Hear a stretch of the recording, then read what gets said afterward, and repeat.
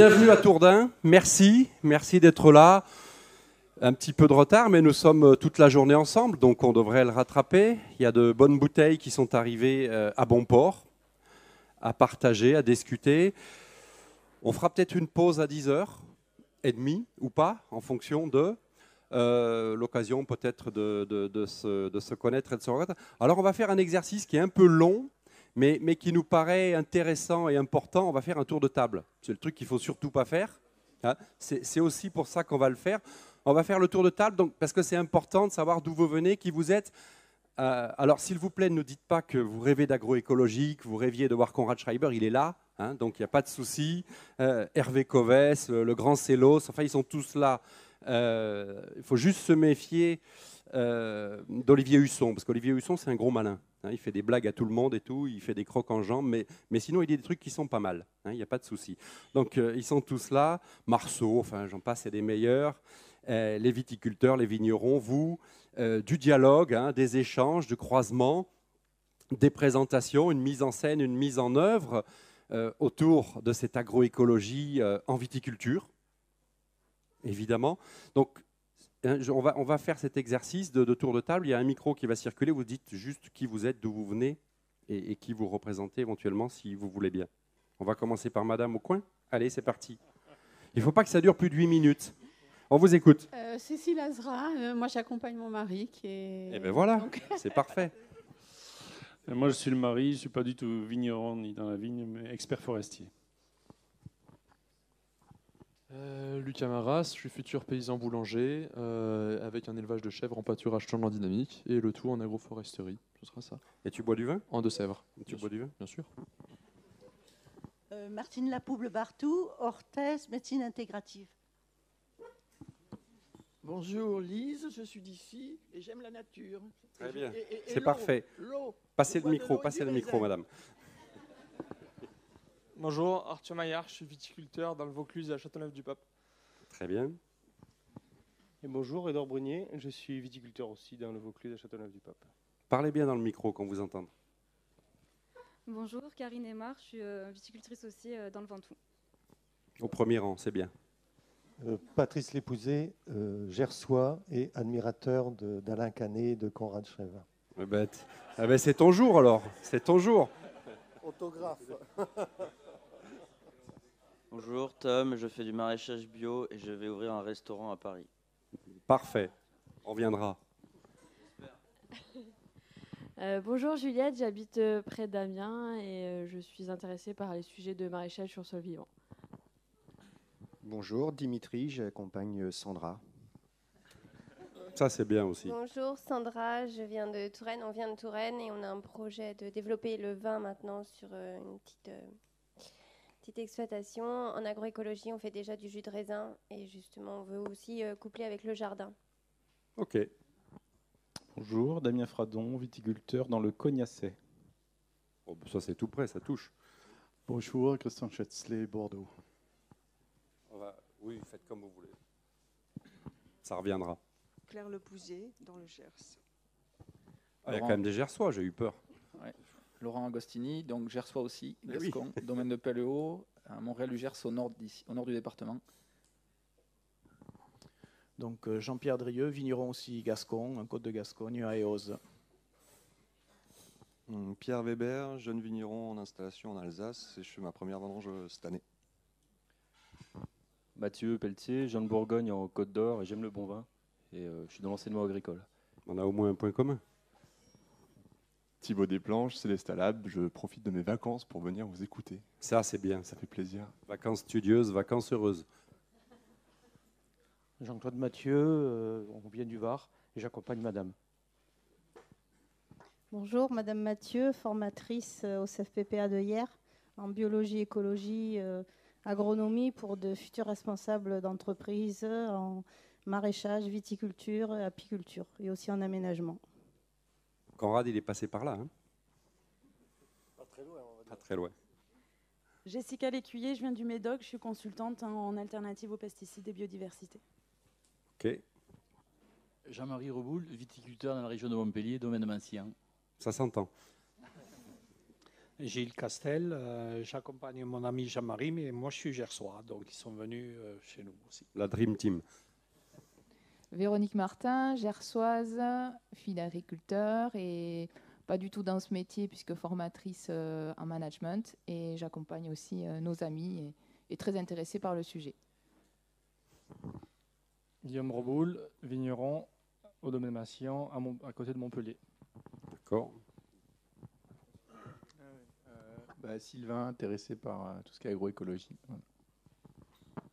Herman Vollenbroek, euh, je suis retraité et vigneron de loisirs. Très bien. Quelle Louis Pèvre, dans le Var, euh, distributeur de produits nécessaires à l'agriculture. Marie Pèbre, j'accompagne mon frère. Isabella Tomasi, agronome et microbiologiste, chercheur indépendante.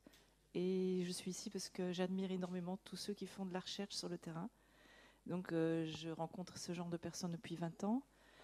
Et je suis aussi en relation avec un réseau italien de euh, recherche en agriculture biologique, avec qui j'ai collaboré pendant plusieurs années. Voilà. Même Marc-André Sellos, vous l'admirez? Ah, je ne, non, je ne le connais pas. Ah bon, bah alors là, vous allez, là, ça va être, je suis ça va être un, un, grand jour aussi pour vous. supporter des travaux d'Olivier aussi, euh, dont je parle partout au niveau euh, international. Bon, super. Olivier, il est au fond, il se cache.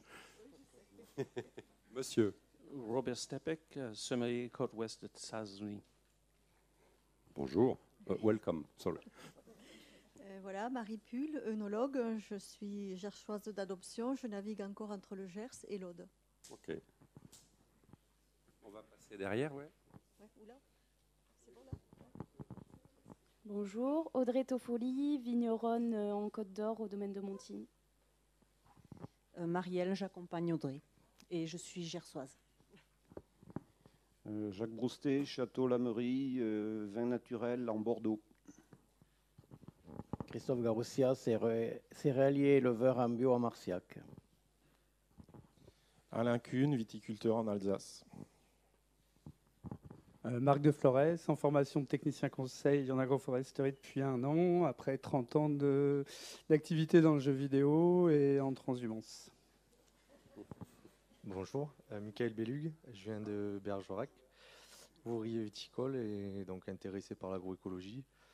Et je viens à titre personnel. Bonjour, euh, Marie-Josée Carrère. moi, je suis gersoise. Je suis chargée d'études en urbanisme à la direction départementale des territoires. Et euh, je suis très intéressée par tout ce qui est biodiversité et l'agroécologie. Et j'accompagne mon fils euh, qui fait des études dans le domaine. Bonjour, Arnaud, étudiant DUT Génie Biologique, option agronomie. Très bien. Samuel Mage, viticulteur à Saint-Pierre-de-Léron et engagé dans l'agriculture du vivant et admirateur bien sûr des agronomes présents. Sur l'île alors? C'est sur l'île toi? Bonjour, David Prader, vigneron sur l'île de Léron.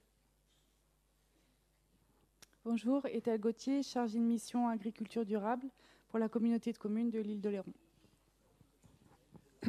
Michel Gendrier, vigneron à Cheverny dans le Val-de-Loire et responsable de la commission environnement des vignerons indépendants de France.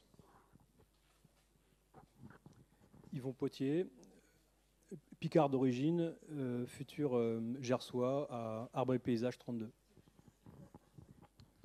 Bonjour, Jean-Pierre Sartou, enseignant-chercheur en agroécologie. Bonjour, Grégory Laplace, euh, donc je représente la famille Laplace, le vignoble Laplace dans le Madiran.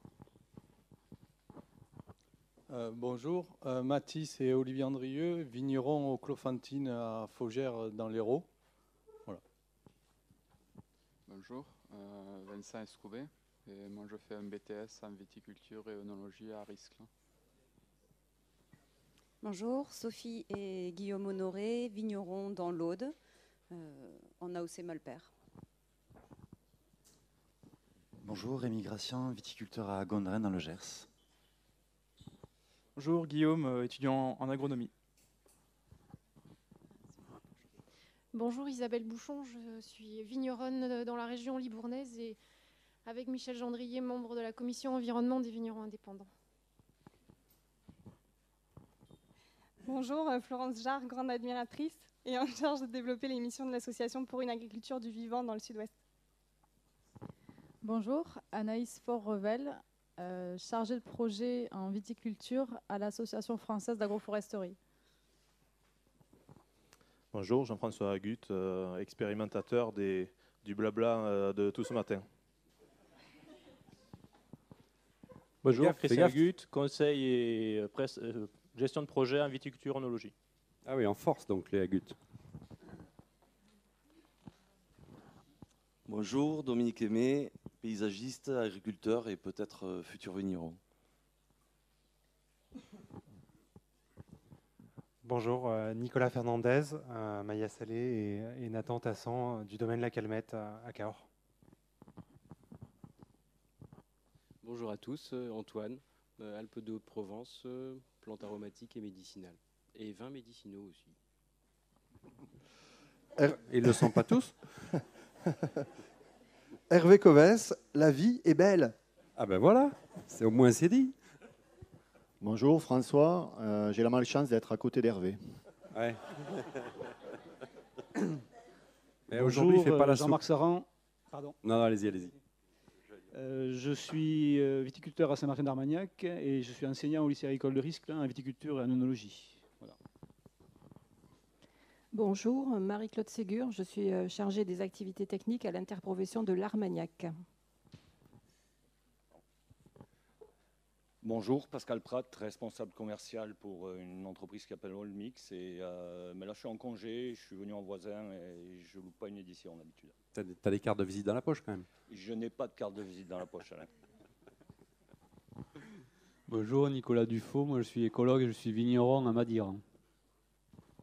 Bonjour, Marie Barbet. Je suis euh, technicienne en Ariège et une partie dans l'Aude.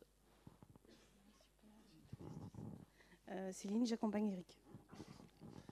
Bonjour, euh, Éric Sylvestre, conseiller d'entreprise en Charente-Charente-Maritime euh, dans un centre de gestion, mais euh, je débute une production de cassis bourgeon en Côte d'Or. Bonjour, Miel Péréard, porteur de projet d'une ferme euh, maraîchère bio-intensive sur petite surface dans le sud-ouest. Bonjour, Mireille Bail, je suis gersoise, je suis salariée en culture maraîchère. Bonjour, Gérard Pujot, Gersois, directeur de production en Armagnac. Bonjour, Nathanaël Parnaudot, vigneron à Gaillac. Bonjour, Valentin Anglade, paysan en polyculture élevage euh, dans le Tarn. Simon, étudiant à Montpellier et futur vigneron. Jean-Baptiste Cordonnier, viticulteur dans le Médoc, au Château Antonique, à Moulis, et forestier en Ariège. Jacques, euh, région de Limoges, particulier en vacances, intéressé par le sol vivant. Laure en vacances aussi. Bonjour, euh, Sandrine Martineau, viticultrice dans le Mâconnais. Euh, le mari, Michel Martineau. Maxime Formicky, ancien professionnel de santé, vigneron à la Cadière depuis euh, quatre saisons, on va dire. Et j'interviens ce soir sur les sulfites et la santé. Françoise, je suis donc l'associée de Maxime dans les vignes. On est à la Cadière d'Azur dans le Var. Bonjour euh, Didier, Auvergne, je suis retraité curieux. Bonjour, Patrick Mestadier, Nord-Libournais, euh, acteur dans l'agroforesterie. C'est bien. Euh, bonjour, je suis Philippe de l'Italie et je suis un étudiant d'agronomie. Euh, bonjour, Aurélien Prouillac, vigneron et maraîcher du côté de Bergerac. Bonjour, Samuel Cuissé, euh, viticulteur biodynamiste à Saucignac, dans la région Bergerac, euh, et administrateur d'AgroBio Périgord. Bonjour, Christophe Hunetti, lycée euh, agriviticole de risque dans le Gers et Gersois. Bonjour, Jonathan Arrivé, Charente-Maritime, viticulteur. Bonjour, Bastien. Euh, J'accompagne euh, Jonathan et Philippe, euh, novices en viti et expérimentés en dégustation. Quelle belle formule. Bonjour, Philippe, Philippe Arrivé, retraité et vigneron à Cognac. Renaud Mélier, porteur de projet en bac Quercy.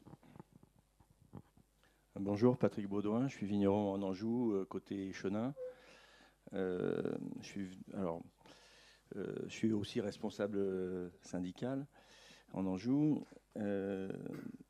Je suis venu ici parce que je, je n'arrive pas, je ne sais pas faire comment, sans travailler les sols, on peut cultiver la vigne et faire du vin. On va regarder ça. Bah voilà. on a, on a, on a jusqu'à 22h30 pour regarder ça de près. Hein Avec témoignages, euh, photos, illustrations, schémas, résultats, il n'y a pas de souci. On va regarder tout ça. Monsieur. Et Gabriel Lépousé, je suis neurobiologiste à l'Institut Pasteur. Je travaille sur le goût du vin et le fonctionnement du cerveau face à la dégustation. Oui, truc sympa là. Moi, quand j'ai fait le truc là pour l'orientation, j'ai pas vu ça. Hein. Au début, Moi, au début, ils m'ont mis mécanique agricole. Après, tout bam. Je vais le dire aux gosses. Si on pouvait savoir comment fonctionne le cerveau face au sol vivant, ça ce serait vachement bien. Bon, merci. C'était long, mais c'était bon. Vous n'êtes pas trop ennuyé? Hein? Alors, Petite, petite courte euh, introduction avant de donner la parole à, Noël Lassus, euh, qui porte haut et fort ce, dossier en France et, un petit peu plus loin au titre des, vignerons indépendants avec lesquels nous avons beaucoup collaboré euh, ces dernières années et, l'année qui vient de s'écouler en, particulier avec un, Tour de France en termes de formation, de conférences et autres journées, techniques. Conrad, on a mis comme titre, mais bon, c'était un soir tard, on a mis comme titre euh, viticulture et, agroécologie, question de survie. Qu'est-ce que, ça t'inspire tout ça, toi qui, qui, as fait toutes, toutes les régions et toutes les appellations en, 3-4 ans? Eh bien, ce, Tour de France avec les vignerons, ça a été un petit peu euh, une grande surprise. C'est-à-dire que, je dirais, il y a deux, viticultures, dont une en danger quasi de mort, à mon avis. Euh, celle qui est en très grand danger, c'est, elle est dans le sud, sur les sols calcaires. Et je commence à comprendre que si le sol calcaire euh, ou si la chaleur remonte sur les autres sols calcaires, il ne restera pas grand-chose de tous ces vignobles-là, de la façon dont ils sont menés et conduits.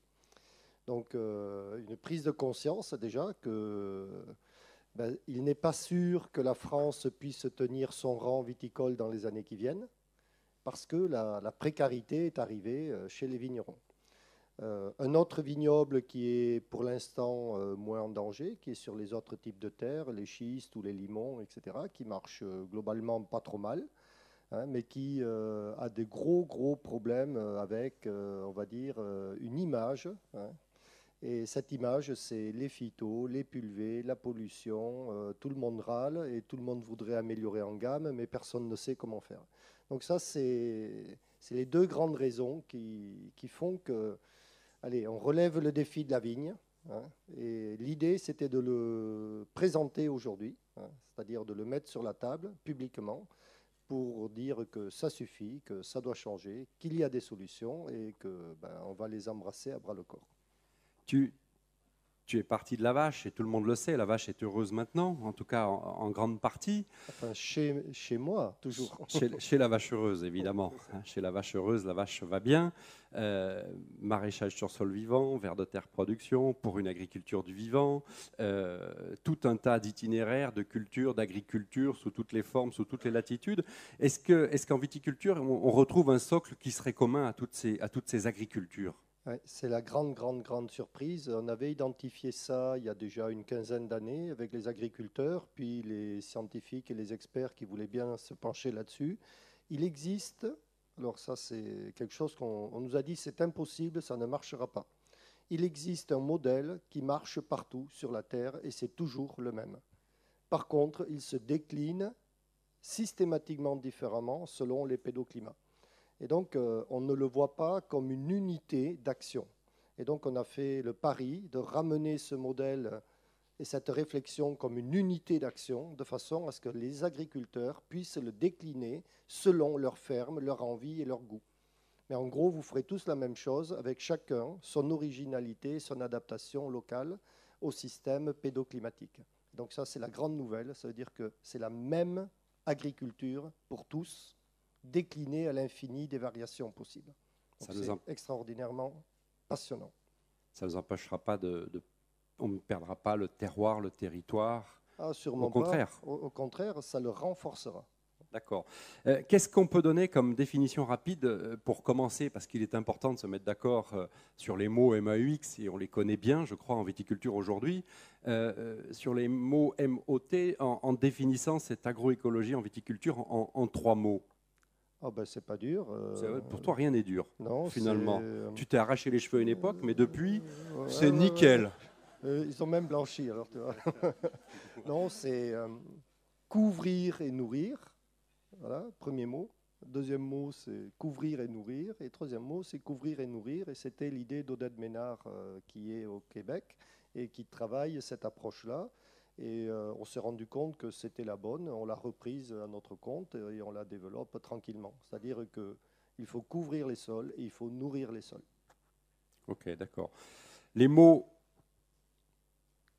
on les connaît. Donc si, je résume encore, euh, je résume d'un résumé de résumé que tu as déjà fait, de la, de la, couverture horizontale et de la couverture verticale, des couverts végétaux et de l'agroforesterie, avec ça, on engage correctement le dossier Oui. Ou on tourne autour du pot pendant longtemps? Non, on engage. On y va direct? On engage correctement le dossier, mais ça pose un problème de compréhension pour la totalité des agriculteurs qui n'ont jamais fait ça, en fait. La difficulté, elle est de comprendre pour agir, c'est tout. Les mots ils sont là, l'urgence est à nos portes, la canicule nous l'a rappelé, je crois, qu'on parle d'eau, qu'on parle de biodiversité, de climat, de sol, de paysage, de productivité, de rendement, d'érosion, de battance, de compaction, de force de traction, de prix à payer pour produire, etc. On est arrivé à un stade où ça devient un petit peu compliqué. Vous êtes d'accord avec ça?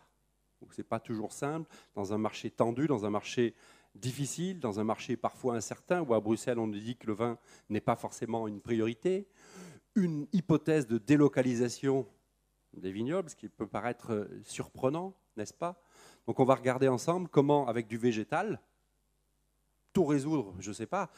Ce qui nous intéresse probablement, et ce que l'on voit déjà avec vous, vignerons, viticulteurs, c'est le cheminement. Et ça, c'est intéressant de voir comment, après, en groupe, on prend le sujet, on le travaille, on le teste, on le sait, on se plante un peu, mais on finit par passer ce cap-là. Et ce cap-là, il est de mon point de vue très intéressant parce que ce cap-là, c'est le cap de l'optimisme, de la coopération, des symbioses et du passage de cap de la trappe de la pauvreté, puisque la crise viticole est aussi une crise du sol, nous semble-t-il. Êtes-vous d'accord avec ça? Ça va? Qui s'oppose? Qui s'abstient? Alors du coup, on peut démarrer la journée. Merci Conrad, à tout de suite, et on appelle l'invraisemblable, l'incroyable, Noël Lassus.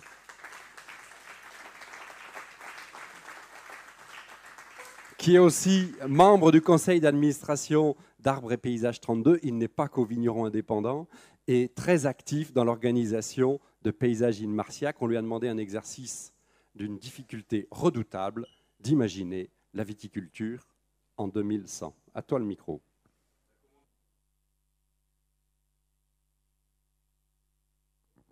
Voilà, ça marche mieux. Oui, comme je disais, la commande était simple, mais le, résultat va vous surprendre. Parce que je ne suis pas du tout d'accord avec ces deux individus. Je pense qu'en 2100, ça sera très très différent. Actuellement, bon, euh, il faut un sol pour faire euh, des raisins. Donc une vigne, le raisin, on le récolte et on fait du vin. Est-ce que cela va continuer à se faire de cette manière? Conrad a commencé à nous dire que ça allait être de plus en plus difficile dans certaines zones. Alain veut que nous délocalisions les vignes vers la montagne ou au pôle Nord, mais ce n'est pas forcément la solution. Donc le vigneron, c'est quand même quelque chose d'important pour le moment. Peut-être que dans les années à venir, ça va le devenir de moins en moins.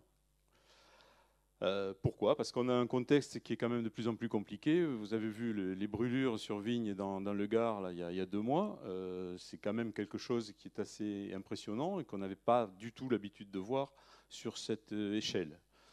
Hein, donc vraiment, c'est passé au chalumeau. Donc on, fait les constats des dégâts pour l'instant, mais pour le moment, on n'a pas vraiment de, solutions euh, qui apparaissent rapidement. Donc, comment est-ce qu'on peut faire face à ces problèmes-là? Eh bien, tout simplement en faisant appel à la technologie. Tout est en place. Monsieur nous disait tout à l'heure qu'il travaille sur les interactions du nez et du cerveau. Euh, on a des nez artificiels qui commencent à voir le jour. Euh, dans tous les domaines, on a euh, des solutions technologiques qui, arrivent et qui vont nous permettre d'évoluer rapidement. Alors, Descartes, au XVIIe siècle, pour lui, la nature, c'était une réserve dans laquelle on pouvait puiser, et en fait, il fallait la soumettre. Il fallait se rendre comme maître et possesseur de la nature. Bah, ça, c'est une vision qui est encore la nôtre de nos jours pour la plupart des agriculteurs ou des, organismes, voire des, sociétés euh, qui, travaillent en agriculture. Alors, de la vigne au consommateur, sans aucune intervention humaine, voilà, ça, c'est le but que nous pouvons poursuivre. Hein, l'homme n'est plus, plus utile à rien. Hein. Donc, on va essayer de trouver des solutions technologiques. On en a déjà, bon, on peut créer. Hein. Déjà, on, conserve euh, ce qui est vivant euh, avec euh, des cultures in vitro qui permettent de, reproduire dans des conditions bien déterminées des plantes qui, qui n'existent plus ou qui ont du mal à se multiplier. On peut aussi multiplier des grandes quantités de plantes très rapidement en les tenant à l'abri de, de toute nuisance, virus et autres Ensuite, donc, on a maintenant quelque chose qui est vraiment très bien, c'est la xénobiologie. Vous connaissez l'exobiologie. L'exobiologie, c'est la recherche de la vie dans les autres planètes. Bon, ça, c'est encore un peu lointain. La xénobiologie, par contre, c'est quelque chose qui est euh, totalement à notre portée, avec euh, en fait une création complète d'ADN, donc possibilité de créer les êtres vivants que l'on veut. De cette manière, on pourra euh, fabriquer exactement ce dont nous avons besoin. Ça n'a pas l'air de vous emballer. bon. non, mais quand on lit les scientifiques rejouent désormais le scénario de l'histoire de la vie et toutes les variations leur sont permises, à la frontière du naturel et de l'artificiel, c'est maintenant. Hein. Et les outils existent. Hein. Donc, un matériel génétique qu'on peut fabriquer comme on veut euh, pour que ça convienne euh, au milieu. Pourquoi pas au milieu de culture d'ailleurs. Hein. Des caractéristiques d'un raisin qu'on sera capable de faire exactement à la demande du consommateur. Vinificateur dans un premier temps, mais on ne sait pas s'il existera toujours, le vinificateur, ou quelle forme il aura, puisque ce seront des process de vinification totalement automatisés. Avec une production qui sera faite de manière instantanée en fonction de la demande du consommateur, donc euh, complètement axé sur la, sur la demande, et donc on sera sûr de vendre le produit. Toutes les solutions donc, de la vigne à la bouteille, ça on, y est déjà, on a toutes les technologies pour ça.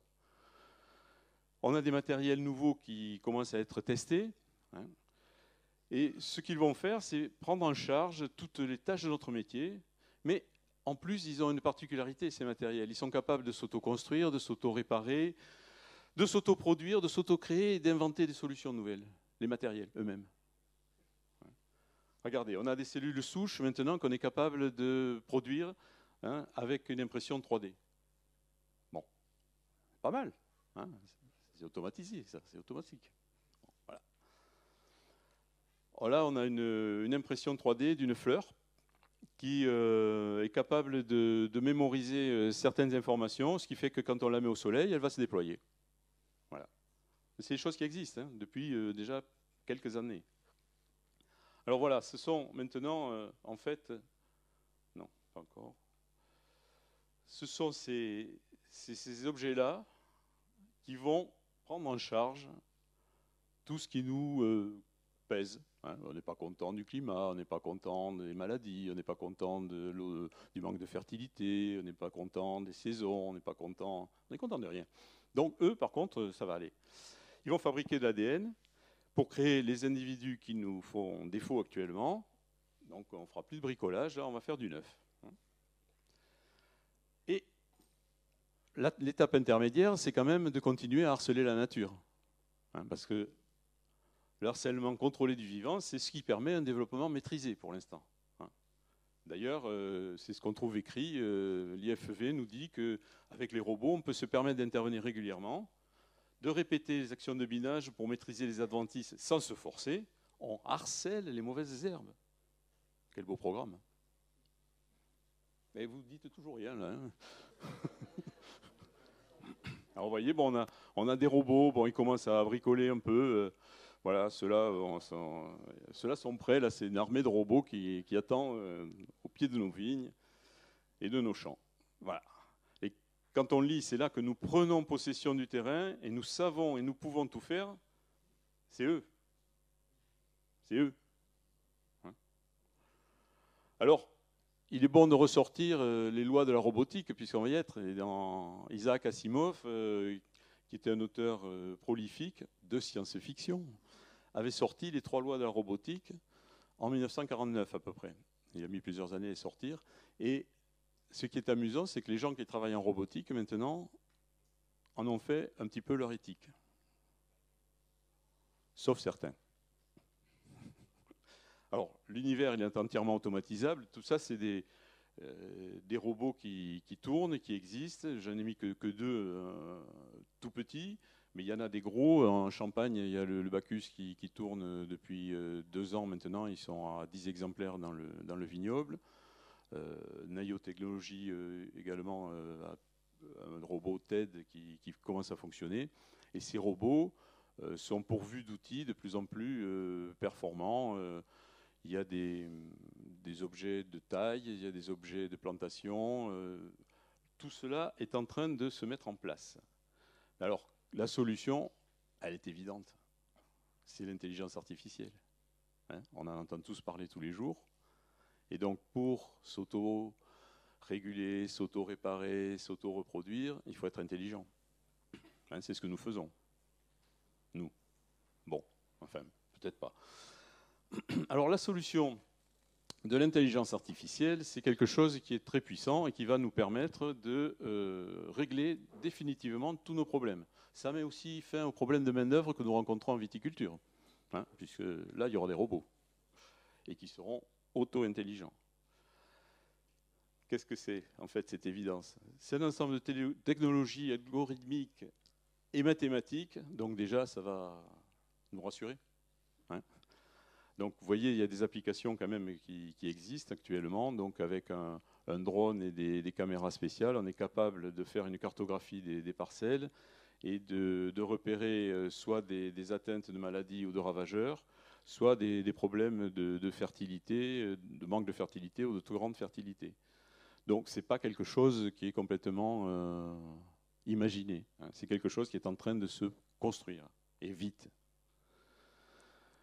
Alors, cette technologie, on les a. Production de plantes de vigne, on l'a vu, à partir de rien. Culture de précision, récolte automatisée, des unités de vinification automatique qui produisent des grandes et des petites séries. Donc on peut personnaliser, on peut euh, faire un vin adapté à la demande, euh, quelques bouteilles pour, le consommateur. Hein. Des unités d'embouteillage qui seront entièrement automatisées, elles le sont déjà des expéditions, des facturations, des traitements administratifs, des livraisons entièrement automatisées. Et le paiement, ah le paiement, ça va être encore plus simple. On va avoir recours à quoi? Au biohacking. Alors le biohacking, ça c'est pas mal hein, quand même, hein, franchement. L'opération elle est rapide et indolore. Hein. Une petite seringue, on vous injecte euh, dans le meilleur des cas une puce, quand c'est plus grave un peu d'ADN. Voilà, on en est là. Euh, ce sont des expérimentations qui sont euh, extrêmement courantes en Suède et aux États-Unis, avec, enfin, expérimentation des usages avec des puces RFID qui sont euh, capables de faire un, paiement. vous mettez, vous actionnez votre puce et vous payez sans contact ou directement sur le net. Ça marche, ça existe. Et c'est courant. Les drones peuvent nous livrer, pas de problème. Amazon fait déjà ça. Et puis quand la vigne disparaîtra, on aura peut-être une vigne artificielle pour avoir un peu de mémoire. Donc euh, on aura, avec le plastique, on arrive à faire des choses très bien. Hein. Parce que la vigne peut aussi être une des victimes de cette évolution et de l'assassinat de la biodiversité. Alors, cet avenir, est-ce que nous le voulons vraiment? Ah Enfin de l'évolution Bon.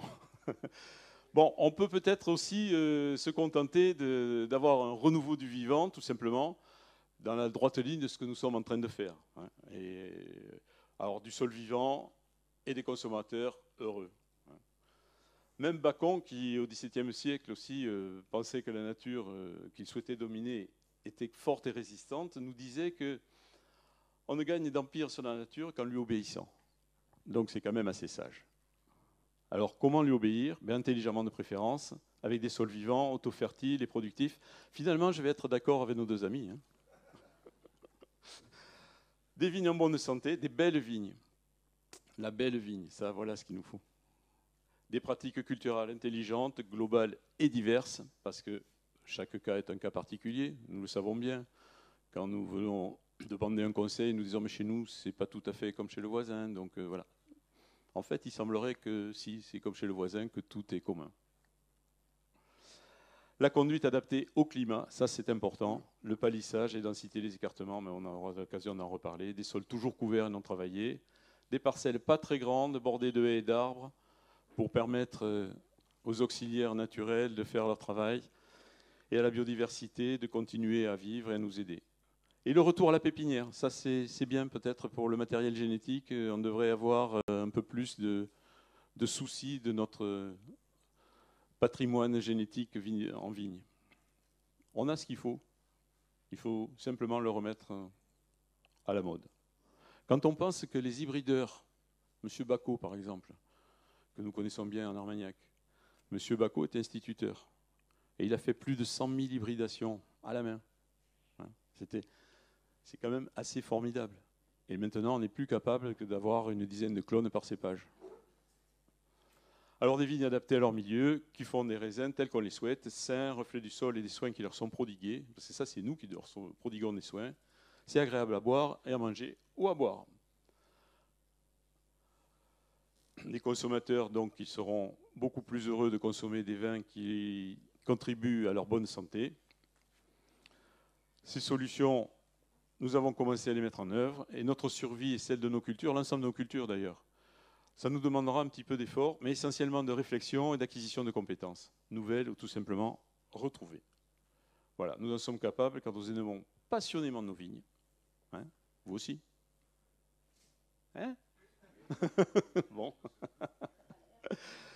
Et on pourra peut-être ainsi redonner un sens au mot terroir, qui est bien galvaudé et qui s'applique aussi à toutes les productions agricoles.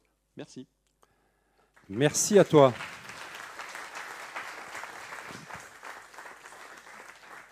Merci Boconel. Moi, je pensais que tu allais enfin nous amener une solution euh, simple, efficace, pertinente et, durable. Je pensais que tu allais nous proposer du vin en poudre, auquel cas on en fout une douzaine, et là on aurait pu aller boire un coup plutôt que de se faire chier, essayer de récupérer tout ça, de refaire le monde, de refaire le sol, de refaire la fertilité, qui puisait de la, fécondité, mais non. Alors du coup, eh bien, on l'a vu, il faut harceler les mauvaises herbes, ça c'est important, le harcèlement c'est la base. Hein. du génie satellitaire, du génie chimique, du génie mécanique, du génie civil. Et, et Conrad, si on passait un peu au génie végétal, qu'est-ce que t'en dis de ça? Si on passait un petit peu au génie végétal? On va essayer, on va essayer de couvrir ces sols et c'est le début. Tu vas te mettre ici, s'il te plaît. C'est mieux pour, euh, pour la logistique. On va, on va voir, on va voir avec cette, euh, avec cette affaire-là, puisque l'intervention suivante, c'est bien la couverture. La couverture végétale en viticulture, voir un petit peu où on en est, ce que ça donne et, ce que ça ouvre euh, comme horizon. Parce que c'est vrai que d'harceler, d'harceler les mauvaises herbes, c'est bien. Ça fait longtemps qu'on le fait. Qu'on le fasse mécaniquement ou chimiquement, ça fait un paquet de temps. Et pourtant, il y en a toujours autant, voire plus. Ça fait un moment qu'on les harcèle. Hein mais, mais est-ce que ce sont des mauvaises herbes? Et pourquoi elles poussent? Qu'est-ce qu'elles nous disent? Qu'est-ce qu'elles expriment en poussant? Sont-elles mauvaises ou sont-elles des plantes bio-indicatrices qui nous donnent une indication extrêmement forte sur l'état du sol, ses besoins ben, on va voir. On va voir ça? Allez, c'est parti. Alors du coup, j'adore la vision de Noël Lassus, parce que finalement, euh, un, un, petit diaporama, il, il, résume bien, ce diaporama, euh, une tendance qu'on aurait à croire au miracle de la technologie. Et finalement, euh, le sol est couvert, il devient fertile, et on va voir comment il devient fertile. Et puis, finalement, voilà ce qu'on va regarder avec cette technologie. Si, oh si, comment ça marche? Où est le pointeur là-dessus? Tout en haut. OK. Voilà. Si mon intelligence artificielle, si mes robots sont calés sur ce modèle-là, voilà, et c'est ce qui risque d'arriver puisqu'on désherbe en permanence, on garde le sol nu, etc. On a commencé à faire des expériences très simples que tout le monde devrait Excusez-moi, excusez-moi, du coup, vous voyez bien, c'est vraiment Conrad Schreiber, c'est vraiment lui. Hein. Hein? Vous inquiétez pas, c'est vraiment lui, hein, pour le vocabulaire, pour les... Et donc, on a fait des expériences pour sortir de l'obscurantisme du compost, des bibliothèques entières consacrées au compost, et tout le monde raconte n'importe quoi, alors qu'il suffit de faire des choses très très simples. Donc on a mis 1 kg de terre, on a pris 100 grammes de compost, c'est-à-dire 10%. Hein. donc on en a mis une bonne couche. Hein. et là, on est sûr que ça va être génial. Donc euh, on mélange, hop, on touille le tout, on met à l'ombre avec un petit peu d'humidité. Et au bout de 5 mois, on démoule notre pot de fleurs et on le met dans l'eau. Et on regarde la stabilité structurale de cette motte de terre dans l'eau. Patatras, 48 heures après, il n'y a plus de terre. Donc le compost, il ne fait rien, jamais rien pour améliorer la qualité physique, biologique et chimique d'un sol. On oublie le compost. Il n'est pas à sa bonne place dans la réflexion des agronomes et des paysans. Alors les paysans, ils ne sont pas responsables de ça. Ça fait 300 ans, peut-être 2000 ans qu'on leur baratine des bêtises. Hein, voilà, point. Donc il est temps d'arrêter. Première règle, donc ça ne marche pas. Et quand on fait ici avec de l'engrais vert, on a mis de l'herbe, c'est pas mieux. Donc l'engrais vert, idem, c'est une très mauvaise technique pour améliorer les qualités, les propriétés physiques, chimiques et biologiques d'un sol. Donc deux grandes techniques généralisées en agriculture qui ne sont pas opérationnelles. Le compost et les engrais verts. Et là, vous êtes médusé, vous dites, oulala, là là, euh, mon agriculture, je vais la faire avec quoi? Ben, Sûrement pas, pas mieux. Et donc on a continué à faire les expériences et on a mélangé avec de la paille et avec du bois. Et là, miracle, quand vous faites la même préparation, votre terre, elle tient, elle résiste à l'eau, elle est structurée, elle est collée, elle a une stabilité physique, chimique et biologique. Et avant d'aller dissoudre des, des éléments qui sont enfermés là-dedans, il faut que l'eau attaque le système très très très longtemps. Donc en fait, dans cette mode de terre, vous allez garder les nutriments, alors que dans la précédente, vous allez les perdre. Donc lessivage, pollution, ou alors construction de terre stable, de structures poreuses et stables, et ça se fait en incorporant au sol de la paille et du bois. Et maintenant, on regarde qui est-ce qui met de la paille et du bois au niveau des sols ou dans les sols pour améliorer la façon de cultiver. Parce qu'à chaque fois qu'un brin de paille va se décomposer à l'intérieur de cette motte, je vais y euh, développer des champignons, des bactéries, et je vais faire du vide. Donc je vais faire de la porosité biologique qui est fondamentale. C'est la base du bon fonctionnement du sol. C'est-à-dire il est impossible de faire de la porosité avec un outil la porosité se fait avec de la biologie qui consomme ces macro-éléments, les brins de paille et les brins de bois, la lignine et la cellulose, pour faire le vide dans le sol. Et un outil, il fait exactement l'inverse, il ratatine tout. Euh, j'ai un super thermomix pour broyer ma terre et on se demande à quoi ça sert. Et en fait, ça ne sert plus à rien. Et on est tous piégés là-dedans et on peut faire des, expériences très simples. J'ai un sol vivant, je laisse dans l'eau. Ben, ma motte qui est pleine de paille, si je la laisse dans l'eau et que l'eau a du mal à l'attaquer, au bout d'un an, vous allez y voir pousser tous les végétaux, toutes les graines contenues déjà dans la terre, parce que dans votre terre, il y a des milliards de graines en stock au cas où quelqu'un vienne faire des bêtises. parce que ça sert à ça. Les graines, les adventices réparent la terre en cas d'attaque, d'agression et de problème. Les plantes, elles savent, elles repartir après une catastrophe type euh, celle qui a décimé, par exemple, les dinosaures. Tout meurt sur la terre, mais les graines sont là pour repartir. Et donc, les plantes ont inventé un truc extraordinaire. Je me conserve dans le sol pour pousser au cas où. Et chaque plante a une fonction. C'est les plantes bioindicatrices de Gérard Ducerf. Chaque plante vient réparer une grande connerie faite par un paysan, ou par un sanglier, ou par une tempête, ou par un ouragan. Et donc là, dites, il va falloir que ça change, il va falloir qu'on apprenne à travailler avec les plantes. Et puis ici, ben, on a une terre travaillée, elle ne tient pas, pas de stabilité structurelle à l'eau, et finalement, vous avez vos problèmes environnementaux. Donc ça, il faut que ça s'arrête, parce qu'à la moindre pluie aujourd'hui, et quand, comme on va avoir des abats regardez ce qui s'est passé à Carcassonne, 400 mm en quelques heures, des morts, de l'inondation, le sol qui récupère rien, et partout où l'eau passe, vous avez le désert, c'est-à-dire un tas de cailloux qui restent. Eh bien, vous avez travaillé dans ces technologies-là, alors qu'il faut revenir là. Et donc ça, l'intelligence artificielle, si vous continuez à développer des mauvais modèles, de toute façon, elle ne fera que des conneries. Donc avoir de l'intelligence artificielle à faire des conneries, c'est pas terrible. Hein. Il faudra qu'elle soit autoproductrice et génératrice de solutions amélioratrices.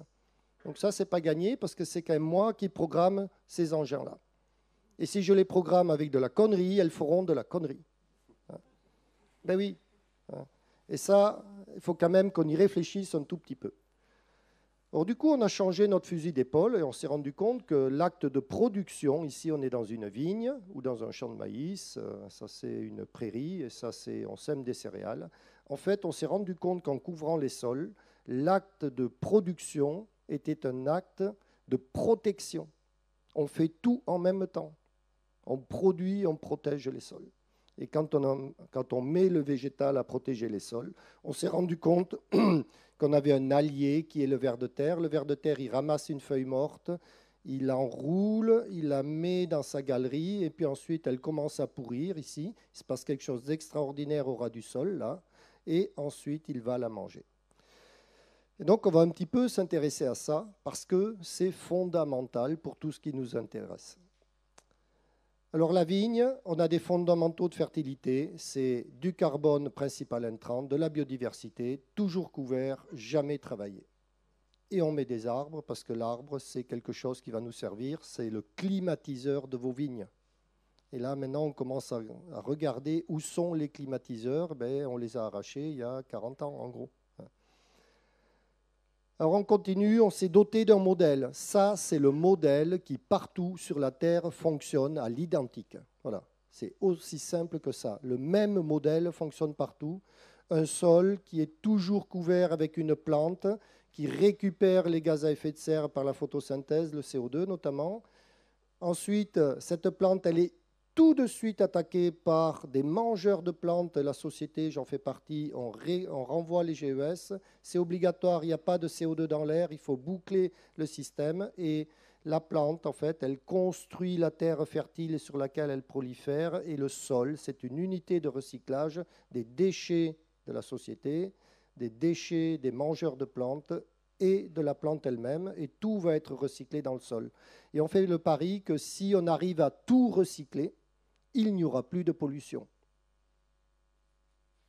Hein? Alors regardez ce que fait la plante avec 0,04% de CO2 dans l'air, c'est-à-dire rien, et de l'énergie solaire illimitée. Elle produit toute la vie sur la Terre. Et donc on fait le pari, nous, en rentrant dans l'agroécologie, que l'avenir de la planète elle n'est pas forcément euh, à la vision que nous a présentée Noël, mais qui pourrait arriver si on ne fait pas gaffe. L'avenir de la planète, elle est au fonctionnement biologique des systèmes. Le 21e siècle, c'est un siècle de la biologie. Hein, et il faudra correctement travailler là-dedans. Et la biologie, elle a des mécanismes bien plus puissants que la mécanique elle-même. Donc on va faire une chose, la plante, elle doit nourrir le sol. parce que le sol, c'est l'environnement. Ensuite, elle devra nourrir la société. Et donc, pour nous, c'est du vin pour les consommateurs. Hein. Alors, de l'armagnac, du, tout ce que vous voulez. Du, alors, le calva, c'est des pommes, mais bon. Hein. Ça, rejoint un petit peu le même débat. Et s'il en reste, on fera de l'énergie, c'est-à-dire que ben, on a quand même des mares, des machins, etc. Ben, pourquoi pas en faire de l'énergie renouvelable Et donc, à un moment donné, euh, ce système-là, il est en train de se mettre en place et il a des règles. Le sol, c'est un puits de carbone. Il est toujours couvert, il n'est jamais travaillé. C'est comme ça dans la nature. La forêt, elle fonctionne comme ça. Elle a colonisé la terre. La prairie, c'est pareil. La savane, c'est pareil. La toundra, c'est pareil. D'accord? Et on voit bien que ce modèle-là, il est à l'œuvre partout, partout, partout. Et donc, à un moment donné, euh, ça a des, des, standards de fonctionnement qui sont toujours les mêmes. C'est le rendement maximum du végétal au mètre carré sur chaque élément de surface. C'est le rendement maximum du végétal. Je dirais même c'est la production maximale avec le moins d'énergie possible et la meilleure efficience possible. Donc euh, on commence à penser que c'est productivité dans les vignes. Il va falloir faire produire les vignes. Et nous, on est sur des, des, réflexions où on ne produit plus rien et on pense qu'en faisant moins, on fera mieux. Non, en faisant moins, ça nous coûte plus cher et on vend de plus en plus cher pour couvrir nos charges qui sont de plus en plus élevées et on perd les consommateurs qui sont pauvres. Mais oui, je ne vois pas le salaire des gilets jaunes augmenter parce qu'il ne s'est rien passé malgré les gilets jaunes. Hein. Et donc mon consommateur, il se massifie et il devient pauvre réellement. Donc ça, c'est un gros, gros problème. Et là-dedans, on sait que c'est la biodiversité qui fait tourner la machine. C'est tous les mangeurs de plantes et tous les euh, recycleurs au niveau du sol qui recrachent le CO2 en permanence pour que la plante puisse le récupérer par la photosynthèse. Et donc, c'est la biodiversité qui est le moteur de la productivité agricole. Et la biodiversité, c'est quelque chose qui est terrible. Ça s'appelle une abeille, ça s'appelle un ver de terre et ça s'appelle un conrad. Et donc, pour développer des abeilles, des vers de terre et des conrades, il faut deux choses tout le temps les mêmes, tout le temps les mêmes. Pour tous les êtres vivants de la Terre, il faut une maison en bon état et de la nourriture dans cette maison. J'ouvre le frigo tout à l'heure et je suis content parce que je vais pouvoir manger. Je n'ai pas besoin de courir à 100 km pour me nourrir. Et donc la biodiversité, elle se développe sur ces deux standards fondamentaux partout, partout, partout sur la Terre, enlever les maisons, enlever la nourriture, la biodiversité s'écroule. Et donc ce qui est vrai pour un conrad, c'est vrai pour une abeille et c'est vrai pour un ver de terre. Ou un mulot, ou tout ce que vous voulez, vous avez le choix. Il y a pléthore de biodiversité. Alors comment marche ce sol? Ben, On a mis en place la réflexion autour de la terre fertile. Et la terre fertile, c'est quelque chose d'assez simple. Il y a une plante qui pousse, une plante pionnière, et ça s'appelle un kénopode, ça s'appelle une mauvaise herbe.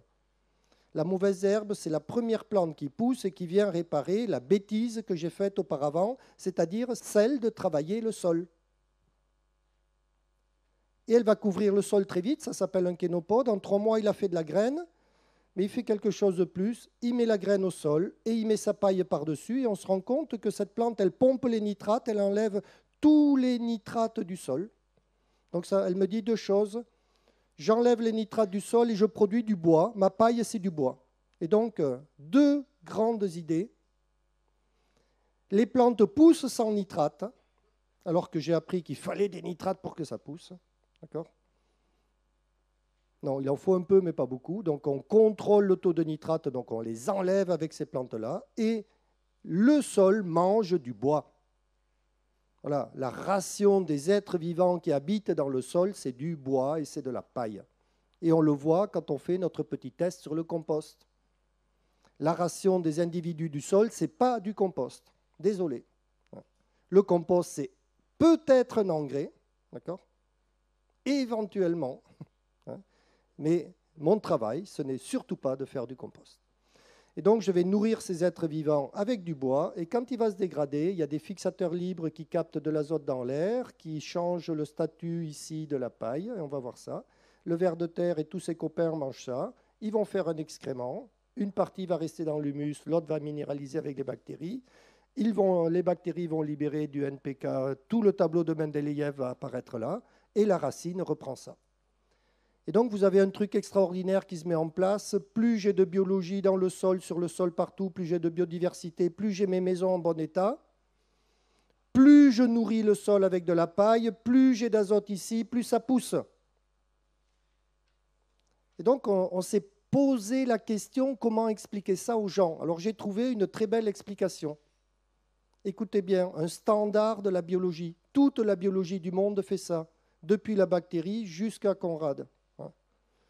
Quand je mange du pain, écoutez bien, je vais transformer ce pain en autre chose. En quoi je transforme le pain que je mange ou le vin que je bois? Eh bien, je le transforme en intelligence, en connerie, en chaleur, en mouvement, en pensée, en sang, en organe, c'est-à-dire que le pain, il donne naissance à travers ma singularité biologique à autre chose qui n'existait pas avant. OK? Et là, il y a quelque chose de très perturbant, mais quand vous le dites comme ça, la biologie, elle a la, elle a la possibilité de transformer quelque chose en autre chose qui n'existait pas.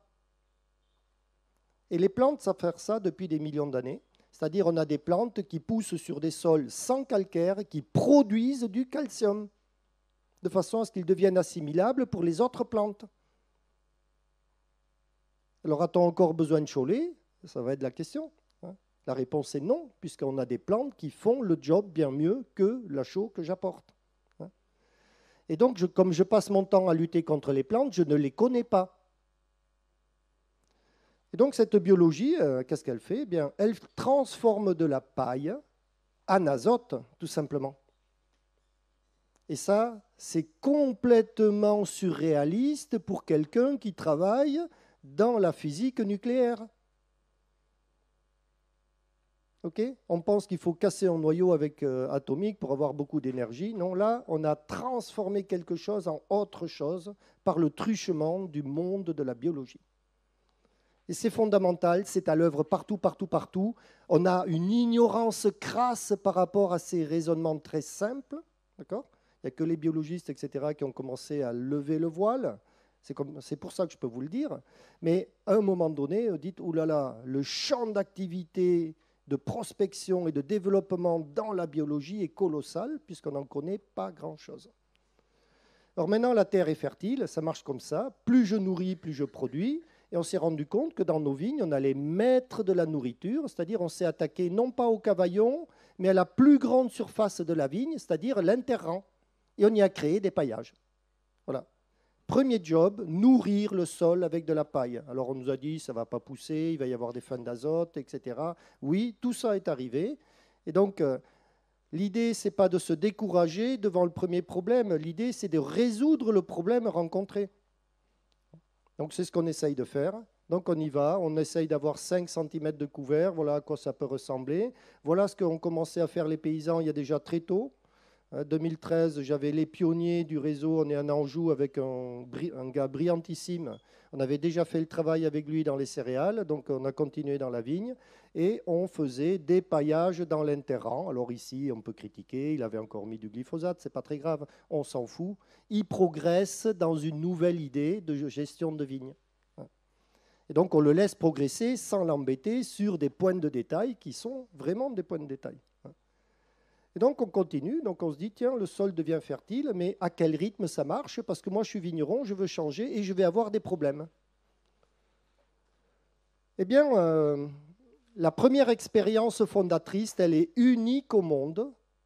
On l'a faite euh, avec François Mullet dans le cadre de son projet Maraîchage sur sol vivant. C'est unique au monde. C'est toujours pas mis en observation. Hein, alors on est inquiet parce qu'on a démarré ça. Alors on a donné un slogan, hein. regardez le slogan, hein. j'ai du rendement conventionnel en maraîchage à MAP bio, sans jamais mettre un seul gramme d'engrais. D'accord? Pas de compost, pas de fumier, tout pousse avec de la paille et quand mon sol mange du carbone, il chie de l'azote. Et on a mis ça en route et ça marche super bien. Donc on a une expérience fondatrice.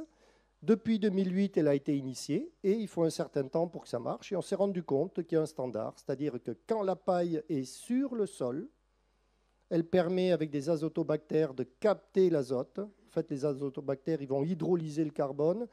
Il manque de protéines, donc ils vont chercher l'azote de l'air. Et ces bactéries, ensuite, à un moment donné, elles vont être mangées.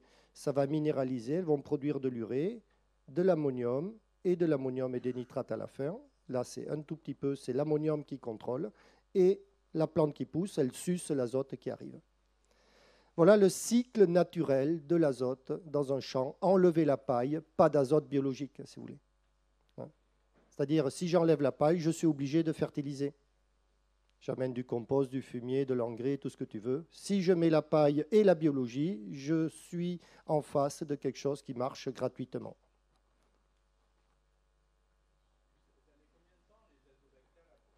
Ben, on va y aller. Le temps, c'est ce qui intéresse tout le monde. Donc on a fait des bilans. Une tonne de paille, ça fait 150 de rapport carbone-azote. Ça contient 3 unités d'azote, mais ça contient surtout 400 unités de carbone.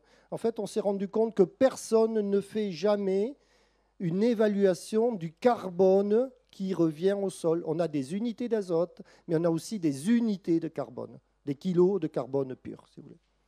Donc on a commencé à regarder ça. Et on s'est rendu compte que nos azotobactères, ils captent 13 unités d'azote dans l'air quand tout est en place avec une tonne de paille. Et globalement, au bout du compte, la paille, elle est devenue noire. Et quand elle est noire, elle a un C sur N à 24. Ça a changé, ça s'est enrichi en azote. Et pour alors, il y a énormément d'azote dans votre bouillie de paille noire. Voilà. Et ça, vous le voyez, elle est jaune, elle est noire. Donc, je n'ai même pas besoin de mesurer, je vois.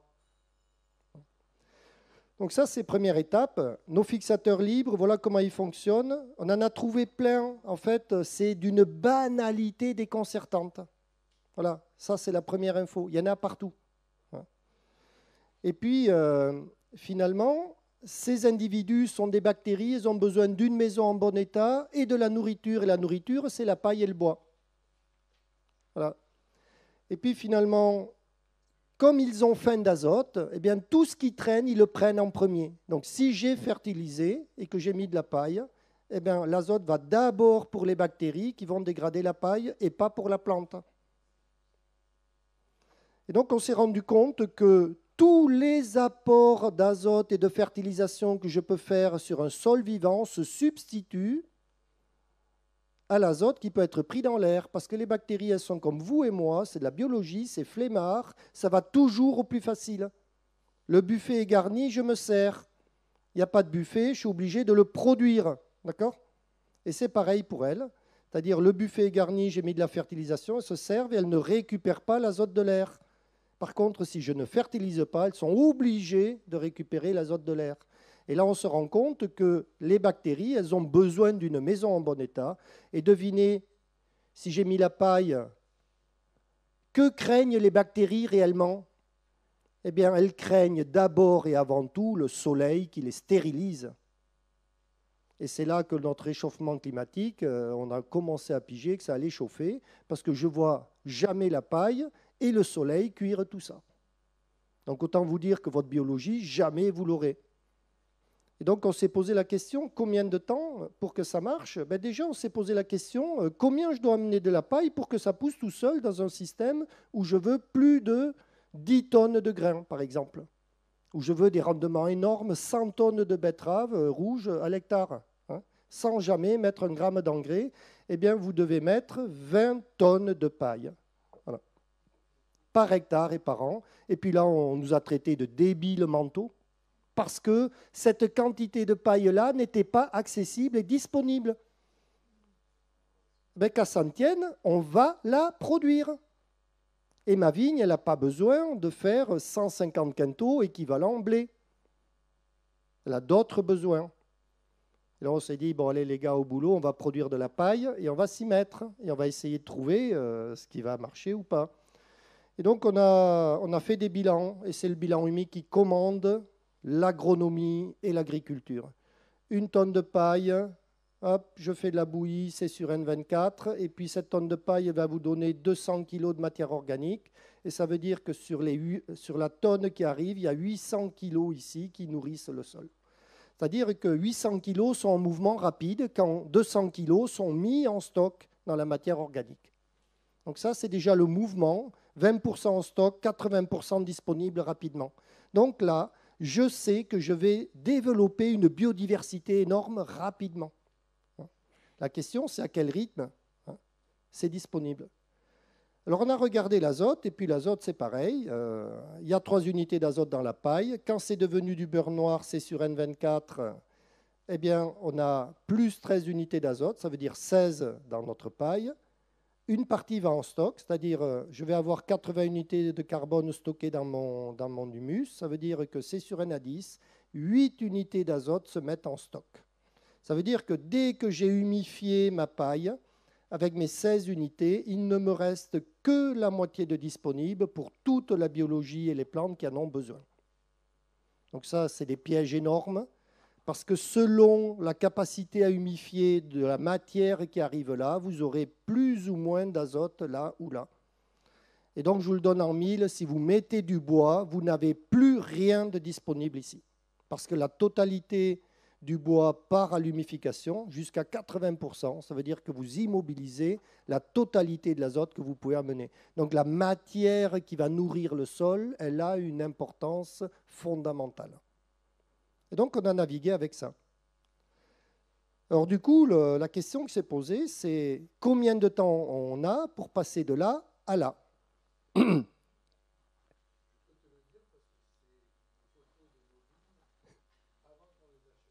Voilà. Tu es plutôt là. Voilà. Et donc, ça nous rassure. Hein ça veut dire que le saut, il est possible, et finalement assez rapidement. Et c'est ce qu'on a vu euh, dans notre Tour de France, parce qu'il y, a des vignerons dans toutes les techniques de production, et ils ont déjà bougé. C'est pour ça que le dossier devient facile. On peut le développer réellement. Hein. Et donc, euh, on s'est posé la question, non pas du temps, mais est-ce que ce n'est pas la quantité de carbone que je vais ramener dans ce système-là, la ration du sol, qui est le vrai pivot pour aller vite?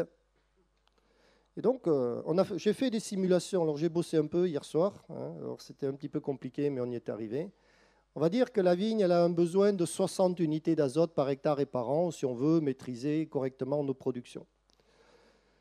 Et puis, si je mets de la paille de céréales, c'est-à-dire je moissonne et j'amène du blé, on se rend compte qu'elle euh, a un C sur N élevé, puis elle va faire de l'azote, j'en ai 16 unités, il y en a 8 de disponibles. Eh bien, il me faut 8 tonnes de matière sèche plus la biologie pour avoir mes 60 unités dispo. Voilà. Et donc ça, 8 tonnes de matière sèche, je vous garantis que hier, on a parlé, on a une unité de mesure pour les 8 tonnes de matière sèche produites à l'hectare. Et donc les jeunes là, qui étaient là, ils ont dit que l'unité de mesure, c'était un Conrad. Et donc 8 tonnes de matière sèche, je vous le donne en 1000, ça vous arrive là, la paille. OK? Hein? Le, Conrad. Hein aux épaules, si vous voulez. Hein Et donc, euh, avantage aux grands, hein, quand même. parce qu'eux, ils pourraient en avoir 10 à ce moment-là. Et donc, on se rend compte que, oui, on aura de l'azote disponible. La séquestration de carbone sera de 640 kg ou une tonne 100 de matière organique par hectare et par an, mais je dois nourrir le sol avec 8 tonnes de paille. Et là, patatras et catastrophe. Si je le faisais, j'amène de la paille. Où est la paille? D'accord? Et là, tu dis, bon, ok. Mais on se rend compte qu'il va nous falloir 4-5 ans pour y aller, que la paille, elle doit se mettre impérativement à l'automne après la vendange. D'accord? Que le carbone, c'est à l'automne qu'il nourrit le sol pour que l'humification et la minéralisation se fassent biologiquement et que l'azote soit disponible au printemps. Et donc là, maintenant, on est embêté parce que quand on vendange, on n'a pas 8 tonnes de paille qui peuvent pousser dans notre vigne. Hein? Voilà. Mais ça marcherait comme ça. Alors on regarde autre chose. On se dit, tiens, je vais mettre des légumineuses en fleurs. Les photos, les photos, elles sont bonnes. Donc la légumineuse en fleurs, on se rend compte qu'elle est un C sur N très faible, elle est à 25 maxi, et elle va produire 25 ou 24 unités d'azote. Il y en a 16 de disponibles puisqu'il y en a 8 qui vont dans l'humus. Et finalement, on n'aurait besoin que de 4 tonnes de matière sèche pour faire les 60 dispos. Ben là, tu comprends très vite que ça va être plus facile de faire 4 que 8, puisque là, c'est un demi-conrad. Hein. Donc ça va vous arriver, aller un petit peu plus haut que le genou. Donc ça, c'est pas mal. Tu dis, tiens, tu as trouvé un moyen d'encourager. Et pareil, on va écraser tout ça. Cet azote va mettre du temps à se réorganiser, mais une partie est rapidement disponible, c'est-à-dire deux mois après la destruction de ce couvert, qui ne doit jamais être broyé, parce que sinon vous évaporez l'azote. Hein, ça, on l'a appris petit à petit. Eh bien, on se rend compte que ben, ça va aller assez vite. Donc, la légumineuse, c'est la plante d'ouverture, d'apprentissage les premières années. Et ensuite, on a testé une autre formule. Je mets des céréales, c'est-à-dire un mélange céréalier en fleurs. Donc ça, c'est destruction, on va dire avril. Hein.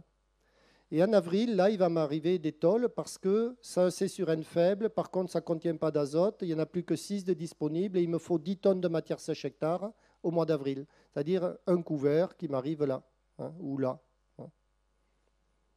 Et donc, je vois mal les vignes au mois d'avril avoir tant que ça de couverts végétaux au milieu des vignes. En fait, c'est possible. Certains agriculteurs ont commencé à le faire, mais ça demande un effort intellectuel et technique énorme parce qu'on on doit s'affranchir de tout un tas de bêtises, le gel, etc., etc. Et donc, on fait le pari qu'en cachant la vigne dans un champ de seigle, il n'y aura plus jamais de gel. Il se mettra au-dessus. Donc mon travail, c'est de faire pousser un seigle beaucoup plus haut et beaucoup plus vite que la vigne au printemps, de façon à la sortir du gel intégralement, mais c'est couverture 100% du sol dans un seigle qui fait 2,50 m de haut le 20 avril. Voilà le job. Hein. et puis là, on s'est rendu compte que ce dossier-là, ben, il a un problème parce que, en fait, ça se dégrade très doucement, ça. Donc là, il va falloir 5 ans pour installer la boucle de fertilité organobiologique. Et donc pour y arriver, ben, il faut accompagner ça de fertilisation. Alors finalement, un sol couvert, il devient fertile et à quoi ça sert? Ben, Ce n'est pas très compliqué. Ça sert à comprendre que la forêt nous a inventé un système où il y a une litière sur le sol en même temps qu'une plante vivante ne pousse. Et qu'il y a un secret dans la litière. Voilà. Et le robot qui m'enlève la litière, c'est juste la plus grande saloperie qui a jamais été inventée au monde. Et là, vous commencez à piger qu'il va y avoir un gros problème. Et donc la litière, elle protège le sol, l'eau pénètre lentement, ça fait buvard diffuseur, l'eau pénètre tout doucement dans le sol, donc vous réapprovisionnez la, la nappe, vous humectez le sol là où il y a les plus de racines, etc. Euh, donc euh, vous allez avoir un problème ici, vous allez gérer l'azote, c'est-à-dire que les azotobactères sont capables de vous dégrader la litière en captant l'azote de l'air, c'est gratuit. C'est pareil pour le CO2. Le CO2 qui va sortir du sol, il est piégé là-dedans et dessus, il y a une feuille avec des stomates. Donc vous récupérez du CO2 directement via les stomates. D'accord? Ça fait diffuseur. Hein. ça ne s'évapore pas en une journée. Quand vous travaillez, vous passez l'outil, tac, tout est perdu. Dans les 24 heures, vous perdez le CO2 alors que la litière va, servir de diffuseur là-dedans. vous avez un engrais starter CO2 qui arrive par les stomates. Donc la nature, elle est super intelligente. Et puis, vous avez aussi l'augmentation du taux d'humus, la porosité du sol, le stockage de l'eau. Et on parie que grâce à la couverture des sols, on réussira la lutte biologique intégrée. Et donc, euh, oui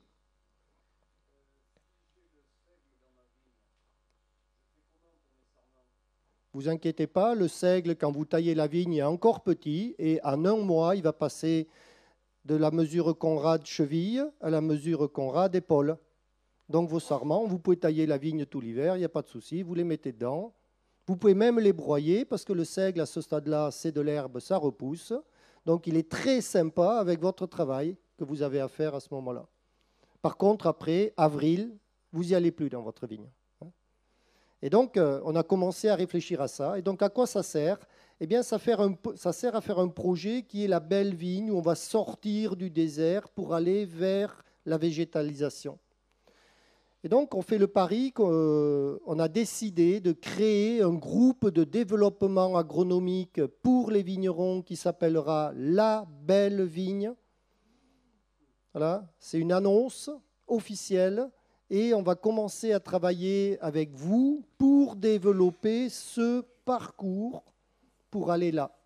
Et donc on voit qu'on va mettre des couverts végétaux avec de la fertilisation, des couverts végétaux de légumineuses et des couverts végétaux tout court en augmentant la productivité de ce système. Ça, c'est la méthode. Et finalement, qu'est-ce que vous allez avoir? Des gains énormes, pas de ruissellement, pas de transfert phyto, pas d'érosion, le retour de la biodiversité, la séquestration du carbone, l'amélioration de la réserve utile, l'amélioration de la production, de l'auto-fertilité après 5 ans, de la baisse de l'oxydation, de la lutte biologique, de la lutte intégrée, de l'introduction aux nouveaux systèmes que vous allez comprendre dans la journée, qui sont des systèmes anti-oxygène. Et ça, c'est révolutionnaire. Ça va nous sortir tous les phytos des champs, d'accord? Et le projet va prendre une autre gueule, c'est-à-dire qu'avec une belle vigne, vous aurez un beau marché. Merci. Merci à toi. Merci à toi. Reste une minute, reste une minute, puisque euh, tu, as vraiment tenu le temps des 15 minutes, donc reste une minute de plus. Donc la belle vigne, la belle vigne arrive, l'annonce est faite, hein, c'était en, maturation. Euh, un sol couvert, il est plus sec ou plus humide qu'un sol qui n'est pas couvert? Rapide la réponse par contre. Il est plus humide. Il est plus humide, ok. Bon, bah, très bien. C'est pour ceux qui n'ont pas vu la pluie ou si peu depuis le début de l'année, 60 euh, ou 80 mm depuis le début de l'année, puisqu'il y en a dans la salle, c'est important que de se le redire. Si j'entends ce que tu nous dis, euh, cette agroécologie, elle concerne tout le monde. Les gros, les petits, les moyens, les bio, les conventionnels, les biodynamistes, il y en a euh, pour tout le monde En fait, tout le monde va être mis d'accord avec cette approche-là. C'est-à-dire qu'on aura fini de s'étriper, bio, pas bio. Et à un moment donné, cet organo-biologique va apparaître dans sa splendeur. C'est-à-dire, euh, tout le monde rêve d'un monde sans pesticides. Il arrive, il est envisageable. Les premiers essais sont très prometteurs, notamment à la vachereuse, j'en ai fait plein, et on se rend compte que bon, on va basculer tranquillement, on va mettre en place les méthodes d'apprentissage chez vous, hein. et à un moment donné, euh, en fait, vous, vous, avez la possibilité en 10 ans d'avoir une vigne sans aucun phyto. Vous y croyez même pas hein. eh ben, Je peux vous l'écrire au tableau si je veux. Hein. On a appris ça. Merci, Conrad. Non, je suis désolé. Allez, une, vas-y. Mais on, reviendra là-dessus tout à l'heure dans le débat, hein, si tu veux bien. Euh, Mais ça se passe plutôt bien. Ça se passe bien. Ben voilà. Hein. tout est beau, la vie est belle. Donc, tu, te mets à la place.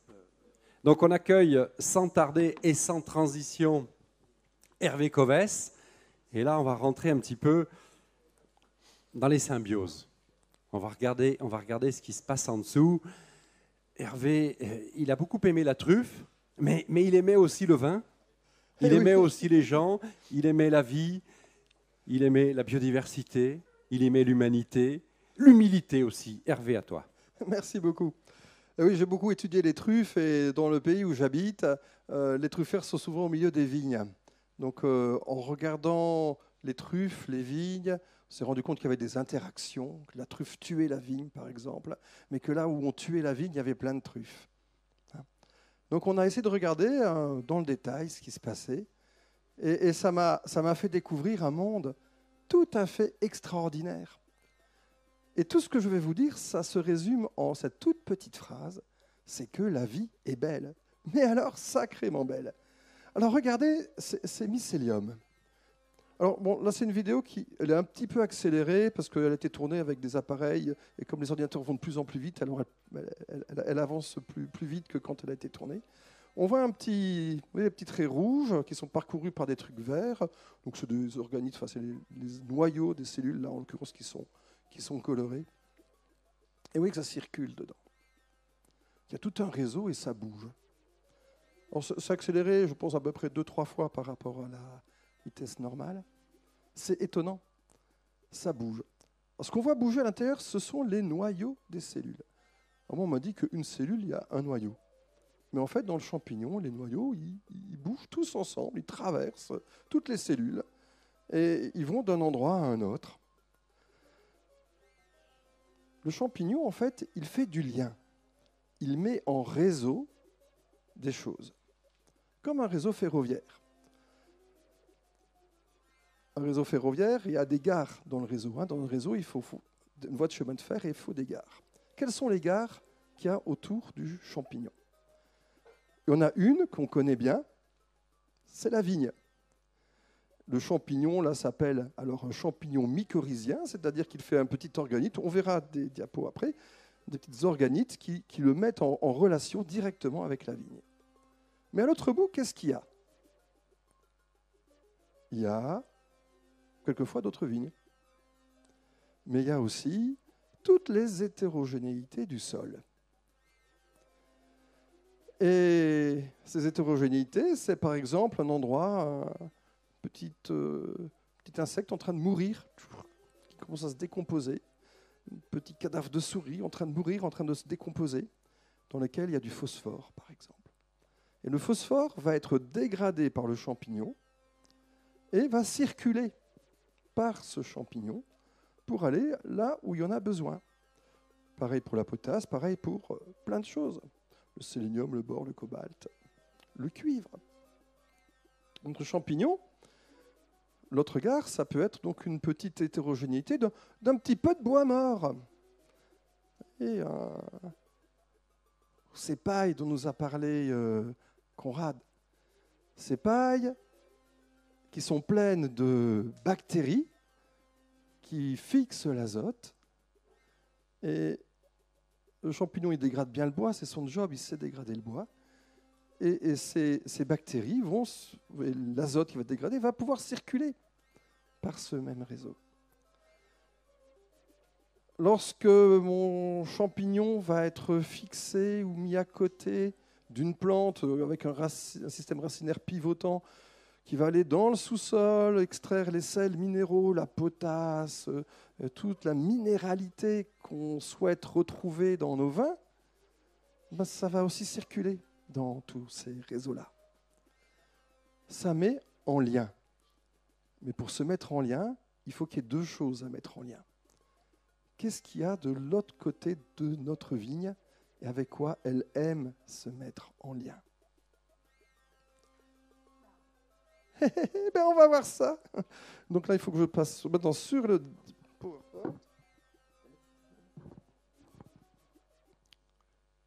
Voilà, c'est c'est- c'est ex- excellent. Ouais. Donc je vais passer. Donc voilà, donc bon, ça, ça on l'a vu, c'est d'autres photos hein, qui sont réalisées. Alors prenez l'habitude. Oh là, c'est pas ça. Tac, tac, tac. Voilà, donc on voit. Je vais trop vite. Voilà. C'est là le pointeur, oui. On voit les cellules végétales et on voit des petits réseaux là, de mycélium qui sont colorés en vert. Bon, je ne touche plus rien. et, euh, ah, ouf. voilà, hein, donc euh, de plein de façons différentes.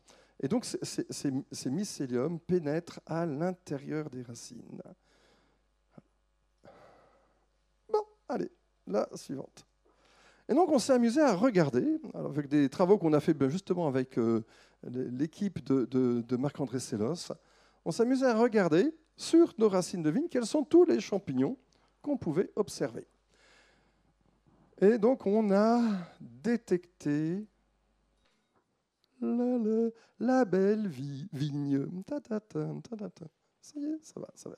On n'a jamais été aussi près.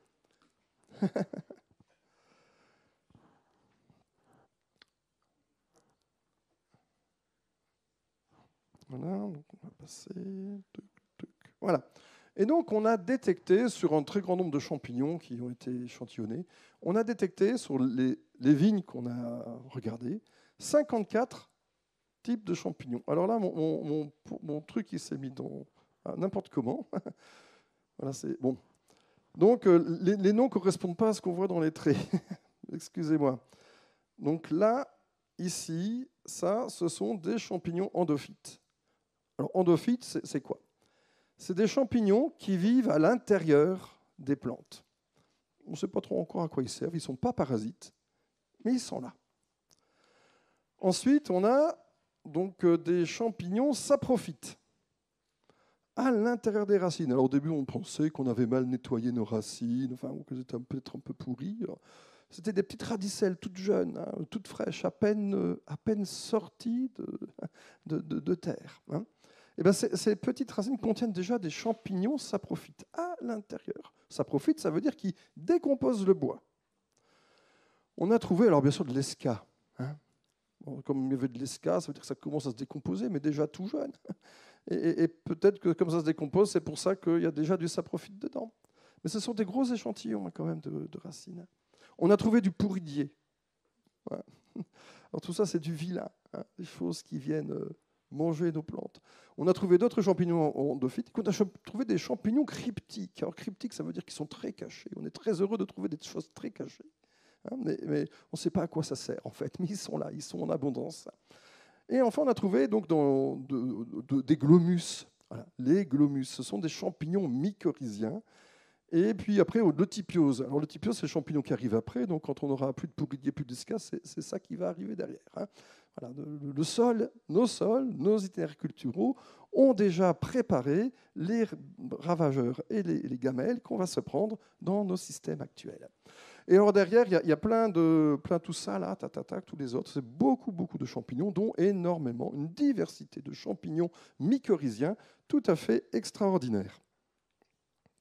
Alors voilà, donc on va voir un petit peu plus dans des photos de mes petits. Hein. Je les aime ces petits.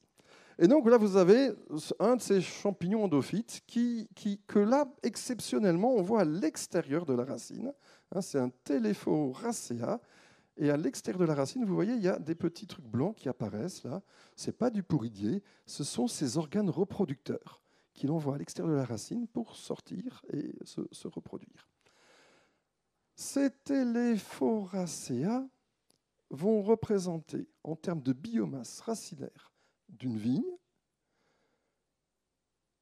à votre avis, quel, pourcentage de la biomasse? Tous les champignons confondus, ça fait 50% de la biomasse de la racine. Les endophytes, ils vont aussi dans les tiges, ils vont aussi dans les feuilles.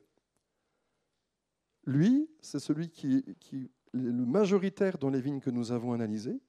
Donc, il va représenter de l'ordre de 50% de ce qu'il y a dans la racine, 15% de ce qu'il y a dans les tiges, et donc les troncs des vignes, 15% pour les tiges, 30% de la composition de vos feuilles. Vous avez un champignon qui est là, qui est présent. Je ne sais pas à quoi il sert, mais il est là. Allez, d'autres endophytes, hein, un peu moins présents, donc les mérismodes et les flagellocipha. Alors là, c'est juste les petites parties reproductrices qu'on voit apparaître.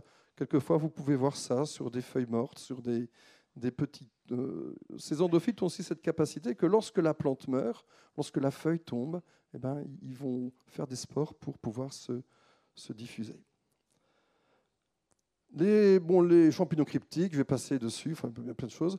Et on arrive donc sur ces glomus. Alors qu'est-ce qu'on voit ici? Ici, on voit une petite radicelle. C'est très fin. Là, ça fait 30 microns. Ça veut dire que là, ça va faire à peu près 200 euh, microns. 200 microns, ça fait 0,2 mm de, de large de là à là. Et à l'intérieur des cellules, on voit les cellules de vigne qui sont blanches. Et à l'intérieur, on a coloré en bleu le champignon. Donc on voit des filaments. Et à l'intérieur des cellules, des espèces de de grosses vésicules qu'on a colorées en bleu et qui sont donc à l'intérieur des cellules. Ces vésicules, ce sont des surfaces d'échange, des endroits où s'échangent le champignon et, la plante. Et donc tout ce qui est bleu, c'est du champignon. Vous voyez que ça fait beaucoup dans une radicelle. Hein. Un autre glomus, hein, qui lui fait des arbuscules. On voit toujours les cellules, on voit les réseaux de filaments qui passent dans la racine, et à l'intérieur de la racine, on voit ces petits arbuscules là qui ont une surface d'échange tout à fait prodigieuse. Donc c'est des choses très très actives. Les plantes et les champignons s'échangent énormément de choses. Une vigne va donner de l'ordre de 20% de sa sève à ces champignons-là. 20%. En moyenne, et quand on n'a pas de champignons mycorhiziens, bien sûr, elle va faire 20% de rendement plus la vigne. Parce que Hein, si j'utilise beaucoup de fongicides, des choses comme ça, j'aurai moins de champignons mycorhiziens et ma vigne va faire plus de rendement parce qu'elle aura plus de sucre pour elle. Par contre, elle n'aura plus les champignons. Alors, c'est peut-être bien, et souvent c'est ce qu'on a fait. On a tué des champignons, on met de l'acide phosphorique, ça tue les champignons mycorhiziens. Et, donc, vous avez 20% de rendement en plus. C'est très pratique. Mais, mais bon, on a plus que font les champignons. Voilà, alors ça, ça, voilà, pour la vigne, il faut que vous reteniez Rhizophagus. Alors, Rhizophagus, ça veut dire qu'il mange la vigne, les racines, hein, parce qu'au début, on pensait que c'était des champignons qui mangent les racines, et quand la racine meurt, il y a celui-ci qui va décomposer la racine de, la vigne. Mais n'empêche que quand il est quand il est quand une radicelle, on voit notre radicelle, on voit les petits poils absorbants, vous voyez à la surface de la radicelle là, et de temps en temps colorés en vert, donc on voit des mycéliums qui viennent de l'extérieur, qui vont à l'intérieur.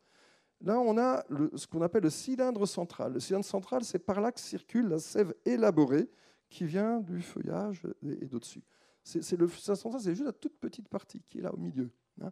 Et autour, on a ces, ces fameuses vésicules qu'on voyait comme sur les glomus, qui font un cylindre qui entoure le réseau conducteur de la sève élaborée qui redescend dans les racines. Donc là, ça change énormément de choses. Et à l'extérieur de ça, qu'est-ce qu'on a? On a dans la racine le bois qui va remonter la sève brute. Et donc mon, champignon se trouve à l'interface entre mon cylindre central, là où passe la sève élaborée, et l'endroit où remonte la sève brute. Et donc, vous voyez, il, se met comme une espèce de filtre entre les deux. Il envoie des choses d'un côté, il récupère des choses de l'autre. Champignon, c'est 50% de la biomasse d'une racine. Quelquefois, je me demande si on est des producteurs de végétaux ou producteurs de champignons. Voilà, alors dans les autres, alors des choses étonnantes, des saprophytes, des saprophytes qui décomposent le bois, les uns, donc la là. Mais qu'est-ce qu'elles ont à faire? On les retrouve dans la racine de vigne aussi. Ça, c'est le moment où ça, fructifie, mais ça veut dire que il y a un truc qui pénètre dedans. Encore plus rigolo. En autre endomycorhizien, je repasse. Un, un les Serambitita. Ça, c'est ces champignons de la famille des sébastinales. Normalement, ils n'ont rien à faire dans une vigne. Ils font plutôt des, euh, mycorhizes coralloïdes. On va les retrouver dans les plantes de milieu acide. Hein, et, en fait, on en a trouvé dans presque tous les échantillons des vignes qu'on a analysés. Qu'est-ce qu'ils viennent faire à l'intérieur? On n'en sait rien, mais ils sont là. Encore un, les Preusia. Alors les preussias, chaque fois que vous faites passer un animal dans votre vignoble qui fait caca, il y a des champignons qui s'appellent les preussias qui décomposent, coprophages, qui décomposent la merde. Et ces champignons donc, font du mycélium aussi. Ce mycélium, il pénètre à l'intérieur des racines et on les retrouve dans nos analyses. Pas de façon anecdotique. Je n'ai retenu que les champignons pour lesquels on avait une significative, significatif quoi, au niveau statistique. Hein voilà des preussias, des champignons qui décomposent des excréments qu'on retrouve dans les racines. Ah, c'est dégoûtant. Ah, et là, alors donc, il n'y avait pas un truc entre Je sais pas. Ah, donc en fait, on a deux grandes idées à retenir de ce monde merveilleux des champignons. C'est la même idée, mais qui est vue de deux façons différentes. La première idée, c'est que l'extérieur rentre à l'intérieur de la racine. L'extérieur, l'environnement, tout ce qu'il y a autour de votre vigne rentre à l'intérieur. L'expression du terroir. Elle rentre à l'intérieur par ces champignons. Et l'autre truc, c'est que l'intérieur, votre vigne, donc ce qui va faire vos raisins et votre vin, il est occupé par l'extérieur. Et si vous avez de la merde à l'extérieur, vous aurez de la merde à l'intérieur. Si vous n'avez pas suffisamment de vie à l'intérieur, vous aurez les premiers opportunistes qui arriveront là à l'intérieur. Si vous avez plein de belles choses à l'intérieur, vous aurez plein de belles choses dans votre vin. Et donc, on a essayé de corréler, en fait, toutes ces. Donc, des corrélations. Ça n'explique rien, ça montre juste des corrélations.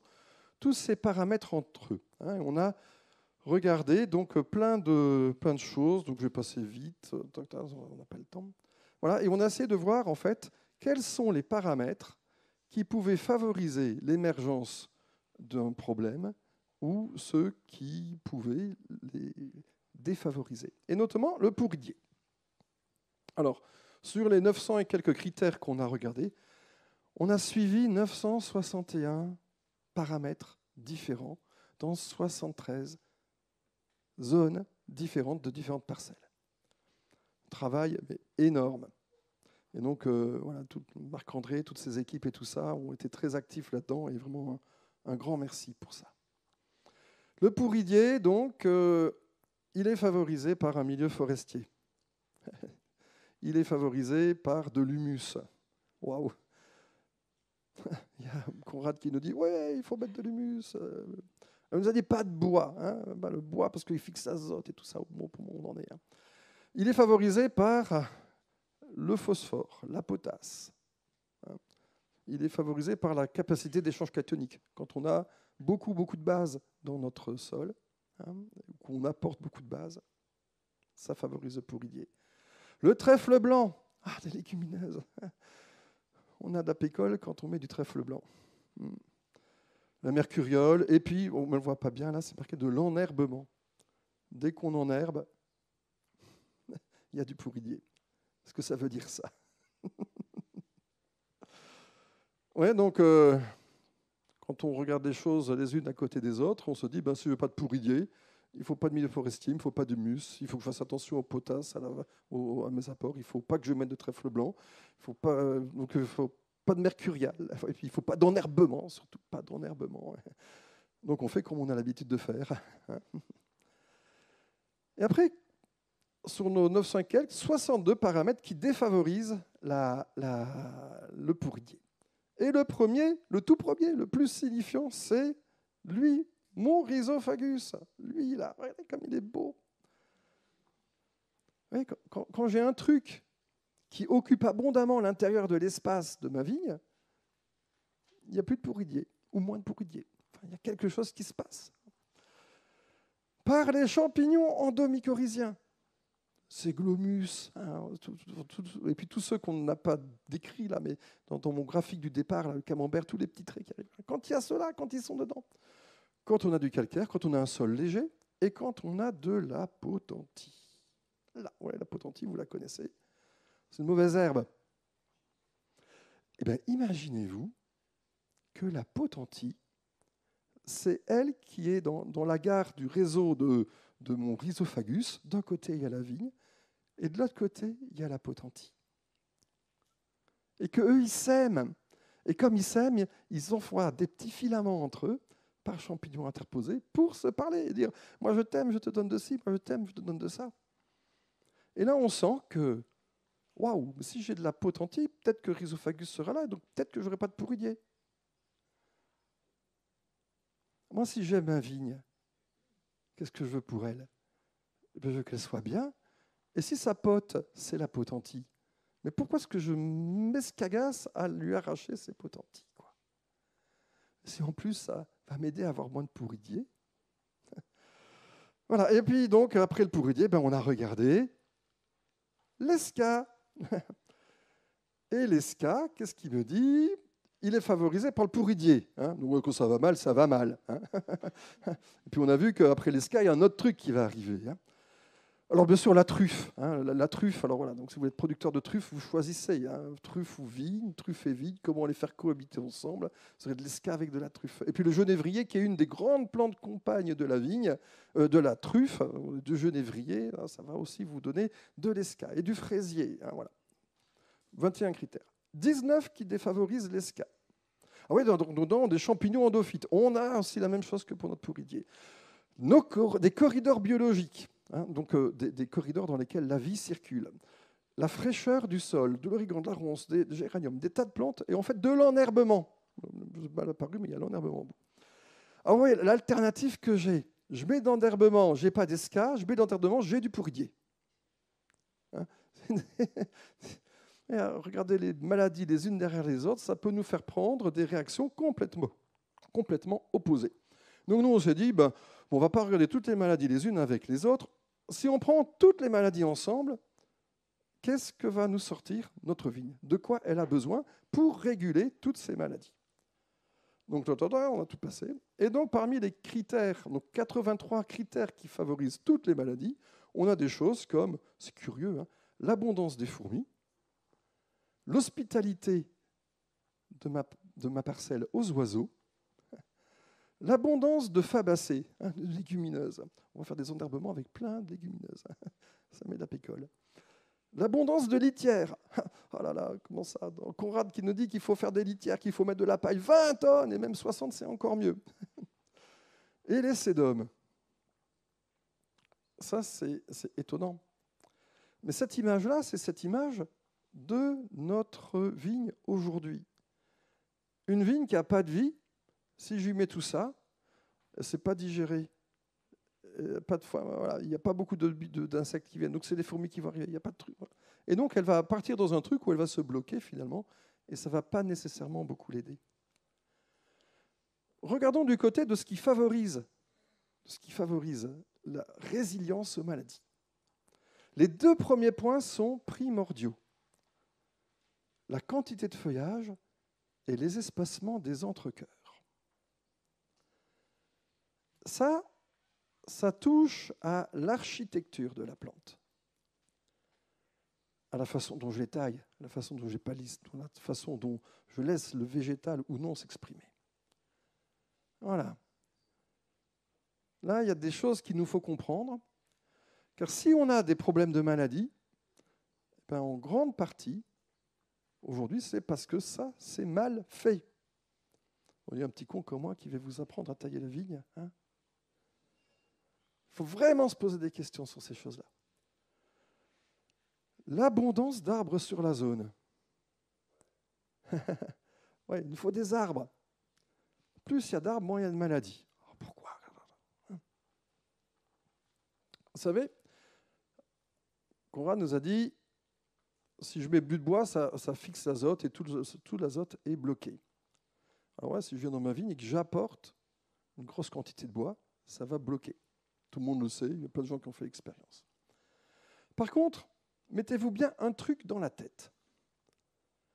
Tout seul est capable de digérer ce qu'il a produit. Et ça, ça renverse tout. Un sol qui produit sa propre paille, il peut digérer sa propre paille. Car en même temps que naît, que naît quelque chose, naît en même temps ce qui va le décomposer. Vous avez mes champignons endophytiques qui, assument le développement des plantes au départ et qui à la fin les décomposent. En même temps que naît un être dans un vignoble, naît ce qui va le décomposer. Et donc, lorsque je plante un petit arbre dans ma vigne, ce petit arbre, au début, il ne va pas faire grand-chose. Il va même être insignifiant, il ne va pas rentrer dans mon cycle, de, il ne va pas me bouffer d'azote. Mais au fur et à mesure qu'il va se développer, il va faire générer justement cette quantité de matière organique dont j'ai besoin dans mon sol.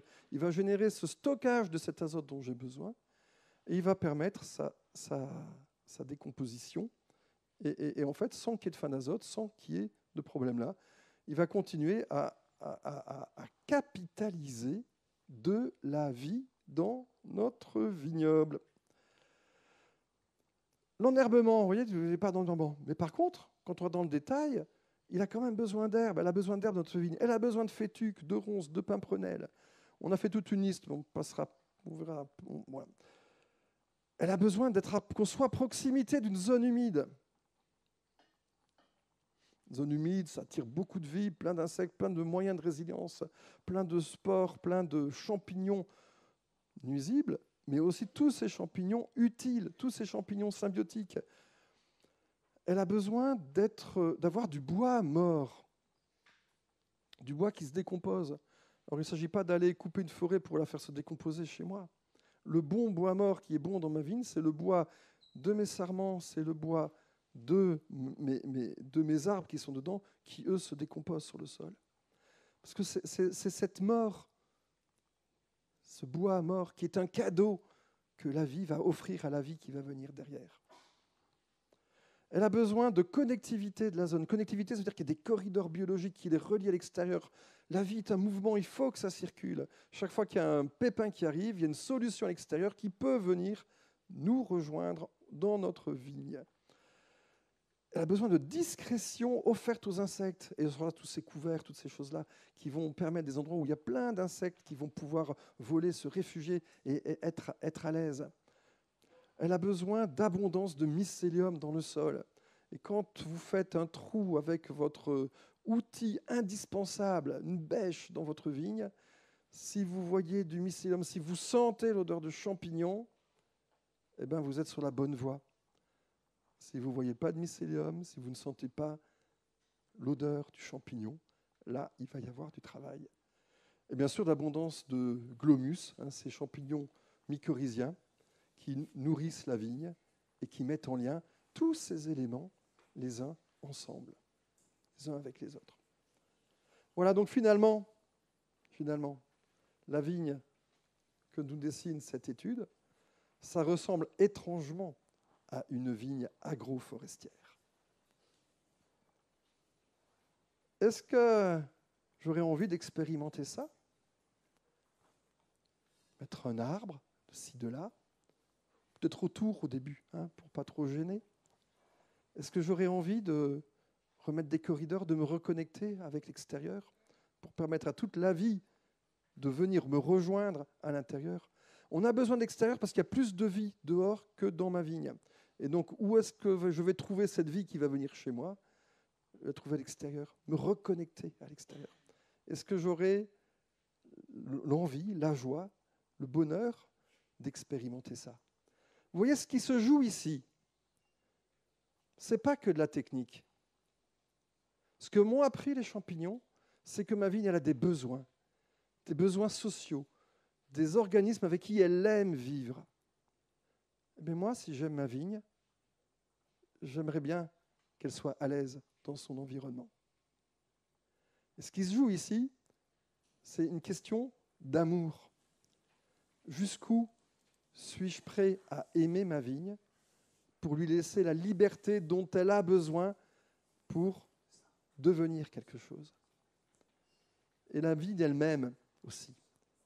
Elle va faire tout ce qu'elle peut pour répondre aussi à mes besoins.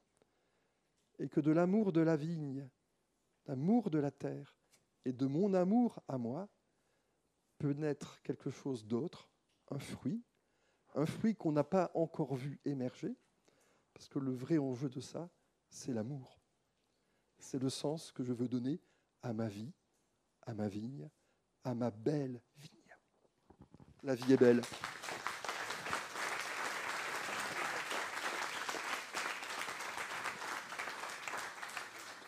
Merci beaucoup Hervé, merci.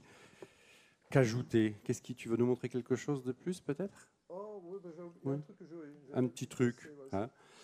En tout cas, moi je suis fort heureux et content euh, nous sommes connectés finalement, Hervé, n'est-ce pas? Nous sommes connectés. Je te laisse commenter. juste un, tout petit film qui devait passer au milieu quand tu avais la, la, diapo blanche là, mais donc on a mis euh, du mycélium. Le mycélium, donc euh, d'un cunigamella, c'est un champignon très très fréquent dans le sol, un champignon qui décompose le bois. Dès qu'il y a du blanc dans du bois, c'est lui. Et le pseudomonas, vous savez, le pseudomonas, cette petite bactérie qui fixe de l'azote, qui est très très courante dans nos sols. Et vous voyez le mycélium, là, hein, euh, donc là c'est en temps réel, c'est pas du tout un time-lapse. Ça c'est un truc qui est hyper important. Et le mycélium, autour du mycélium on a une zone où il y a tout est dans de l'eau, mais autour il y a une zone où l'eau a une réfringence particulière, où l'eau est dans un état qu'on appelle hyperfluide. Et là-dedans, il y a des bactéries, des pseudomonas qui sont normalement immobiles. Là, ils se mettent comme s'ils étaient sur de la glace. Ils bougent à une vitesse prodigieuse, 2 mètres par heure. Notre sol qu'on imagine inerte et tout ça, quand il commence à y avoir du mycélium, tout bouge à l'intérieur. Des trucs qui bougent à l'intérieur, bien sûr, du mycélium, mais également à l'extérieur. Et là, on comprend que si ce champignon-là qui décompose le bois se trouve à proximité d'un glomus qui décompose de la, qui, est mycorhizien, qui rentre dans la vigne, et eh bien par leur zone, qu'ils ont en commun cette fameuse zone d'hyperfluidité qui est autour, qui est en fait le contenu de l'appareil digestif du champignon, bah, tout ça se met en lien et tout ça interagit. Et c'est ces zones d'hyperfluidité qui se mettent en lien à l'intérieur des racines des plantes. Et c'est pour ça que on va retrouver ce qui vient de la bouse de vache ou des crottes de mouton qui sont dessus, du bois mort et de tout ce qui est autour. Les champignons décomposent ça et apportent tous ces précieux nutriments jusqu'au cœur de ma vigne. Les racines sont poreuses, tout l'extérieur vient à l'intérieur. Voilà. Et ça va vite. Les bactéries peuvent faire parcourir des, des milliers de mètres carrés en quelques jours. Quand on a cette matrice de champignons vivants dans nos sols. Merci beaucoup. Merci encore pour ce formidable plaidoyer pour la biologie, pour la vie, et, puis au final, une forme de, plaidoyer pour l'agroforesterie aussi. Comme on est un peu en retard et, je devais faire une intervention cet après-midi, je vais peut-être euh, prendre mes RTT parce que là, du coup, je trouve que le, travail est fait. Merci. On va vous proposer, non, on va proposer une petite pause de, 5 minutes. Alors, ça va être compliqué. 5 minutes parce qu'on a évidemment besoin de faire quelques vérifications de, câblage pour éviter que ça ressaute. Donc, il y a du café qui est servi ou que vous pouvez vous servir. 5 minutes chrono, on fait deux ou trois vérifications et puis on accueille le grand et l'impatient Marc-André Sellos. À tout de suite. Vous avez probablement lu, vu ou, ou ou pas encore, euh, pas son livre sur les tanins puisqu'il n'est pas sorti. Euh, par contre, Jamais seul, il est bien sorti. Il est bien sorti, bien vendu, hein, euh, bon poids, bon poids, bonne mesure. Marc-André, il nous vient de Gdansk, il nous vient du muséum. Enfin, il a aussi et surtout une, passion invraisemblable pour les, les vins, le vin, les cépages modestes, les champignons. Alors aujourd'hui, on va continuer à être un petit peu, pas hors sol, mais dans le sol, n'est-ce pas? On, pourrait effectivement mettre les racines de la vigne dans le sol. Alors, je ne voudrais pas commencer cet exposé sans faire preuve d'humilité, parce qu'il euh, y a beaucoup de vignerons dans la salle. Vigneron, c'est plusieurs métiers, hein. c'est faire des plantes, c'est élever des microbes, c'est commercialiser un vin. Euh, moi, je n'en ai qu'un, qui est d'être universitaire. Donc, euh, et en plus, universitaire, ça permet de boire du vin, ça permet d'aller emmener ses étudiants dans les vignes ou dans les caves pour qu'ils voient ce qui se fait, mais ça ne donne aucune légitimité pour donner des conseils à des viticulteurs qui n'ont pas attendu euh, ce qui va suivre pour faire du vin et éventuellement du bon vin. Donc je voudrais vraiment que vous preniez ce que je vais dire avec toute l'humilité que j'y mets, c'est-à-dire, bah, je vais vous raconter des choses qui sont des possibles, des choses qui me paraissent des urgences, mais d'ici qu'on y arrive, euh, il faudra aussi que ce soit compatible avec euh, à la fois le maintien d'une qualité, d'un revenu, et donc ce sont plus des pistes euh, que des conseils ou des impératifs à gérer demain. Alors, je vais vous montrer qu'il y a beaucoup de microbes, et en particulier beaucoup de champignons. Je vais surtout parler de champignons auprès euh, de, de, la vigne et du vin. Et bien sûr, je vais commencer dans les racines de la plante, euh, parce qu'effectivement, ce que l'on voit de la vigne, ce n'est que les deux tiers émergés. Il y a en dessous un tiers de la biomasse qui est présent sous forme de grosses racines, celles qui viennent quand on arrache le cep, mais surtout, surtout, d'une énorme biomasse de racines fines, et ces racines fines sont densément colonisées de champignons mycorhiziens. En tout cas, dans un monde idéal, elles le sont, c'est-à-dire qu'il y a dans les racines saines des champignons qui colonisent euh, les racines. Est-ce que j'ai un pointeur? Non, euh, là, d'accord, oui, oui, c'est ça. Le bouton du haut. C'est là le haut, oui. Des champignons donc qui colonisent les racines saines et qui sont des champignons qui vivent dans les tissus sains et qui opèrent, vous allez voir, des échanges importants avec les racines. Euh, morphologiquement, on voit aussi assez souvent euh, des pénétrations intracellulaires. Ces filaments pénètrent, voyez, en faisant des ramifications à l'intérieur des cellules des racines. Donc c'est vraiment des épousailles très étroites puisque ça s'opère jusqu'au cœur des, cellules racinaires. Et puis les champignons font aussi des vésicules où ils stockent, vous voyez, des gouttes de gras. Ils stockent dans des filaments renflés leurs propres réserves. Alors ça c'est la morphologie. Elle ne doit pas laisser oublier que ces champignons sont aussi dans le sol. Ils sortent dans le sol et c'est d'ailleurs là qu'ils font regarder leurs spores. Ce pas des champignons qu'on voit à l'œil nu à aucun moment. Ils sont tout le temps microscopiques. Et quand ils font des spores pour se reproduire, donc des cellules reproductrices qui vont pouvoir attendre pour jamais plus tard, ils les font dans le sol. Et donc ces champignons, tout comme la plante, ont une existence en dehors de la racine. Ils sont dans le sol également. Et cette racine ici, qui est colonisée par le champignon jusqu'à l'intérieur de certaines cellules, c'est ce qu'on appelle en fait une endomycorhize, car ce n'est plus que de la racine, c'est de la racine et du champignon myco, le champignon, rhiza, la racine. Alors, euh, les endomycorhizes sont très importantes pour les plantes car dans les conditions de fertilité ordinaires, elles leur permettent de se nourrir. Voilà des expériences américaines sur des pinots noirs élevés sur des sols désinfectés. En gros, c'est des très grands pots. hein. De sols désinfectés, c'est le contrôle, et de sols où on a introduit un champignon qui s'appelle, euh, un champignons qui fait des endomycorhizes, qu'on appelle Globus mar- margarita. Alors vous voyez qu'il n'y a pas de différence en termes de capacité à prélever l'azote. Il s'agit non pas de la teneur, mais de la capacité à en prélever, hein, euh, du prélèvement d'azote. Par contre, sur le prélèvement de phosphore, il y a quelque chose, une grande différence, une différence significative. Et ça, ça vient du fait que, notamment au pH neutre, où sont les sols viticoles la plupart des temps, neutre ou subneutre, le phosphate ne se déplace pas, il n'est pas sous une forme mobile. Le fait d'avoir des champignons qui vont à distance de la racine chercher le phosphate, ça compense cette immobilité du phosphate et ça permet à la racine d'aller chercher du phosphate bien au-delà de sa propre périphérie. Donc il y a un effet nutritif qui est connu pour toutes les plantes mais en particulier pour la vigne. Et puis un effet de protection. Alors là, bon, c'est un vitis un peu différent, c'est la vigne de l'amour. Joli comme nom. hein. C'est un vitis amurensis, des bords du fleuve de l'amour. Et on a ici des expériences qui ont été faites qui euh, vous montrent euh, des infections par des nématodes qui forment des, petits cystes sur les racines et qui réduisent évidemment euh, tout ce qui remonte aux parties aériennes. Alors ces, ces nématodes ici euh, sont, voyez, inoculés sur des plants euh, non mycorhizés, en blanc, et voilà le pourcentage de racines infectées qui, augmente avec le temps, ou sur des racines mycorhizées, et au, au début on a une certaine infection parce qu'on a mis des nématodes, et on voit cette infection qui décroît avec le temps. En d'autres termes, et en regardant plus finement tous les systèmes racinaires, plus ils sont mycorhizés, moins ils sont infectés. Donc, en fait, cette interaction-là, elle est chez la vigne, j'ai pris deux exemples chez la vigne, mais j'aurais pu prendre ça sur n'importe quelle plante. Elle est assez générique et un peu partout. On a une plante qui nourrit en sucre et en vitamines le champignon, tandis que le champignon va chercher l'eau et les sels minéraux dans les sols. Mais en plus, il y a des protections réciproques. Le champignon stocke ses réserves dans la racine, et par ailleurs, la présence du champignon protège des maladies. Alors le problème, c'est que ça, c'est vrai uniquement dans des sols pas trop riches. Dès que le sol devient riche, la plante peut se servir directement et elle fait l'économie de nourrir le champignon, avec comme effet secondaire qu'on n'a plus l'effet de protection. Et donc on rentre dans un cycle de dépendance à amener de plus en plus d'azote et de phosphate pour que la plante travaille sans le champignon, puisqu'il n'y a plus de champignon qui est nourri, et à amener de plus en plus de pesticides qui vont, de fongicides ou de- d'agents qui vont aider à lutter contre des maladies contre lesquelles la plante se défend maintenant seule, et donc avec une efficacité moindre que quand elle était associée aux champignons. Ça, c'est la description d'une vigne dans un sol pas trop riche.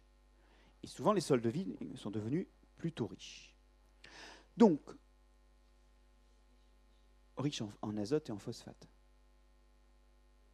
Riche d'apports anthropiques. Riche d'azote et de phosphate, qu'ils soient organiques ou non. Riche en azote et en phosphate, voyez, quelle que soit la forme. Il est évident que le phosphate et l'azote sont plus rapidement libérés quand ils sont sous forme minérale que quand ils sont organiques. Mais trop, c'est trop, quelle que soit la forme. Alors, le problème, c'est que ces champignons, là, pour l'instant, vous voyez, on les a vus dans la racine de la plante elle-même, mais ils sont aussi capables, quand ils se baladent, bah, d'aller coloniser les plantes voisines. Des plantes voisines, il y en a, hein, notamment dans les vignes enherbées. Et quand ces champignons poussent, bah, vous voyez qu'ils sont dans une racine donnée. Voilà, ici, ils ont colonisé cette racine. Ça, c'est une première endomycorhize. Ils poussent dans le sol. Ils sont capables d'aller. Ça, c'est leur spore. Ça, c'est les grains de quartz. Et ils sont capables d'aller coloniser une autre racine voisine. Ils ne sont pas très spécifiques. Ils sont capables de coloniser plusieurs plantes. Donc, en fait, quand vous avez des plantes dans la vigne, elles sont colonisées éventuellement par les mêmes champignons.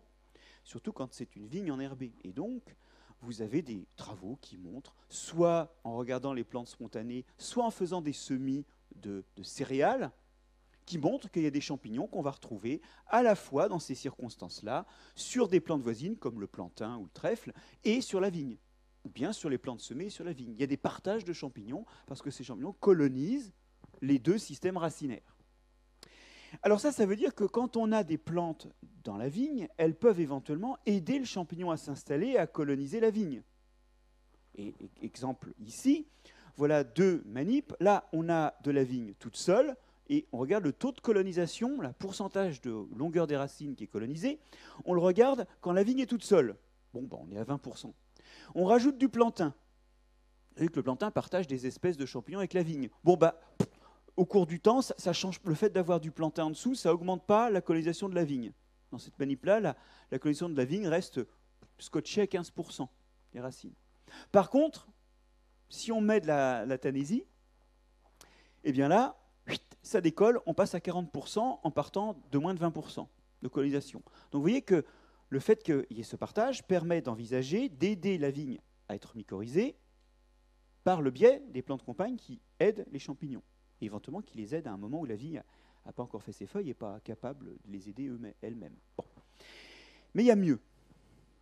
Vous avez en fait un lien qui est créé entre la vigne et des plantes proches. Alors ça, c'est très connu en foresterie. Hein. Il y a plein de travaux qui montrent que les arbres sont capables d'échanger des molécules par le biais des champignons qui les relient.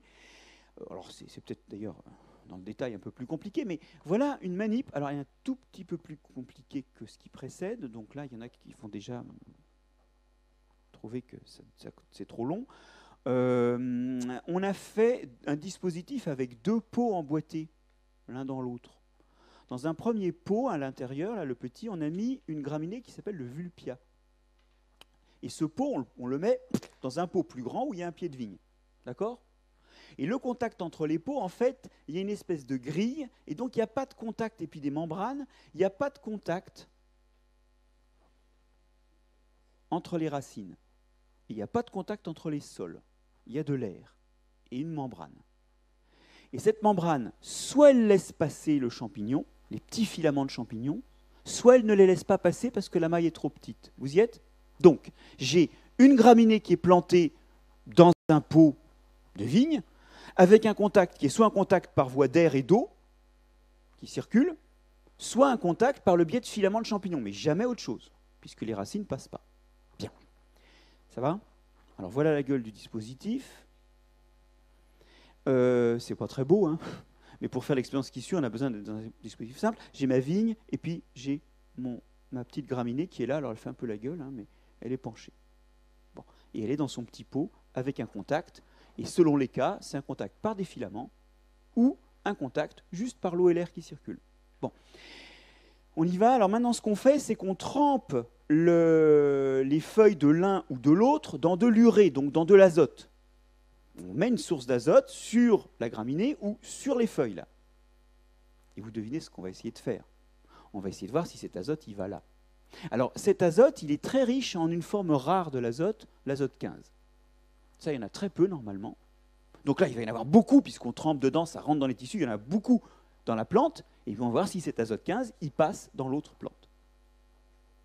Vous avez suivi le raisonnement Je mets une forme d'azote sur les parties aériennes, qui est un azote que je repère par rapport à l'azote normal, parce qu'il a une forme inhabituelle au niveau, au niveau euh, atomique. C'est de l'azote lourd, en fait.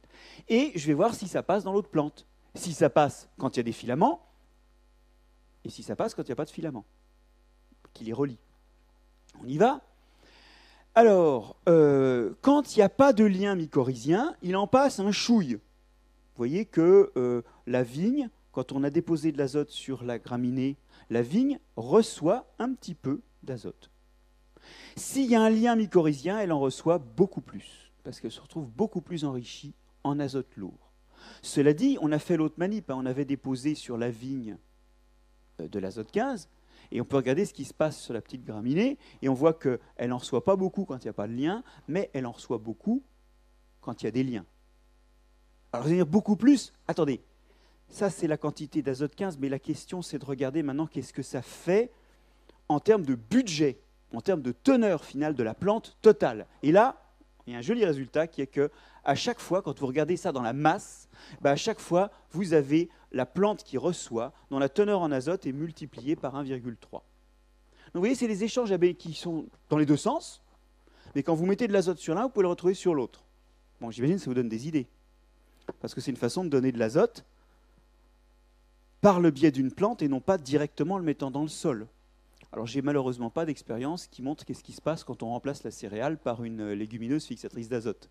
Mais ça donne des idées, des envies de faire des tests. Bref, Ce système-là est un système où euh, il n'y a pas de plan entre les vignes. Or, euh, ce système-là, on peut vouloir le remplacer par un système où il y a d'autres plantes qui sont présentes et où on va utiliser ces plantes comme levier pour faire d'autres choses, et en particulier des choses pour la vigne, peut-être par le biais de ces champignons mycorhiziens.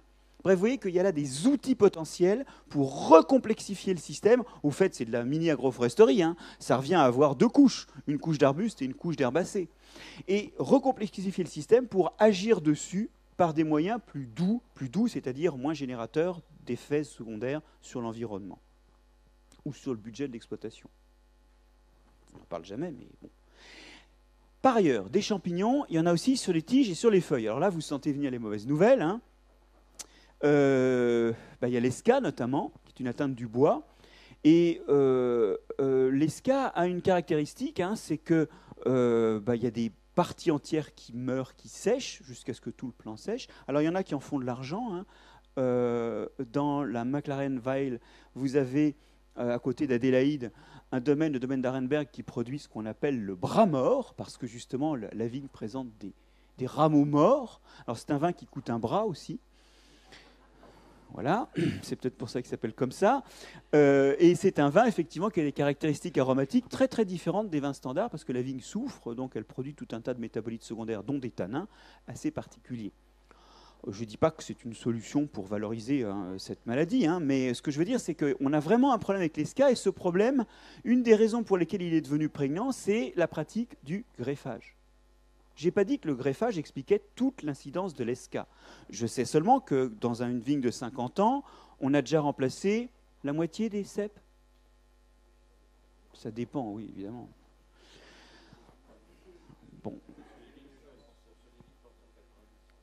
Alors quand vous, oui, enfin c'est ça, donc il y, a une mortalité qu'on n'a pas qui n'atteint pas le même niveau, notamment par rapport à l'ESCA, sur des vignes pré-phylloxériques pour lesquels on a encore, moi j'en ai vu en Grèce, il y a des plants centenaires euh, côte à côte et il n'y a pas de trous. Quoi. il y a quelques trous, bien sûr, mais il y a très peu de trous. Rien à voir avec la quantité de jeunes plants replantés dans une vigne de chez nous. Alors, la pratique du greffage, en fait, conduit à des cicatrisations qui ne sont pas toujours parfaites et qui sont des points d'entrée d'une maladie qui, elle, est connue depuis l'Antiquité, qui de toute façon fait chier depuis l'Antiquité, c'est clair, mais c'est peut-être une question euh, à poser de savoir si euh, la pratique du greffage est si neutre que ça par rapport à l'ESCA. J'ai posé la question et je vous rappelle qu'auparavant, euh, on greffait pas et ça avait ceci de pratique, c'est que l'agriculteur était tout à fait autonome pour provigner, comme l'on disait, c'est-à-dire faire marcoter la vigne et régénérer euh, ben, une vigne qui était de, pied franc hein, et qui n'était pas, en tout cas, euh, greffée. Alors, cette question du greffage pose, à mon sens, enfin, le greffage, pardon, pose à mon sens une deuxième question. C'est que finalement, on se met à greffer nos cépages historiques. Vous y êtes? Ça nous permet, sur un stock racinaire qui est résistant au phylloxéra, de continuer à faire les cépages, de produire les cépages historiques. Ouais, les mêmes. Ah oui, mais à force de présenter les mêmes, oh, il y a de la variation, vous avez raison, il y a de la variation qu'on appelle soma clonale. Vous pouvez faire un tout petit peu de différence. Vous avez plusieurs types de merlot, plusieurs types de pinot, mais ce n'est pas des différences transcendantes. Et d'ailleurs, au goût, ça rappelle quand même encore du merlot ou du pinot. Hein. Euh, quel que soit le, le, clone utilisé, il y a quand même quelque chose qui reste. Mais à force de proposer aux microbes et notamment aux pathogènes toujours les mêmes, eh bien, on a sélectionné des pathogènes super efficaces sur ce truc qui n'a pas changé. Ah oui, la vigne, elle évolue plus, puisque c'est toujours les mêmes clones. Et ça, c'est un peu le cauchemar de la viticulture, c'est-à-dire qu'il y a toutes ces mauvaises nouvelles dont on a bien du mal à se débarrasser parce que ça fait 150 ans que ces champignons-là ont eu le temps de s'adapter à une vigne qui n'a pas changé. Mais le cauchemar de la viticulture, c'est pas vraiment ça. Le cauchemar de la viticulture, c'est que pour compenser ça, qu'est-ce qu'on fait? Surtout dans un contexte où on n'a pas forcément de défense de la plante aidés par des microbes, eh bien, on amène sur 3,7% de la surface agricole utile de France une quantité de pesticides considérable. 20% des pesticides passent dans la viticulture. Et, ça, ça représente 80%, euh, à 80% de tous ces pesticides, ce sont en fait des fongicides, dont certains, j'ai le regret de vous le dire, risquent d'être interdits bientôt, parce qu'en fait, ils ne sont pas bons du tout pour l'homme, et en particulier l'homme qui se balade dans la vigne, qu'on appelle le viticulteur. Et ça, c'est toujours pas le cauchemar. C'est un cauchemar financier, c'est un cauchemar environnemental, mais le vrai cauchemar, il est là. Euh, merde, c'est un cauchemar euh, dont le, contraste coloré n'est pas bon. C'est ce bouquin euh, de Serralini sur le goût de pesticides dans le vin. Alors, je n'aime pas beaucoup ce livre, je, ne l'aurais pas argumenté comme ça, je ne l'aurais pas écrit comme ça. Mais il, souligne un vrai problème, et qui risque d'être un cauchemar pour la viticulture, c'est que le consommateur, il n'a pas envie de ça. Et ça, si vous remontez ma chaîne causale, ces pesticides, c'est parce qu'on a des vignes qui ne sont pas adaptées, finalement, à résister aux pathogènes tels qu'ils ont évolué, aux champignons pathogènes tels qu'ils ont évolué. Et ça, quelque part, cette persistance des mêmes cépages, elle est liée au greffage. Et la question que j'ai envie de vous poser, et c'est une question, et ce n'est pas une question pour demain, mais je vais donner des éléments de réponse, c'est est-ce qu'il ne faudrait pas repartir de pépins? Des pépins parmi, lesquels on pourrait sélectionner d'accord, un certain nombre de résistances. Alors, en fait, la réponse à ça existe. Vous savez que Artaban, Floréal et un certain nombre d'autres cépages hybrides sont rentrés au catalogue. Mais moi, je connais, j'ai visité des vignobles d'Europe du Nord. L'Europe du Nord, elle a continué à sélectionner les hybrides. Elle les a pas arrêtés. Elle a fait des hybrides de deuxième, troisième, quatrième génération qui cumulent les résistances aux pathogènes. Parce qu'en fait, les, les pathogènes, ils viennent d'Amérique. Donc euh, les vignes américaines, elles ont des résistances à ces pathogènes. Donc ils cumulent les résistances aux pathogènes d'un côté, et qui d'un autre cumulent, nous dit-on, les caractéristiques organoleptiques souhaitables du vitis vinifera à la française, et qui transcendent de ce point de vue-là les problèmes que les hybrides de première génération ont posés. Enfin, en sélection, on ne s'arrête jamais à la première génération. Est-ce que vous réalisez qu'on a interdit les hybrides, les cépages hybrides, après la première génération?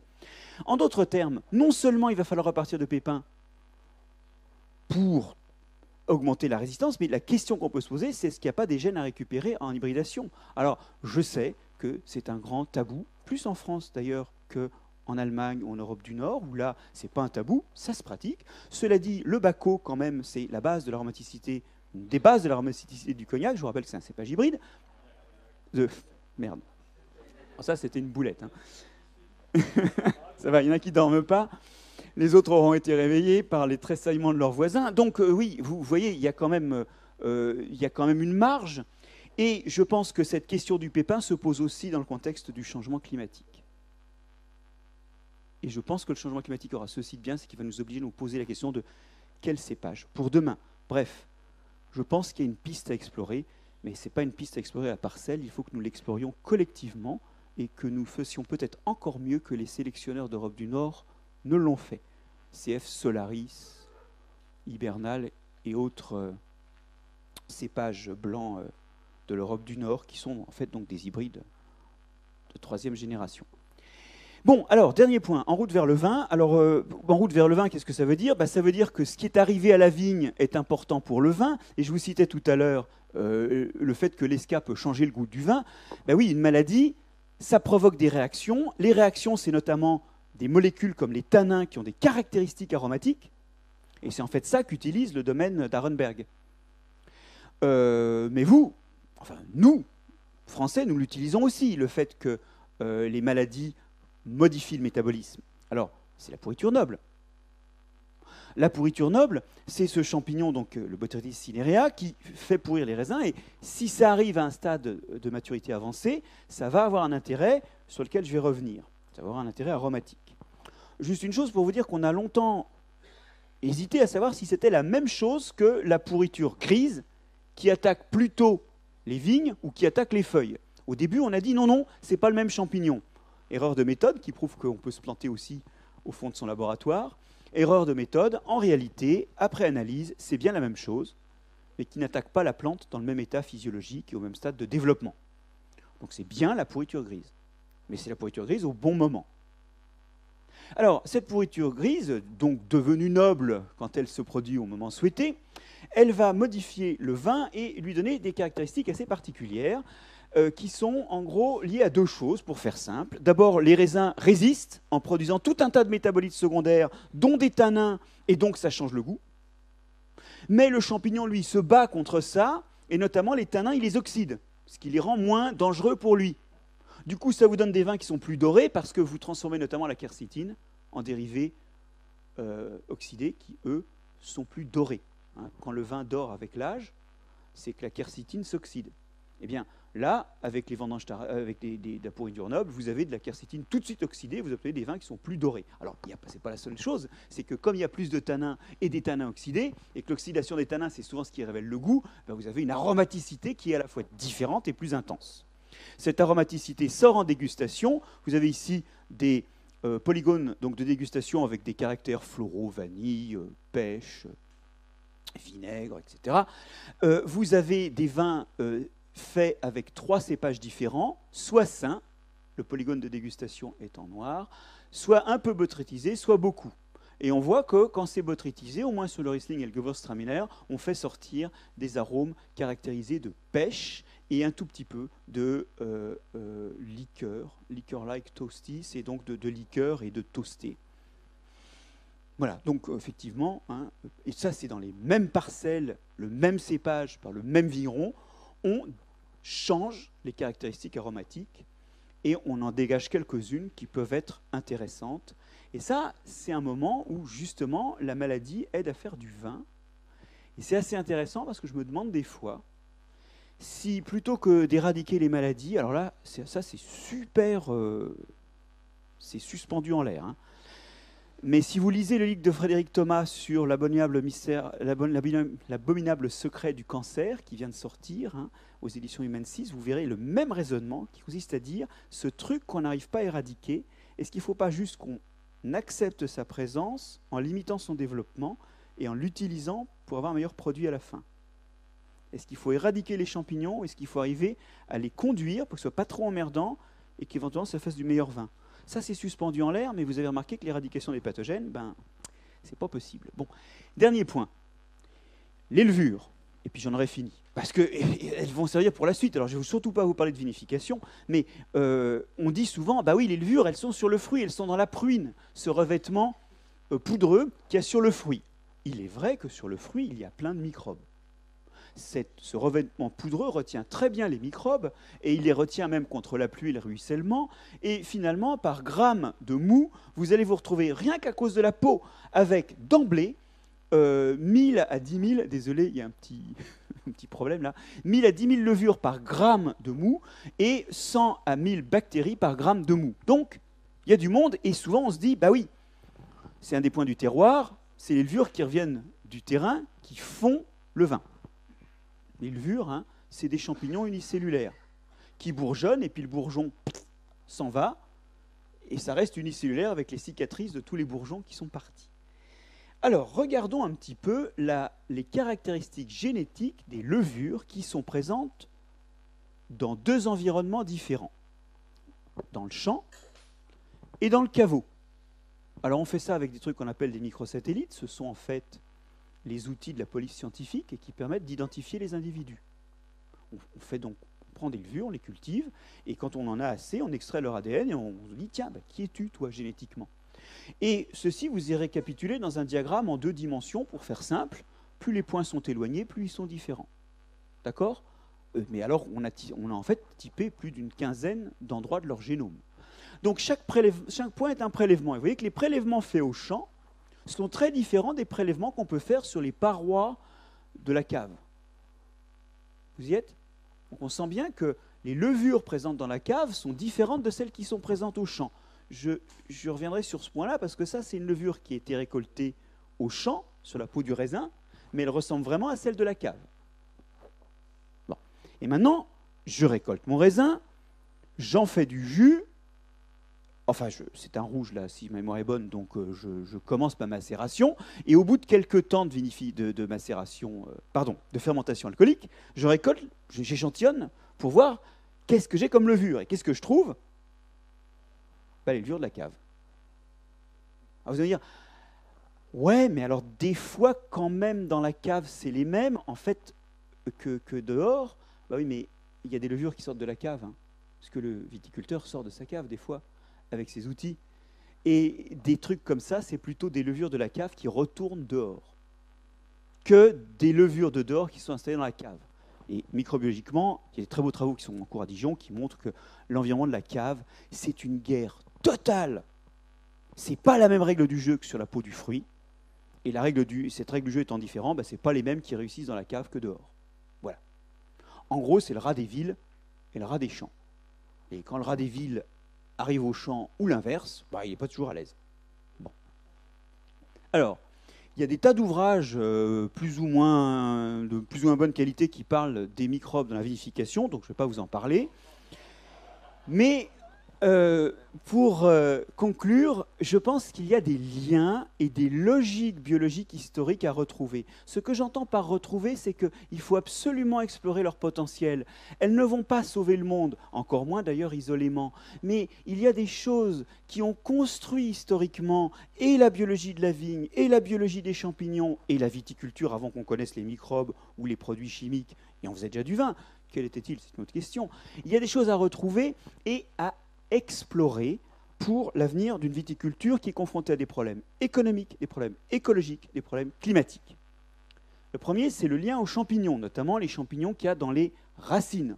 Je ne vais pas épiloguer sur ma prétention que les pathogènes peuvent être aussi traités comme compagnons dans le cheminement, mais il faudrait y penser quand même. Le lien aux plantes compagnes, les vignes enherbées, ce n'est pas que pour le sol, ça peut être pour la vigne.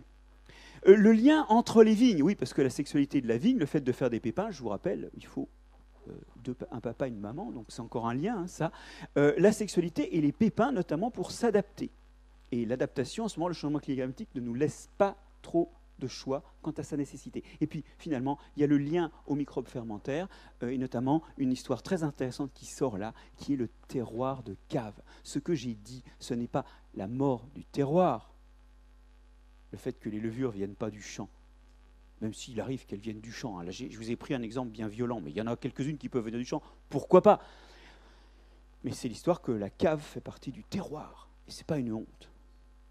Ça nous rappelle que le terroir, c'est aussi ce que construit l'homme. Et voilà pour quelques microbes autour de la vigne. Merci de votre attention.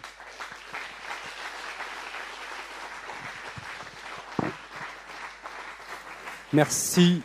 Merci beaucoup. Je ne vais pas ramener ton livre, mais je pense que tout le monde en a l'image en tête. Je, voulais juste redire euh, au milieu de, mille et une choses que tu t'es battu, que tu te bats encore et qu'il faudra se battre euh, pour le retour des, SVT euh, dans les programmes. Tu peux peut-être en dire un mot parce que c'est un, un, sujet qui nous paraît.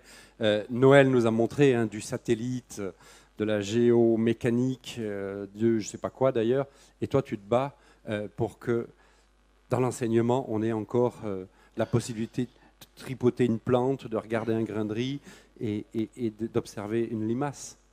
Ce que nous a décrit Noël, si c'est possible dans certains esprits, cette utopie, cette atopie est possible dans certains esprits, c'est qu'effectivement, on a aujourd'hui des, des, citadins qui n'ont plus aucune idée de ce qu'est la nature et, du fait qu'elle n'est pas simplement un obstacle, mais qu'elle nous propose aussi des solutions euh, ou des méthodes à expérimenter. Et euh, on ne fera pas un nouveau marché du vin, on ne fera pas une nouvelle agriculture sans les consommateurs, de toute façon. Donc il y a aussi pour euh, vous, producteurs, ou, ou, pour les filières, une nécessité que les citadins comprennent finalement ce qui les entoure au-delà de ce qu'ils voient immédiatement.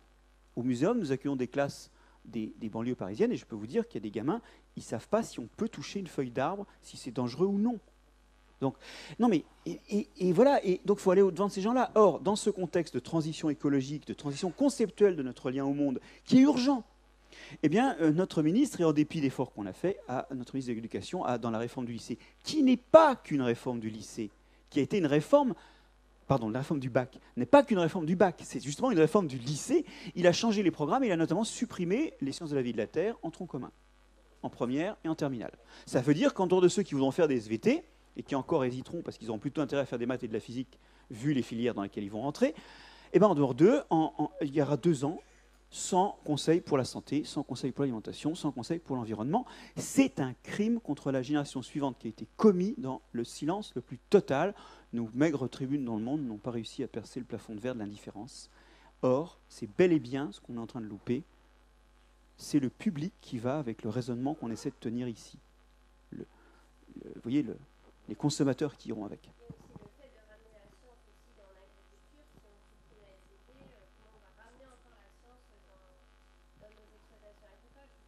Oui, je ne pense pas que la science soit nécessairement prométhéenne. C'est une partie de la solution. Mais sans elle, par contre, il n'y a pas de solution. Et il la faut dans les exploitations et dans, les procès, la, la termination de nouveaux euh, itinéraires techniques. Vous avez raison. Euh, Ce n'est pas non plus très très bon signe.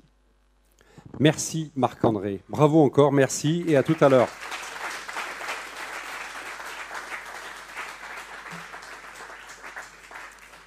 Il a mis la tenue du sportif. Il a traversé tous les continents, pas qu'à la nage, mais enfin quand même. Il a bravé, les ouragans, les tornades, les pluies diluviennes qui creusent et qui incisent la terre sur des mètres en quelques heures. Olivier Husson est bien là, en chair et en os. Et le redox dans tout ça? Et le redox dans tout ça? C'est c'est la question que tout le monde se pose. C'est la question que tout le monde se pose depuis ce matin. Eh bien, vous Enfin, savez enfin, quoi Au moins dans cette salle. Enfin, J'espère, je- parce que sinon, vous pouvez aller manger. Sinon, vous pouvez aller manger, mais l'apéritif est au frais. Je vous rassure, il y aura de l'apéritif pour tout le monde. Hein. il y a au moins une certitude. On est bon? Ah, non, on n'est pas bon. On aurait pu être bon, mais on est... Bon, mais bon, tu, ouais. tu, tu, tu finis de te présenter, puis ça va démarrer Ouais, tout non, seul. Surtout, surtout quel, quel plaisir, quel plaisir d'être dans cette salle prestigieuse qui, qui hier encore accueillait les universités d'été et de, de paysage Martiac 2019. Donc merci. Puis en plus passer après Marc-André, quel honneur. Euh, je suis pas sûr d'être à la hauteur. Mais bon, euh, donc je vais essayer d'apporter une réponse euh, définitive, vous vous en doutez, euh, à la question que tout le monde se pose que pourrait nous apporter une approche redox en viticulture? Alors, désolé, je vais être obligé de faire des rappels un peu simples de, chimie redox. La chimie redox, elle est née à la fin du XVIIIe siècle de l'incapacité admise de la science de l'époque à expliquer des processus comme la rouille du métal, euh, le brunissement d'une pomme coupée. Et c'est là que euh, Lavoisier, euh, en 1779, nous décrit la molécule d'oxygène et qu'il nomme de manière bien nommée oxygénos, la molécule qui sera à l'origine de toute l'oxydation. Oxygénos du grec génos qui génère et oxus de l'acide. Voilà. Donc on est déjà en train de patauger. Euh, la, thermo- la thermodynamique va, nous aider, euh, en particulier en nous permettant de relier la variation d'enthalpie libre à la varia- variation de la force électromotrice par la réaction delta G égale moins NF delta E. Avec F, la constante de Faraday, je ne vous ferai pas l'insulte de vous rappeler sa valeur, et N, le nombre d'électrons échangés dans la, dans la réaction. Mais là, la lettre de noblesse de la chimie redox, c'est vraiment l'équation de Nernst. Alors, il a fallu attendre plus d'un siècle pour ça. hein. Et donc, cette équation, elle nous dit que pour un couple d'oxydoréduction qui, avec une molécule, euh, X molécules de sa forme oxydée qui réagissent avec N électrons et M protons, pour donner Y molécules de, la matière réduite et Z molécules d'eau, eh ben, on peut calculer le potentiel redox du couple. Euh, E, c'est le potentiel redox standard du couple moins RT sur NF fois le logarithme népérien de l'activité du réducteur à la puissance Y fois l'activité de l'eau au carré divisé par l'activité de l'oxydant à la puissance X fois l'activité des protons à la puissance M. Donc, on retrouve là-dedans la constante de Faraday, la constante, la fameuse constante des gaz parfaits, et on voit tout de suite que le redox va être clair- clairement lié au pH. Voilà. Donc, ça va vraiment commencer à se compliquer avec le modèle de l'atome de bord. Euh, voilà. Donc, euh, et puis après, les modèles probabilistiques avec les équations de Schrödinger, où là, la chimie redox va devenir un petit peu compliquée. Voilà. Donc, désolé, euh, désolé de vous faire des rappels de choses aussi basiques, élémentaires. La, suite de l'exposé, vous vous en doutez, va être nettement plus compliquée. Non, non, je déconne. Euh, en- même temps, moi, je. On, le met, on le met dehors Ah, on t'a donné un micro, Allez. toi Non, mais dégage. Mais on t'a donné un micro. Comment On t'a donné un micro Oui. Parce que je pensais que c'était plutôt moi qui. Non, mais, je sais bon, pas, sinon, mais moi, si tu pouvais. On, on le sait, on le sait que tu as bossé avec Segui, on le sait que tu as de la science euh, diffuse. Non mais attends, attends, mais- c'est- ta faute. Non, mais là, c'est non, mais attends, moi, tu, bon, me poses, quoi. tu me poses une question euh, sur de la vigne. Moi, j'ai passé toute ma vie sous les tropiques. Je travaille dans une unité de, de recherche qui s'appelle culture annuelle tropicale. Il y a plus annuel et plus tropical que la vigne. Ouais. Et tu me demandes de venir le faire. Qu'est-ce que je fais? Je ramène ma science. Ouais, mais il faudrait pas que tous les gens qui soient dans la salle euh, souhaitent être informaticiens ou fabriquer des avions. Enfin, je sais pas. Bon, ok, bon, donc je suis venu plutôt pour apprendre ici, donc euh, bah, je vais montrer que j'ai appris. Euh, qui est contre le fait que je présente le redox à ma manière de façon un peu plus simple? Qui est contre? Qui s'abstient? J'aurais fait l'unanimité, moins une voix, mais c'est Marc-André, c'est parce qu'il veut pas que je la ramène après lui. Euh, voilà, donc moi je vais vous faire euh, façon PlayStation, on va dire. C'est un peu plus simple. On va mettre l'eau au milieu, c'est la base de tout, c'est la vie. Vers la gauche, l'eau perd des protons, ça fait des H3O+, c'est l'acidification.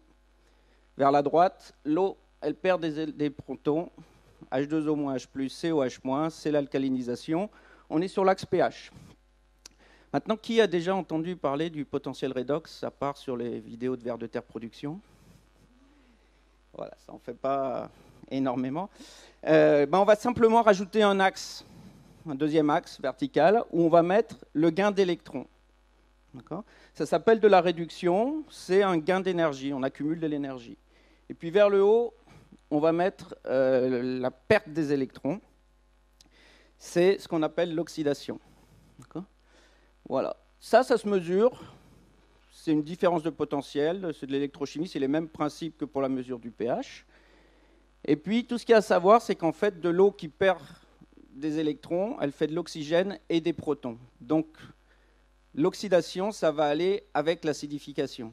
C'est ce qui a trompé Lavoisier au départ. Il voyait de l'acidification quand c'était de l'oxydation. Euh, donc là, on a une pente naturelle de moins 59 millivolts par, par unité de pH. Et en fait, la vie, elle va se balader à 45 degrés sur notre plan, globalement. Et ce qui va compter, ça va être comment on s'éloigne de cette pente moyenne. Ça va être ça l'importance euh, dans, dans pas mal de domaines. Alors ça, c'est la notion chimique de RH2 ou de PE plus pH. C'est juste pour dire on va s'éloigner de cette, euh, de cette pente moyenne. Et ce qui nous permet de nous éloigner vers le bas, là où il y a l'énergie, et on verra où on a la santé, bah, c'est une réaction de réduction et d'acidification. C'est une réaction primaire qui nous fait tous vivre. Alors vous, parce que vous vivez de la vigne euh, et, des, cultures et que c'est la photosynthèse, et moi, parce que ça me fait respirer. Donc voilà. Euh, je vais préciser aussi quand même, euh, moi, je- Ma- Marc-André disait qu'il était très humble. Moi, je- je- j'ai un grand-père qui était directeur de l'école des mines de Saint-Étienne qui disait, si tu sais faire quelque chose, fais-le.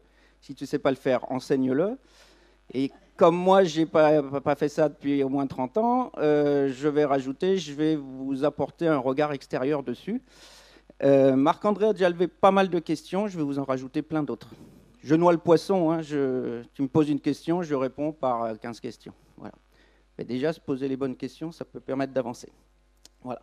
Tout ce qui reste à savoir, c'est que la neutralité, c'est un peu plus pH 14, et, on va voir ça. Alors, pour vous, raconter, pour vous montrer je ne vous raconte pas des bobards, ça c'est plein de sols, différentes profondeurs, différents systèmes de culture, différents pH, différentes textures. Euh, et ce qu'on voit, bah, qu'on a bien une pente naturelle qui est là de moins 54, on n'était pas à la même température, donc cette pente dépend de la température, donc on a bien une corrélation pH redox. Voilà. Donc, ce que vous allez me dire, c'est qu'à ce moment-là, pourquoi s'embêter avec le potentiel redox? On a déjà le pH dans nos analyses. Qu'est-ce que ça va nous apporter de plus? Ben, L'analogie qu'on peut faire, c'est la différence entre la taille et le poids des gens. On a une corrélation à peu près équivalente. Alors, si on prend que la taille, pour juger de la santé, ben, on va voir que si les personnes sont trop petites par rapport à leur âge, si les personnes sont beaucoup trop grandes, et ça risque de poser, d'autres problèmes de santé. Mais pour vraiment voir et estimer la santé, on va faire la taille moins le poids. Ben, la taille moins le poids, c'est simplement le PE plus pH.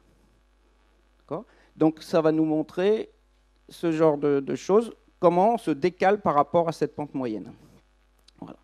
Et quand on va aller vers le haut, on va voir qu'on ne va pas vers le bas, parce qu'on perd de l'énergie. Alors, euh, maintenant, on prend nos protons, nos électrons. Qu'est-ce que ça nous dit? Comment le, système sol, plante, micro-organisme fonctionne?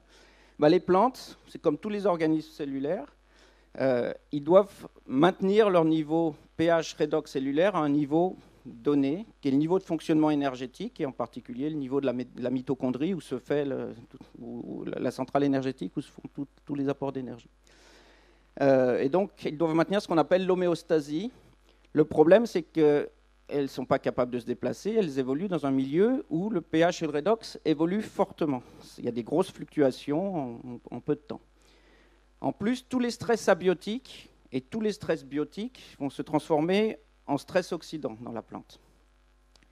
Donc, pour maintenir leur niveau, il y a des systèmes de régulation. Alors, il y a de la compartimentation, euh, chaque organelle, euh, chaque organite en français, dans la, dans la plante va être à un niveau redox différent dans la cellule. les chloroplastes où se font la, photosynthèse sont à un niveau redox très très bas, le noyau est un peu plus élevé, la mitochondrie un peu plus élevée. La vacuole, où en général euh, la poubelle de la cellule, va être nettement plus oxydée. Mais surtout, ce qui va se faire, alors pardon, au niveau de la cellule, il y a aussi des, systèmes de régulation des tampons chimiques, des molécules qui vont donner ou prendre des électrons ou des protons pour réguler. Et puis quand ces tampons chimiques à, court terme sont dépassés, il y a de la transcription. C'est des signaux qui vont faire que ça va activer des gènes qui vont faire des protéines qui vont réguler. Une des choses très très importantes, c'est que dans cette compartimentation, la plante, ce qu'elle va faire aussi, c'est que pour maintenir son niveau cellulaire équilibré, elle va bazarder dans les cellules, dans, les parois et dans, dans, le milieu extracellulaire, les terminaux d'oxydation, les produits trop acides, trop oxydés. Donc elle va permettre de réguler dans la cellule en dégageant dans les parois. Alors ça, c'est fondamental parce qu'on voit donc que la cellule va être bien régulée et que les parois ne le seront beaucoup moins. Et ce qu'ont montré Marc-André et Hervé avant, c'est que ces, champignons qui, rentrent dans, la plante, ils rentrent essentiellement dans les parois. Après, il va y avoir des, inclusions dans les cellules pour vivre ensemble, mais ça se passe avant tout dans les parois. Et ils vont aider à réguler dans les parois. De la même manière, les pathogènes, les agresseurs, vont rentrer d'abord par les parois. Donc d'avoir une régulation de ce milieu extracellulaire va être très important. Alors si on continue, il y a une flèche qui arrive un peu en trop, le, pH et le redox du sol vont fortement influencer le pH et le redox de la plante.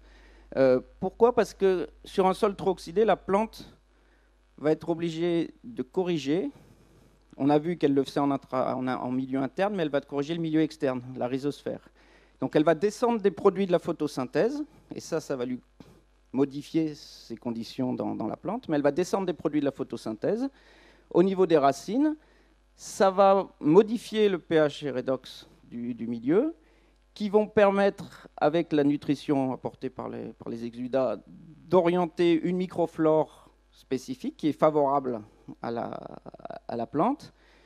Et en même temps, cette microflore va avoir des capacités de maintenir le milieu redox une fois qu'elle se développe elle maintient ce niveau redox vers ce qui est son optimum et qui va être intéressant pour la plante.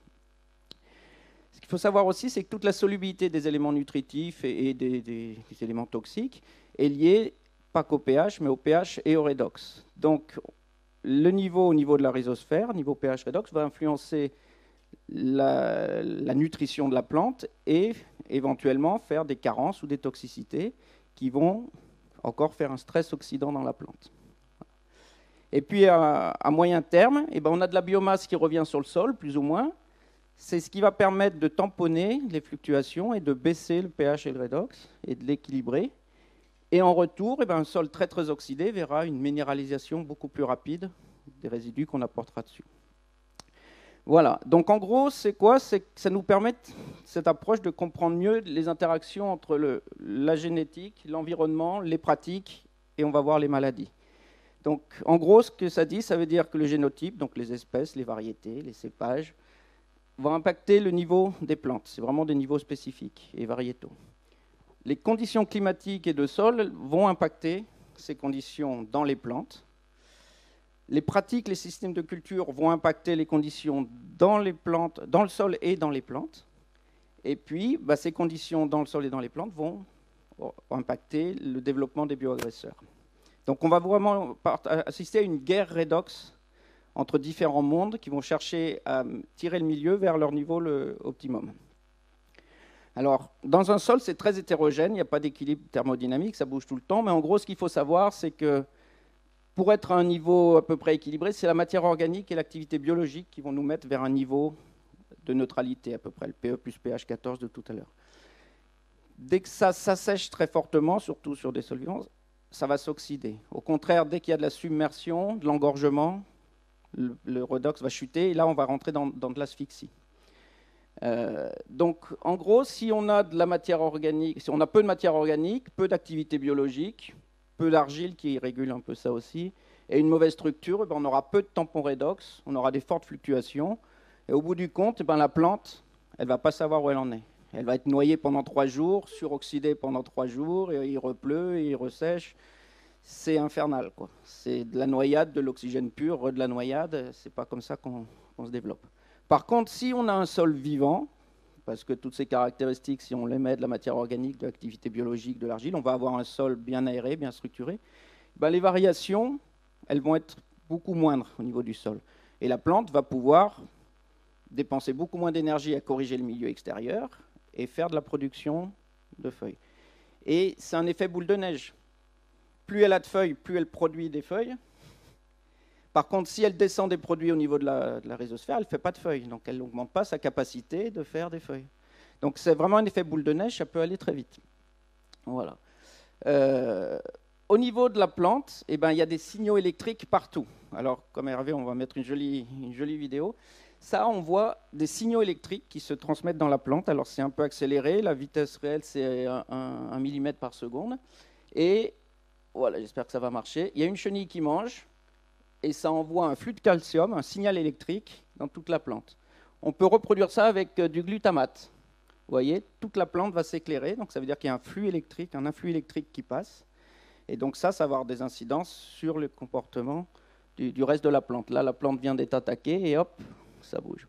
Voilà, donc vraiment, on a des signaux électriques et des signaux redox dans la plante en permanence. Euh, et puis on a un gradient redox et pH sur une plante. Ça, c'est un plan de riz qui a été éclaté. Et ce qu'on voit, c'est que. Oh, euh, c'est où la lumière? C'est là. En rouge, on a le pH, en bleu, on a le potentiel redox de chaque feuille. Donc on a les, les jeunes feuilles, les feuilles en pleine activité photosynthétique. Ce qu'on voit, c'est que les jeunes feuilles sont neutres, et puis en vieillissant, elles vont s'acidifier. Et on retrouve le même gradient, c'est vraiment l'âge de la feuille là, qui va déterminer son pH sur ce, sur ce gradient-là. Pour le potentiel redox, en fait, la jeune feuille n'a pas encore de photosynthèse efficace. Et donc, elle, elle, ne réduit pas, c'est la photosynthèse qui réduit, donc elle va être plus oxydée. Donc on va retrouver en fait un gradient et une dynamique, parce que le vieillissement, c'est de l'acidification et de l'oxydation. Quand on sait que tout ce qui baisse la photosynthèse va monter le, redox, ben, on se retrouve avec un gradient et une dynamique du pH et du redox sur, une plante qui correspondent exactement au point d'entrée des différents types de pathogènes. Donc ça devient assez intéressant. Alors, ce qu'on dit en fait là, c'est que les, les, plantes, elles ne vont pas forcément être attaquées par des bioagresseurs, elles ne seront attaquées que si elles sont déséquilibrées. Et ce déséquilibre, on va le lire en pH et en redox, et donc en, PE plus pH. Et que par les pratiques culturales, eh ben, on peut maintenir l'équilibre de la plante et éviter qu'elle se fasse attaquer. Donc c'est euh, ce qu'on peut appeler une gestion agronomique des bioagresseurs. Euh, et là, je vous révèle la carte des mondes redox, qui est sortie euh, il y a deux jours, qu'on est en train de chercher à publier, avec en fait, donc on a, pardon, on a notre potentiel, notre pH et notre potentiel redox ici. On a notre pente moyenne, et ce qu'on voit, c'est que, alors là, on a placé, on, met en boîte de pétri sur un milieu neutre différents champignons, différents champignons pathogènes euh, dans ce cas-là. Donc ça, c'est une étude qui a été publiée avec l'INRA il, y a, quelques mois. Et ce qu'on voit, c'est on regarde vers quel niveau pH redox il tire le milieu. Et c'est ce qu'on a mis là. En même temps, on a fait les études inverses, on modifie le niveau pH redox du milieu et on fait pousser les champignons et on voit qu'ils ont chacun un niveau optimum et que trop réduit, enfin trop en bas à gauche ou trop en haut à droite du, graphe, ils ne poussent pas. Donc ce qui se passe, ce qu'on voit, c'est que euh, bah, les champignons en, bleu foncé, là, ça va être des champignons nécrotrophes, donc qui, qui se développent en milieu très acide et oxydé. Les champignons biotrophes, donc qui vont parasiter, qui vont vivre avec la plante, euh, là, on a la périculariose du riz, par exemple. Euh, bon, et on voit que pour le riz, c'est beaucoup plus bas pour d'autres cultures. Le redox du riz est plus bas. On retrouve aussi ces, aspects-là. Euh, voilà. Et puis les hémibiotrophes vont se retrouver au milieu. Alors là, il y en a beaucoup au milieu, c'est parce que c'était une étude sur le colza essentiellement.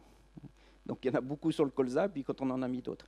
Là, les nécrotrophes, c'est des sclérotinia, et puis il y en a un qui va vous intéresser assez rapidement, c'est le botrytis. Euh, j'ai eu beaucoup de mal à trouver des infos sur euh, les niveaux pH redox des différentes hormones, des différents composés dans la plante. L'acide glucuronique, je ne sais pas si ça vous parle, c'est une caractéristique du botrytis, c'est qu'il produit de l'acide glucuronique, et ben il va se situer exactement par là.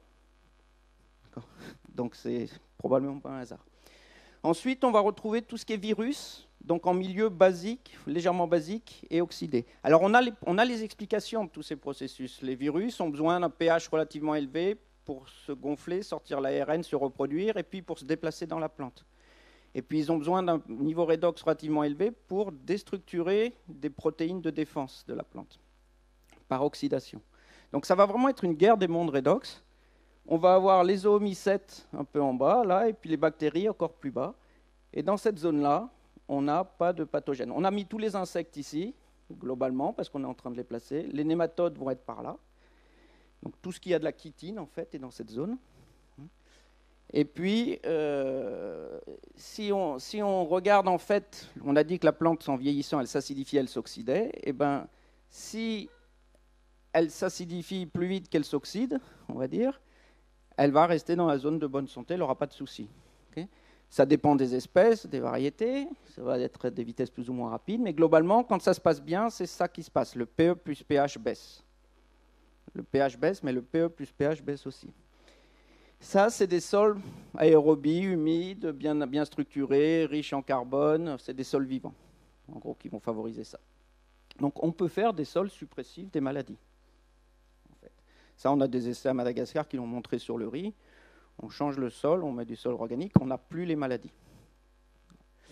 Euh, par contre, si en début de cycle, on a des grosses pluies, des fortes pluies, on va aller vers un milieu, surtout sur des sols compactés, ça va s'engorger, ça va chuter, ça va nous amener dans les zones des bactéries et des oomycètes. Dans les oomycètes, il y a le pythium en particulier, donc les fontes de semis, on voit que c'est plutôt à stade jeune. Derrière, tout ce qui nous fait monter la photosynthèse, donc des, ciels couverts, des températures extrêmes, des, sécheresses, de l'ombre, des carences, on peut, en mettre plein. Ça va nous amener en fait une croissance qui va aller vers le haut. Et ça nous emmène dans des maladies, des insectes, des nématodes, des, champignons ou des virus. Voilà. Donc ça va être vraiment une guerre des, mondes redox. Et la plante qui se fait attaquer, elle va. Donc en haut, on est sur des sols aérobies, oxydés et pauvres en carbone, des sols à peu près morts. Mais une plante qui se fait attaquer, eh ben, elle va être obligée de. C'est une guerre redox avec l'arme d'attaque, c'est l'oxydant, l'arme de, défense, c'est l'antioxydant. Sauf que l'arme de défense, quand on n'en a plus assez, euh, on n'a plus assez d'énergie, l'antioxydant, eh ben, la plante va, va euh, contre-attaquer. La meilleure défense, c'est l'attaque. Et donc, elle va essayer de tuer les, les, bioagresseurs à coup d'eau oxygénée, en suroxydant. Et la capacité du, du bioagresseur à contrer cette suroxydation va déterminer sa virulence. Donc c'est vraiment une guerre des mondes redox. Alors si on applique ça à, la vigne, donc là je rentre dans plein de questions, parce que je me les pose avant, tout. Bah, les spécificités de, spécificités de, la vigne par rapport à ce que je vous ai montré, c'est d'abord qu'il y a deux plantes en une. Il y a le porte-greffe et le greffon. Donc qu'est-ce que ça donne? Marc-André a suggéré que la prise n'était pas forcément bonne, que ça pouvait impacter. Voilà. Donc qu'est-ce que ça donne sur, euh, nos variétés? C'est une liane, elle n'a pas le même port que le riz de tout à l'heure. Ce que je vous ai montré pour le riz, euh, c'est valable sur euh, le maïs, le niébé, le manioc, euh, le soja, le, colza. On, on l'a répété sur pas mal, de, pas mal de plantes. Mais pas sur des plantes pérennes, pas sur des plantes qui ont des réserves. Donc qu'est-ce que ça donne au redémarrage? Quel est l'impact des réserves sur le niveau au départ? C'est Comme disait Marceau, c'est une, plante pérenne, c'est une plante annuelle qui repousse chaque année sur celle, d'avant, celle de l'année d'avant. Donc, à quel niveau on part? Globalement, une plante qui vieillit, elle s'acidifie, elle s'oxyde. Qu'est-ce que ça donne chaque année avec une pérenne? Après, j'ai beaucoup, beaucoup de questions sur le, mode de conduite, parce que c'est quand même euh, un peu particulier. Et puis, les impacts on, cherche aussi à faire du vin avant tout. Et donc, quels sont les impacts du produit qu'on va, qu'on va sortir, des raisins, sur le produit final qui va être le vin et sur la vinification? Alors, ces, schémas-là, en fait, quand je vous dis c'est une vision PlayStation, en gros, il va falloir savoir qu'est-ce qui. Voilà, le triangle qui nous emmène à gauche, c'est quoi? Qu'est-ce qui nous, le carré qui nous emmène en bas, le rond qui nous emmène à droite, et puis on va jouer à la PlayStation. Quoi. Euh, la question, c'est comment, on se déplace. Et euh, de comprendre ce, graphique complet, cette guerre des mondes, bah ça, en particulier moi, le, alors, le peu que, dont je me, souviens de, mes cours à l'agro il y a 33 ans, euh, c'était bah, que le milieu, l'oïdium, c'était des champignons. Donc je ne comprenais pas là pourquoi mildiou, oïdium se développent pas du tout dans les mêmes conditions. Le milieu va être plutôt en début de cycle, quand il y a des grosses pluies sur des sols engorgés. L'oïdium va être plutôt plus tard, euh, quand il y a des conditions sèches, quand c'est enfin un peu de, stress oxydant globalement. Euh, pourquoi les deux sont pas au même endroit? Eh bien, en fait, il y a quelques années, par la génétique, on a simplement montré que le, le mildiou, c'était pas un champignon, c'était un omicète. Les omicètes, c'est proche des algues brunes, et donc ça va se trouver probablement en bas à droite. C'est les conditions de développement que je vous ai expliqué tout à l'heure pour des milieux basiques réduits favorables aux omicètes. L'oïdium, lui, va être plutôt par là. Il va falloir les caractériser, tous ces trucs-là, comme on a fait pour les autres champignons. Hein. On l'a fait pour le botrytis, mais on ne l'a pas fait pour tous. Euh, et puis moi, je me pose une question. Euh, une plante qui va se faire attaquer là, elle va réagir en envoyant de l'eau oxygénée, en essayant d'envoyer par là, pour tuer, que ce soit les bactéries, les champignons, par suroxydation. Euh, et puis quand on met un fongicide, alors au passage, pourquoi tous les fongicides qui sont contre le mildiou sont différents des autres fongicides, enfin des fongicides contre les autres euh, champignons bah, C'est parce que le mildiou, ce n'est pas un champignon. Donc on a un homicide plutôt qu'un fongicide. Et oui. Alors là, on, a dans, cette gamme-là, on a les, les Pythium, Phytophthora, Plasmopara et Perennospora. C'est les quatre grandes classes. Mais en gros, il faut comprendre qu'ils sont placés différemment. Mais la plante réagit pareil. Elle envoie de l'eau oxygénée pour le tuer. Et puis par derrière, elle envoie de l'acide salicylique pour dire à la plante, je suis trop élevé, il faut que je me réduise il faut que je fasse des tanins, il faut que, j'aille vers, vers du réduit avec des polyphénols et des tanins. Voilà. Donc, euh, moi, la question que je me pose, c'est que voilà, on, se prend du milieu, on traite, on traite, on traite, on aide par ce fongicide. On va en fait oxyder pour sortir de la zone omicète. Est-ce qu'on n'est pas en train de l'amener dans la zone favorable à l'oïdium? Ça, ça serait, ça à voir. Et puis après, on se prend de l'oïdium, donc on lui dit on va mettre du soufre pour essayer de redescendre. Donc ça, c'est des clés qu'il qui va falloir développer, mais qui pourraient permettre de, mieux comprendre ce qui se passe dans toutes nos interactions entre, entre différents types de, pathogènes. Voilà. Euh, et est-ce que ça ne pourrait pas nous permettre de faire un diagnostic précoce des risques de maladie? Donc un outil de pilotage. Si le matin on est capable d'aller, enfin dans la journée on est capable d'aller mesurer un niveau redox dans nos plantes qui nous dit bon, on est ici, c'est bon, on va se recoucher, ou au contraire on approche par ici, attention, il va falloir l'aider. euh, ça pourrait être des outils de pilotage assez intéressants. Euh, l'intérêt aussi, ce que je vois, c'est qu'on peut tester l'effet de pratique en direct, en mesurant le pH, le redox de la feuille. On prend toujours la même feuille au même moment. On va pouvoir, par exemple, j'applique, euh, je veux tester euh, une macération ou un, antioxydant. Je mesure mes feuilles, j'applique, et deux, trois heures après, je mesure sur où ça a été appliqué ou ça n'a pas été appliqué, et je vois s'il y a des différences. Ça peut nous permettre de lire directement. C'est un peu ce qu'on fait avec le BRICS déjà, mais ça, pourrait nous apporter un peu plus. Alors là, je vais vous apporter ma vision extérieure. Je vais peut-être en choquer, mais moi j'ai un peu l'illusion d'un massacre. Alors est-ce que c'est une illusion ou pas? En tout cas, c'est une impression assez, forte. Alors en cherchant des photos, je me suis aperçu que je sais pas, je dois avoir le cerveau qui, qui bloque au moment de faire des photos de massacre. Donc je n'ai pas trouvé. Alors je vous ai mis une parcelle à côté de chez moi qui sont en train de mettre en culture avec de la vigne. C'est deux sous-solages en travers avec des tracteurs de je ne sais pas combien de chevaux, c'est monstrueux. J'ai croisé un camion citerne qui arrivait au milieu d'une zone protégée. Euh, et puis après derrière c'est du, du concassage et on y va. Mais en gros euh, j'ai l'impression que c'est une plante qu'on passe notre temps à lui taper dessus, à la stresser, à la mettre dans des conditions difficiles, et puis après on se dit tiens, elle est malade de plus en plus tôt, elle meurt de plus en plus vite, euh, il y a de nouvelles maladies, enfin voilà. Donc la taille, les cimages, les pamprages, ça a quel impact là-dessus? On parlait de la surface de feuilles tout à l'heure, qu'est-ce que ça donne? Euh, Le passage des intercepts, où on recoupe, donc on déconnecte par rapport au mycélium qu'on pourrait avoir. Tout ça, Qu'est-ce que ça va donner? La compaction avec les nombreux passages, ça, on sait à peu près ce que ça va donner. Hein. sol compacté, on l'a vu. Et puis, ben, ça arrive à toutes les couvertures du sol. Alors moi, mon chien, il préfère aller dans les, dans les vignes qui sont comme ça. Hein, là, il, là, il est content. On va se balader là.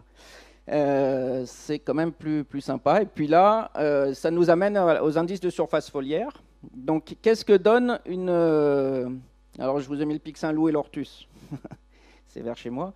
En indice de surface foliaire, vous avez, est-ce que vous avez une idée de la, de la vigne? C'est-à-dire le nombre, la surface de, feuilles par mètre carré Pardon? Voilà, alors si on prend une forêt tropicale dense, on va être à 15. Du sol nu, 0. Du riz, on monte à 10 ou 12 en fin de cycle. Euh, des gros sorgho comme ça, on va être au-dessus. La vigne, ben, en fonction des cépages, de la taille, du milieu, de la densité, euh, on va arriver autour de 2. Entre, on va dire globalement en moyenne autour de 2. entre 1 et 2,5 globalement. Voilà, donc ça veut dire quoi? Ça veut dire qu'on n'a pas, on pas de surface de captage de, l'énergie qui arrive sur le sol.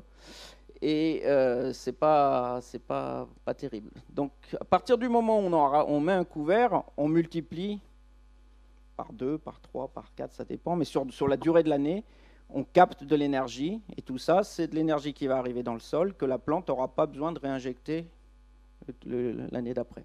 Donc, sol nu, sol foutu, hein, c'est clair. Il faut mettre des panneaux solaires, capter tout ça. Surtout qu'en plus, globalement, nos feuilles de vigne, elles sont emportées par le vent, donc on n'en retrouve pas forcément beaucoup dans la parcelle. Les sarments, vous avez une idée de combien ça, ça laisse de biomasse sur le sol? Pardon? 800 kilos? 500. Voilà, en gros, oui. 5 kilos? 500 kilos? Enfin bref, c'est peu. C'est presque rien. Donc si on n'a pas un couvert, au niveau énergétique, ça ira pas. On peut se poser la question de l'orientation euh, de, nos, vignes. Ça ne sera pas la même chose si le soleil tourne comme ça ou si je vous fais un coucher de soleil sur le pic Saint-Loup plus tôt. Quoi. Hein, euh... Eh oui, on maîtrise le soleil, c'est beau. Voilà, donc c'est des questions à se poser aussi. Quel impact ça a, l'orientation de nos vignes? Il va y avoir une façade orientée, des ombres portées, euh. Et puis, tout ce qui est stress hydrique pour augmenter les tanins, qu'est-ce que ça donne? On baisse la nutrition en azote pour stresser. L'idée, c'est faire ça, faire des tanins, faire des polyphénols. Alors, la question, c'est est-ce qu'on n'en produirait pas beaucoup plus sur une, sur une plante qui est en pleine santé, qui a plein d'énergie, qui va en accumuler naturellement, sauf qu'on, si on n'a pas besoin de la forcer à l'accumuler, elle va le faire. Va faire des lipides, elle va faire, elle va, elle va faire d'autres choses et, certainement plus. Donc ça, ça serait à vérifier. Puis l'impact du niveau redox du raisin sur la qualité du vin, Ça, je pense que euh, bah, ça va être en relation avec les tanins, avec les polyphénols. Et euh, un suivi redox de la vinification, ça pourrait sans doute nous apporter pas mal de choses. Alors, j'ai quelques publications, mais en gros, bah, pourquoi euh, bah, les, polyphénols, la réaction avec l'oxygène, donc l'oxydation, c'est régulé par le fer et aussi c'est alimenté par le cuivre aussi. Puis il y a tous les sulfites. Pourquoi on met des sulfites? Euh, ben, C'est pour réduire les quinones qui ont été oxydées et, en refaire des polyphénols. Ça va accélérer la consommation d'oxygène, donc, euh, donc réduire. Ça bloque l'eau oxygénée, donc encore on va vers de la réduction, et ça évite l'oxydation de l'éthanol. Donc en gros, on met des sulfites parce que on a des raisins sans doute beaucoup trop oxydés qui arrivent dans notre, euh, dans, notre mou. Voilà, donc je pense que le suivi de la qualité des raisins, le suivi pour la, pour la vinification, ça pourrait être euh, vraiment bien. Et puis, euh, et puis un dernier truc, je pense qu'il y aurait c'est un peu indirectement lié, mais de travailler sur le redox, une des difficultés de la mesure, c'est que les mesures sont faussées par les champs électromagnétiques. Et si les mesures sont faussées par les champs électromagnétiques, je pense que la vinification, elle va l'être aussi. Et euh, on me dit souvent que oui, on a, deux cuves à côté, on fait exactement la même chose, les mêmes provenances, les mêmes moments, les mêmes vignes. On n'a pas du tout les mêmes vins. Quand on voit ce qui se passe au niveau de l'oxydation, quand les mises à la terre sont pas faites comme il faut sur les pompes, sur les trucs, on a énormément de problèmes dans d'autres domaines, en élevage, en aquaculture. On peut oxyder très fortement une cuve juste par, euh, par ça, voilà. Et puis on peut imaginer faire de l'isolation électromagnétique des caves. Alors il y a des procédés avec des biochars mélangés à l'argile, donc des charbons de bois mélangés à l'argile. Vous pouvez créer une isolation, c'est à la fois thermique, de l'humidité et, des champs électromagnétiques. Ça pourrait être des choses à, voir. Puis dernière chose, ça pourrait être un argument commercial, donc déjà de la vente du raisin pour ceux qui ne vinifient pas eux-mêmes, mais au niveau du, vin, euh, on sait que les antioxydants c'est bon, on en parle, tout ça, ça pourrait se mesurer, et euh, vous faites des mesures, je viens de Montpellier, euh, entre un vin rouge et un pastis, pour la santé, on est du bon côté ici. Hein. C'est pas Montpellier qu'il faut aller euh, à coup de pastis. Voilà, ben on parle de Montpellier. Je voulais finir bon, ben en souhaitant bienvenue à Marcel. Ils comprendront. C'est très difficile à mettre en place euh, et qu'il fallait euh, sans doute l'adapter en fonction des types de taille. Ça a été assez facile sur tout ce qui était taille courte, taille guyot, difficile, mais taille gobelet ou taille cordon, plus facile. Et puis j'ai cherché du coup à améliorer aussi euh, les différents types de guyos, puisqu'il y a des guyos simples, des guyos doubles, des guyos mixtes. Et euh, je me suis rendu compte que, au bout d'un moment, j'arrivais à une limite. C'est-à-dire que, oui, effectivement, on limite la propagation des maladies. Euh, un vigneron gersois, d'ailleurs, qui s'appelle Dominique Andiran, m'a appelé il n'y a pas longtemps, il y a sept ans. ce Dominique-là plante une vigne et son voisin plante la même vigne, la même surface, juste à côté. Un an plus tard, lui, la, plante. Sept ans plus tard, ils se retrouvent tous les deux dans leur vigne à arracher leurs plantes mortes. Dominique Andiran en arrache 7, son voisin en arrache 80. Bon. Euh, du coup, c'est assez important. Simplement, c'est des plantes qui sont restées vivantes. Aujourd'hui, je m'aperçois que quand on respecte les flux de sève, on limite un peu la mortalité, mais on ne fait pas spécialement progresser les plantes. On a un début de progression, et puis après, ça plafonne. Et je me suis toujours posé des questions euh, sur euh, comment faire pour euh, améliorer cette situation-là. La vigne, c'est une plante qui est pérenne. Elle a du mal à, comme je le vois souvent dans les vignobles, à résister à la concurrence hydrique des plantes qui poussent autour d'elle. Hein. donc on a du mal avec l'enherbement spontané, on se pose des questions sur les semis et sur les couvertures de sol, on a des problématiques avec, avec tout ça. Bon. Pour moi, c'est déraisonnable, ces problématiques-là. Les plantes pérennes, elles ont un avantage fondamental, elles fabriquent du bois. Hein. Et ce bois permet à, ces plantes pérennes-là la résilience. La résilience, c'est la capacité de la plante à retrouver son état initial après une perturbation, c'est-à-dire un gel, une grêle, du mildiou mal géré, un travail de sol excessif. Il faut que la plante puisse arriver à relancer son système. Et pour relancer son système, les plantes ligneuses, elles ont inventé ce que l'on appelle le bois. Et donc, elles ont commencé à stocker leurs réserves dans une partie du bois qu'on appelle les rayons ligneux. Ces rayons ligneux, c'est une inertie pour la plante. C'est-à-dire que la plante fabrique dans l'année plus d'énergie qu'elle en consomme et elle la stocke. Regardez, les arbres sont de plus en plus grands, non? Toutes les plantes ligneuses sont de plus en plus grandes, sauf nos vignes. Parce qu'on construit des palissages et on doit adapter nos plantes à nos palissages, donc on refuse l'allongement. Pourtant, une plante ligneuse, c'est un système de tuyauterie. Tous les ans, sur votre plante ligneuse, vous avez des bourgeons. C'est la caractéristique principale des plantes ligneuses. C'est ce qui différencie les plantes ligneuses des plantes vivaces ou des plantes annuelles. Ces bourgeons-là, c'est un peu comme ce que disait Olivier ce matin, qu'il avait repris, des plantes annuelles qui poussent sur un support, et au lieu que ce soit la terre, ce support, c'est du bois. Tous les ans, ces, bourgeons poussent, se développent, développent des feuilles qui fabriquent de l'énergie avec le CO2 de l'air et la lumière, et ces feuilles vont nourrir, en redescendant, toute la plante qui va fabriquer une couche par-dessus la couche, une couche de bois, par-dessus la couche de bois l'année dernière. On a donc des tuyaux qui sont concentriques et qui débouchent tous sur la nouvelle pousse, sur la nouvelle feuille. Tous les ans, de manière sine qua non, les plantes ligneuses se retrouvent recouvertes d'une couche supplémentaire. En fait, c'est un système qui fonctionne hyper bien, euh, puisqu'on a des tuyaux donc, qui se retrouvent concentriques et qui amènent et qui débouchent tous ces tuyaux concentriques aux feuilles. Ce sont les feuilles qui aspirent et qui font circuler la sève dite brute. C'est-à-dire que les feuilles, par évapotranspiration, donc elles perdent de l'eau, par un phénomène qu'on appelle la tension-cohésion, donc elles perdent de l'eau, mais comme l'eau est amoureuse de l'eau, elle aspire l'eau qui est en dessous, donc elle va faire monter de molécules d'eau en molécules d'eau l'eau dans la plante. Elles vont générer une tension qui va aspirer l'eau dans les tuyaux. Les feuilles, ce sont donc la pompe et l'outil qui fait circuler la sève dans les plantes. Faut pas l'oublier, ça. Faut pas l'oublier.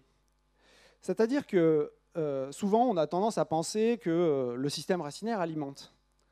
D'ailleurs, euh, c'est Marc-André qui nous parlait des problèmes avec la greffe. Il nous parlait du fait que la greffe puisse poser des problèmes.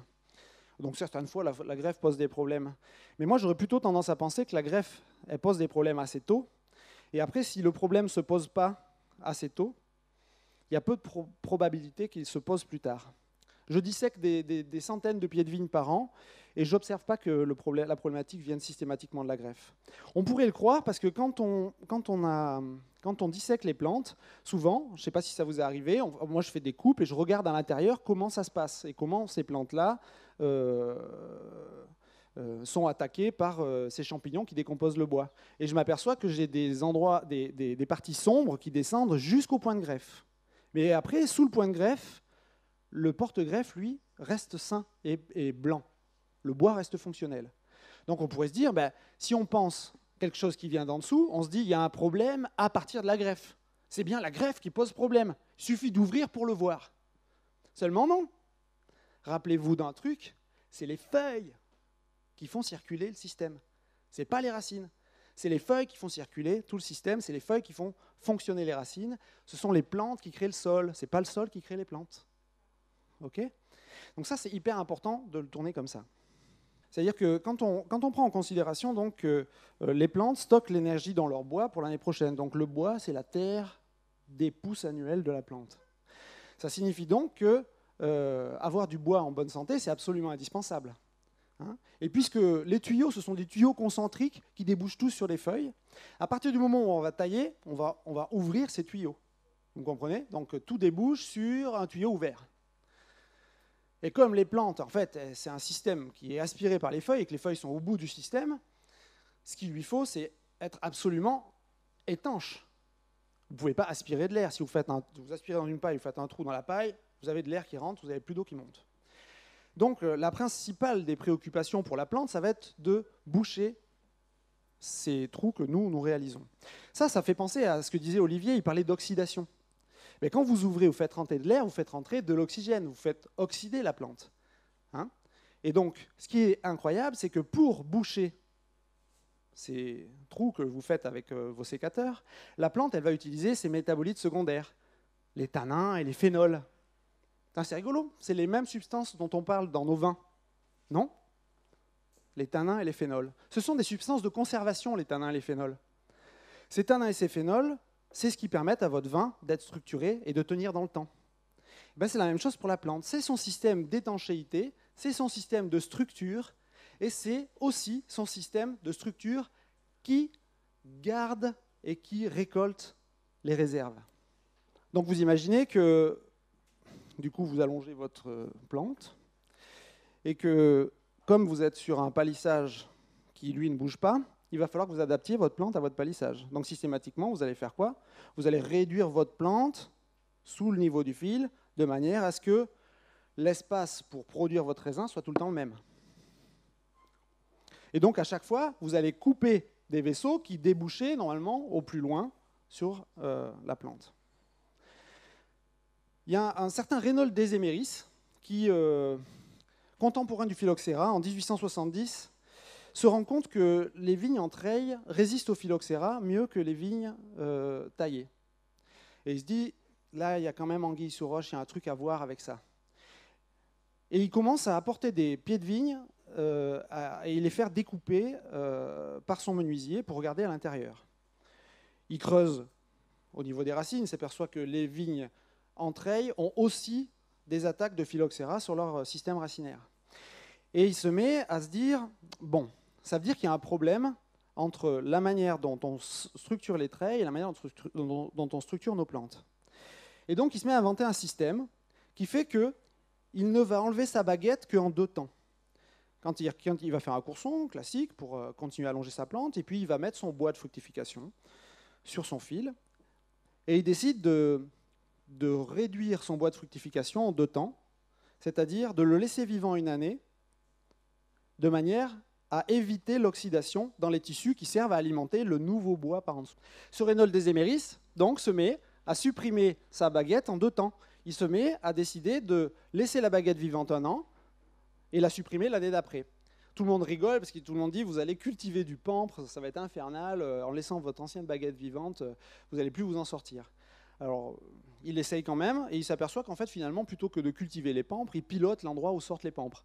C'est-à-dire que comme il a des bourgeons tout frais, tout vivants à cet endroit-là, les pampres sortent à cet endroit-là au lieu de sortir sur la base du cep, euh, sur euh, le, tronc, euh, sur, la greffe. Et il fait ça plusieurs années, et il se met à s'apercevoir que sur les rangs qu'il a fait comme ça, la vigne se met à résister mieux au phylloxéra que sur les rangs qu'il a continué à tailler de manière traditionnelle. Ce monsieur Deséméris, je l'ai mal présenté, c'était un conseiller général de la Gironde, philosophe à l'époque. Donc il avait 25 hectares de vignes dans le canton de Barsac, euh, à Cadillac, pardon, canton de Cadillac. Et, donc il était absolument préoccupé par le phylloxéra et par l'impact que ça allait avoir sur les populations. ça a été un, moment extrêmement difficile au niveau économique pour, les gens, hein, la, mortalité de ces vignes. Et donc sa technique a, été validée euh, par le ministère de l'Agriculture qui est descendu en grande pompe pour valider la technique des éméris pour lutter contre le phylloxéra. Le greffage étant passé par là, et l'hybridation, on a oublié la technique des éméris pour lutter contre le phylloxéra. Cette histoire, elle nous raconte quelque chose, elle nous raconte, euh, elle nous raconte une histoire d'oxydoréduction. Elle nous raconte que quand une plante n'est pas stressée, elle résiste. Quand une plante n'est pas stressée, elle se défend. Alors bon, la plante, forcément, elle stocke son énergie dans un bois qui est fonctionnel et qui est vivant. Si elle est censée recréer de l'étanchéité, ça veut dire qu'à chaque fois que vous ouvrez des tuyaux, elle est obligée de trouver une solution pour les boucher et puis de se concentrer sur des choses qu'il y aura après. Pour ça, elle a inventé ce que Alex Saigo, un Américain, a appelé la compartimentation. Il a découpé des milliers d'arbres et des milliers d'arbres, et puis il a regardé les interactions entre les champignons lignivores qui consomment le bois et les arbres, et il s'est aperçu que euh, ben, il y avait comme une espèce de bataille stratégique entre des champignons qui décomposent le bois et des arbres qui essayent de limiter la propagation des champignons dans euh, la structure du bois. Cet Alex Taigo là, euh. Il nous, a expliqué que, nous montre que les arbres finalement apprennent ou les plantes ligneuses arrivent à se défendre et à recréer l'étanchéité. Ce que je pense, c'est que c'est surtout pour recréer l'étanchéité que les plantes se défendent et qu'elles métabolisent des tanins. Parce qu'il n'y a pas systématiquement des agressions, mais il y a systématiquement des ouvertures.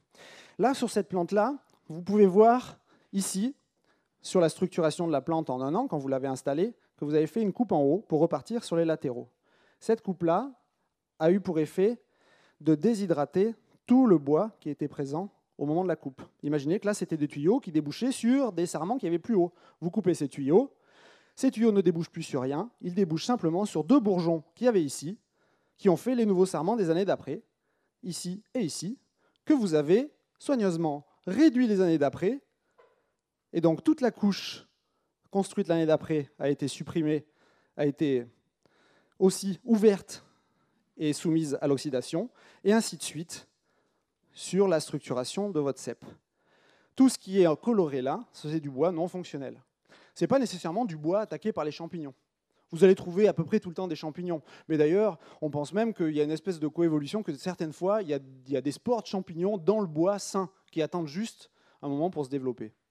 Donc ce n'est pas si évident que ça de ne pas trouver de champignons, mais la plupart du temps, ce n'est pas parce qu'il y a un champignon que le bois se dégrade. Le champignon, la plupart, la plupart des champignons ont besoin d'humidité pour dégrader le bois. D'ailleurs, vous voyez, la plupart de vos cèpes, ils sont pourris où? Ils sont pourris ici, il y a un petit réservoir d'eau sympa, et ici. Mais tout le reste du bois fait de l'excellent bois de chauffage, même si vous coupez 20 ans plus tard, non? Oui, hein donc ce qui se passe ici, c'est que la seule partie fonctionnelle de la plante, la seule partie fonctionnelle du système, c'est la partie qui est claire ici.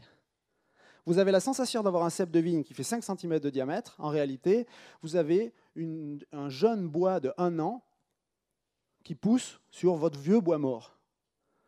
Mais les champignons, ils sont pour rien. C'est votre porte d'entrée là qui a oxydé ces vaisseaux-là. L'idée, donc, ça va être de comprendre que la plante elle a besoin de bois fonctionnel pour stocker les réserves. Les réserves, elles se stockent l'automne, au moment de la chute des feuilles. En fait, elles se stockent à partir de l'aoutement, à partir du moment où vous avez la véraison et l'aoutement. On y revient.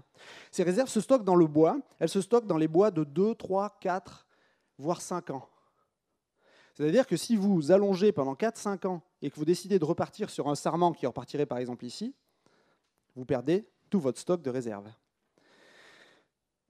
On trouve certaines fois des plantes qui ont été allongées de manière assez excessive et on voit que là, l'acceptation de l'allongement crée davantage de bois sain. Vous le voyez qu'il y a davantage de bois sain dans ce cep là hein Le bois qui est blanc, c'est du bois qui est sain. Le bois qui est gris, c'est du bois qui est simplement déshydraté, mais pas forcément attaqué par un champignon. Alors, pour comprendre euh, quels sont le, rôle des réserves dans la plante, hein, J'en ai parlé un peu en, introduction. Mais la plante, en fait, elle a un cycle qui se fait un peu en deux temps. L'hiver, elle est en dormance et elle, du coup, utilise juste les réserves stockées sous forme d'amidon pour continuer à faire vivre ses cellules, pour continuer la respiration et pour éventuellement aussi alimenter un peu les micro-organismes symbiotiques. Puis au printemps, elle va ce que l'on appelle débourrer. Le débourrement, en fait, c'est le déploiement d'une pousse compactée dans les bourgeons. C'est un allongement cellulaire. Toute la pousse est déjà dans les bourgeons. Les fleurs sont déjà dans les bourgeons. La, la quantité et la qualité des fleurs est déjà jouée au printemps. Puis elle va se développer jusqu'à ce qu'elle fabrique des feuilles étalées. Euh, Olivier en parlait tout à l'heure, tant que les feuilles ne sont pas parfaitement étalées, elles ne produisent pas de photosynthèse. Ça, ça veut dire que ce n'est qu'à partir de la floraison que les plantes vont commencer à produire la photosynthèse. Ça, c'est hyper important parce que ça nous fait comprendre que les réserves pilotent le développement de la plante jusqu'à la floraison. Toute l'énergie est une énergie de réserve jusqu'à ce moment-là. Puis après, le bourgeon terminal continue à se développer et continue à fabriquer des feuilles et à se développer. C'est ce qu'on appelle un méristème continue, du coup, cette fois-ci, pas un développement, mais une croissance. Et cette croissance-là prend fin en ce moment, hein, juillet-août. elle prend fin à un moment euh, où la plante va outer, c'est-à-dire qu'elle va transformer ses pousses euh, non ligneuses, ses pousses annuelles, en bois. Et à partir de ce moment-là, à partir de ce moment où elle va jouer ça, c'est des processus d'oxydation, encore une fois, qui vont fabriquer dans la plante, à base de sucre, des tanins et des phénols. Souvent, on dit les vieilles feuilles, elles produisent plus d'énergie, elles consomment de l'énergie. Pourquoi? Parce que les vieilles feuilles produisent des tanins et des phénols. Et ces vieilles feuilles qui produisent des tanins et des phénols consomment beaucoup d'énergie pour produire ces tanins et ces phénols. Donc en fait, des fois, pour produire ces tanins et ces phénols, la plante va être obligée de pomper dans ses réserves pour aller lignifier son bois. Vous me suivez? Puis en fait, petit à petit, on va avoir, à partir de ce moment-là, une mise en réserve. Si on met le raisin là-dedans et qu'on commence à regarder, on s'aperçoit que donc, au moment de la floraison, on a un processus d'initiation florale, c'est-à-dire la fabrication à l'intérieur des bourgeons des, embryons d'organes floraux pour la floraison, non pas de cette année, mais de l'année prochaine.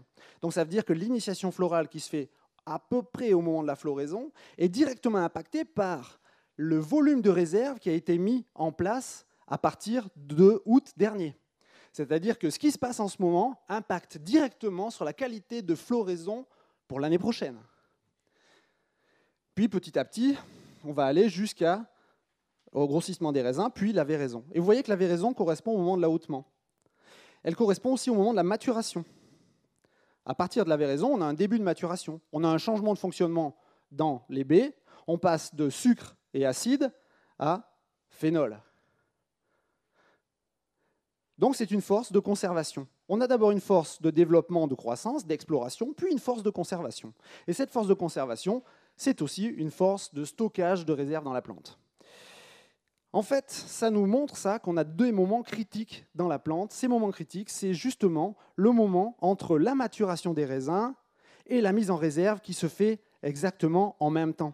En fait, il y a une concurrence entre la maturation et la mise en réserve. C'est pour ça qu'on nous dit de vendanger en verre, de limiter un petit peu le volume de raisin, parce qu'en fait, si vous limitez le volume du raisin, vous augmentez le volume de mise en réserve, qui améliore le processus de fabrication des fleurs dans les bourgeons, qui s'appelle l'induction florale, qui sera la quantité et la taille des fleurs pour l'année prochaine.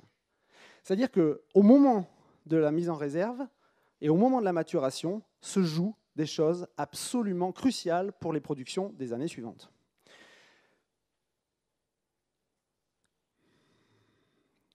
Ça, c'est important d'en avoir conscience, puisque c'est les clés de la viticulture, c'est les clés d'une viticulture rentable. Si déjà vous jouez avec ça, vous pouvez vous permettre, puisque la plante aura davantage de résilience, davantage de stock, vous pouvez vous permettre de jouer sur le carbone dans le sol. Vous pouvez vous permettre de jouer donc sur la fertilité des sols, mais pas une fertilité exagérée, une fertilité qui va être adaptée à ce qui est capable de donner votre sol.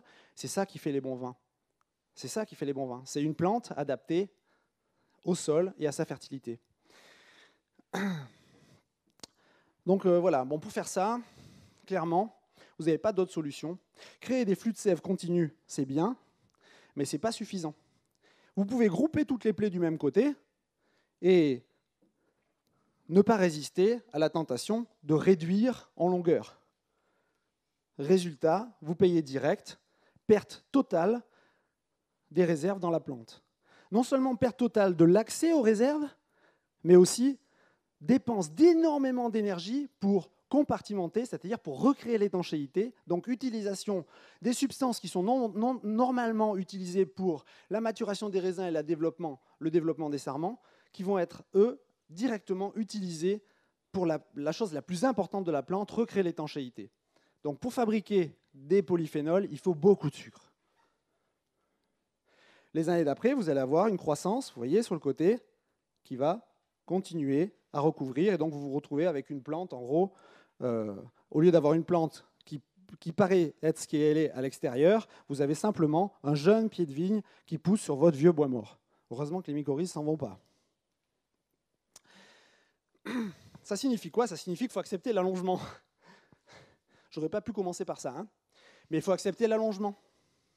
Et pour accepter l'allongement, ça signifie de comprendre que l'allongement, ce n'est pas du tout un problème technique. Si toutes vos vignes s'allongent, si toutes mes vignes s'allongent dans le même sens, il n'y a que celle du bout du rang qui pose problème. Si mes vignes s'allongent dans deux sens, je peux très bien plier mes deux baguettes dans le même côté. Faire un dab, comme disent les jeunes. Mes bras ne se croisent pas. Hein. je peux aussi ben, croiser mes baguettes.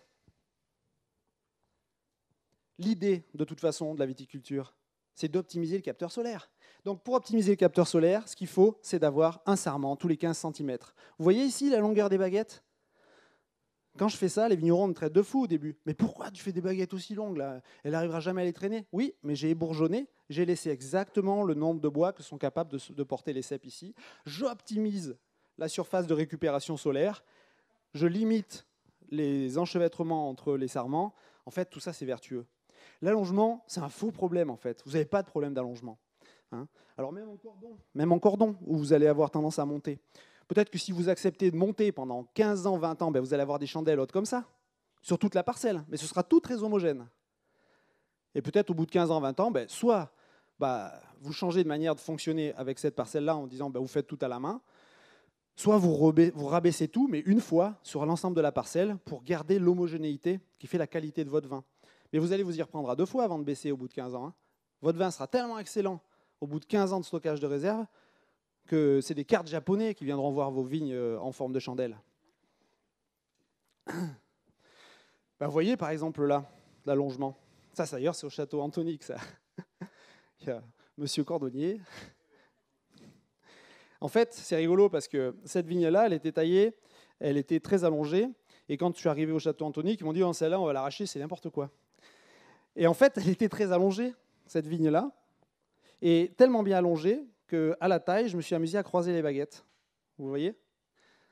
Et en fait, finalement, tout est, tout est utilisé, tout l'espace est utilisé, et c'est ça qui est important. Imaginez-vous juste que votre baguette, c'est un outil pour utiliser la place disponible sur, la, sur le rang. Hein Après, il y a un truc qui est difficile à, à avaler au premier abord, mais d'abord, accepter l'allongement, hein, c'est ou gérer l'allongement, c'est l'accepter. Ça veut dire que euh, ce qui est le plus important, c'est de construire le cep qui va porter vos bois pour la taille. L'allongement, en fait, c'est un faux problème. Ce qui m'amène maintenant à vous proposer même de faire le courson, ici, certaines fois, après la baguette. C'est la solution pour euh, ne plus avoir de problème avec euh, cette taille poussard qui nous pose tant de problèmes. On a toujours des coursons un peu mal placés qui ont tendance à pousser vers le bas, non seulement parce que le palissage est inadapté, mais aussi parce que ben, la vigne, elle a tendance à faire ben, de manière un peu alterne un bourgeon en bas, un bourgeon en haut, et on ne sait pas trop où il va sortir le bourgeon. Donc on a du mal à la construire. Alors si vous mettez le, bourgeon, le, courson sur le, après la baguette, vous pouvez le mettre dessus, vous pouvez le mettre dessous. Vous n'avez plus besoin de vous préoccuper des flux de sève. L'important, c'est de garder du bois fonctionnel. Je vous explique pas tout quand je vous dis ça, mais j'ai pas le temps. ouais. Il euh, y, a plein de manières de faire. Sur la taille courte, ce qu'on a trouvé, c'est que finalement, si on accepte l'allongement, on construit ce genre de choses-là. Vous voyez d'ailleurs, ça, c'est une photo que j'ai prise à Simonite Search. On voit ces espèces de porteurs là. Hein. Euh, moi, je trouve ça magnifique parce que je comprends ce que c'est. Hein. Le stock des réserves, il est là. Ça, c'est des stocks de réserves pour la plante. C'est sa résilience en fait qu'il y a là. Et du coup, ça devient magnifique. Hein. et puis on voit les raisins sont magnifiques, sont tous alignés parfaitement, c'est impeccable. Hein. puisque la viticulture, c'est un truc très monotone et rangé. il n'y a pas beaucoup de place pour la poésie, pas vraiment à cet endroit-là. Hein. on est sur une monoculture de monospécifique, de clones, sur des fils. Il faut être rigoureux. Tout doit être droit et dans l'axe. Vous devriez donc, au lieu d'adapter votre plante à votre palissage, adapter votre palissage. Ça vous paraît con, mais quand votre cep est trop haut, il ne faut pas redescendre le cep, il faut monter le fil. Mais qui le fait? Là, il est déjà trop haut, trop bas. Il va falloir le monter. Là, il est à la bonne hauteur. Dès que vous allez faire ça, vous allez vous apercevoir que vous allez limiter la crotonie et vous allez avoir eh bien, une homogénéité, une facilité de pliage, une facilité de travaux. Vous allez accepter l'allongement, tout va, tout, va, tout va couler de source. Donc en fait, juste adapter votre palissage mort à vos plantes qui sont vivantes. Oui, bon, ça fait sacrément un paquet de choses à faire, mais vous allez avoir euh, que des avantages derrière ça. Hein. de la régularité, de la qualité des récoltes, la disparition des maladies de bois, quasiment. Hein. Je vous mens pas, hein, vous n'en aurez pas. Limitation des intrants, amélioration de la réaction à des blessures climatiques, de l'homogénéité, de l'expression de vigueur, une facilitation des travaux et surtout un meilleur pinard. Parce qu'en fait, les tanins, c'est bien joli, Mais les bactéries, il faut qu'elles se les gèrent. Et quand on a du Black Dead Arm et que la plante, elle compartimente, elle tire l'arigot pour essayer de recréer l'étanchéité, eh ben, le raisin, il n'est pas bon. Quoi. Hein, on a beau l'appeler comme on veut, le raisin, il n'est pas bon. Parce qu'en fait, il est même indigeste. Pour nous, les et les phénols, c'est aussi bactéricide, aussi fongicide. Donc en fait, il n'en faut pas trop dans le vin. Il en faut un peu, mais il n'en faut pas trop. Et moins vous en avez, plus votre vin est digeste, plus il est bon pour la santé. Merci. Merci à toi.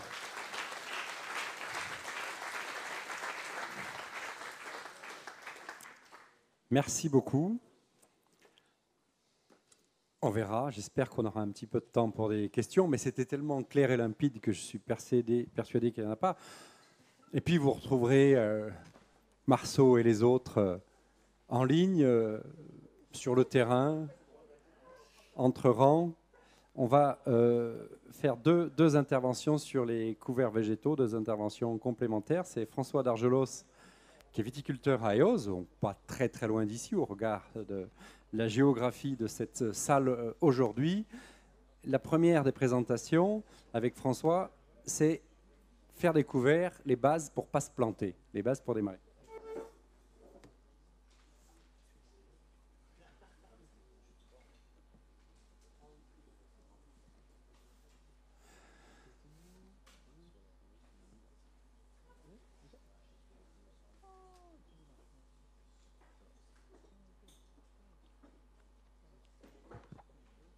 Voilà, c'est bon. Une, longue et forte expérience dans ces techniques-là.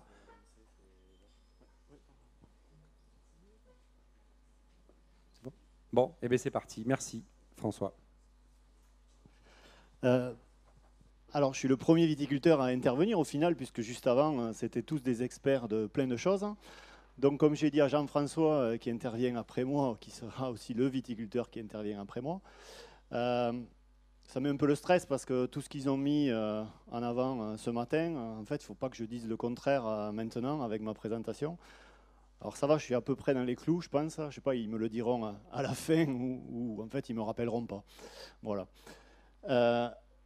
donc le sujet qu'on m'a proposé, c'était les règles de base pour ne pas se planter sur les couverts. Donc je pense qu'il y a des règles qui sont, qui sont communes qui sont euh, extensibles à, toute la viticulture. Et l'objectif, quand on a pris euh, la voie qui était euh, totalement déshervée avec un coup de rotavator derrière, je pense que l'objectif premier, il est de très vite semer quelque chose, parce que je pense que c'est la seule solution que vous avez, parce que ce qui va pousser en premier sur ce sol qui est totalement désherbé, en général, vous le savez, c'est plutôt du chien dent. voilà, c'est sur des sols morts, donc qui poussent des plantes qui ne nous aident pas à le rendre vivant. Donc, L'objectif, il est de semer avec deux graines minimum. Alors, les règles principales seraient de faire euh, semer tôt. Bon, ça serait après les vendanges, de façon simple, parce que plus c'est simple, plus vous allez le faire. Avec une forte densité. Alors, je reprends aussi une remarque que m'a fait Hervé. Il me dit si tu commençais maintenant avec l'expérience de tes 15 ans, qu'est-ce que tu ferais de différent? Ben, Je pense que je densifierais ma surface, parce qu'actuellement, je suis toujours qu'un rang sur deux. Donc je pense que j'hésiterai pas à passer très vite à deux rangs euh, pour vraiment, euh, ben, euh, au lieu de le faire en 15 ans, de le faire en, 5 ans. En sachant qu'en 15 ans, j'ai pris 1,2 points de matière organique. C'est 15 ans, c'est long. 1,2 points, ça fait beaucoup. Donc il y en a qui me disent, ouais, c'est génial. Euh, bon, mais peut-être que je serai plus ou moins, j'en sais rien, mais en tout cas, je, pense que je, je, ferai quelque chose de différent, ça serait densifié. Donc, du coup, je l'ai mis dans mes règles qui deviennent aussi nouvelles pour moi, sur mes nouvelles parcelles, si, je faisais. Et rappuyer, c'est-à-dire que chaque fois que j'ai semé, j'ai toujours eu de meilleurs résultats quand c'était roulé. Donc, deux graines avec des densités fortes, si vous le ramenez en termes de quantité hectare, je sème un tiers de ma surface, ça veut dire que je serai à presque plus de 200 kg de févrole à l'hectare en plein et vous rajoutez 180 kg de, céréales aussi. Du coup, ça fait des volumes, on est au-delà des 300 kg à l'hectare. Mais j'ai toujours réussi, et souvent tout ce qu'on entend sur les experts découverts, euh, c'est qu'ils ont tout le temps euh, mis des grosses doses. Parce que en fait, vous n'êtes pas avec un semoir qui place la graine de façon idéale, etc., etc. Et donc, pour compenser un petit peu les pertes, on a tendance à, surdoser, et je pense que c'est une vraie réalité. Euh, sur un sol lit de semences, alors on parle beaucoup de non-travail du sol, mais quand vous partez sur la photo que j'ai mis, si vous préparez pas votre lit de semences pour avoir de la réussite, et moi mon objectif il est quand même d'avoir de la réussite, si on voit les photos du coup qui étaient d'avant, où on veut arriver à sortir avec ça, euh, il faut que vous ayez un lit de semences correct. Quoi. Euh, à la volée pour que ça soit simple, enfouir et rappuyer. Du coup, derrière, euh, l'idée, elle est de stopper. Et j'ai un peu réfléchi en faisant cette présentation euh, hier. Euh,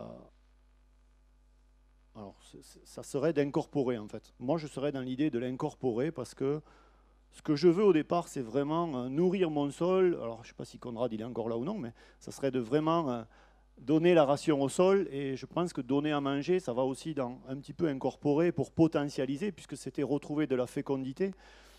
Et donc, quand je décide de stopper, je stoppe. Hein. Donc, c'est vraiment un choix. Donc là, s'il y avait un rouleau FACA ou une faucheuse frontale à disque, euh, où l'idée, elle est vraiment, c'est moi qui décide, je reste l'acteur du couvert. Donc, je suis un producteur de raisin, je ne suis pas un producteur d'herbe. Et que euh, si demain, on me dit, dans une semaine, il gèle, je détruis mon couvert.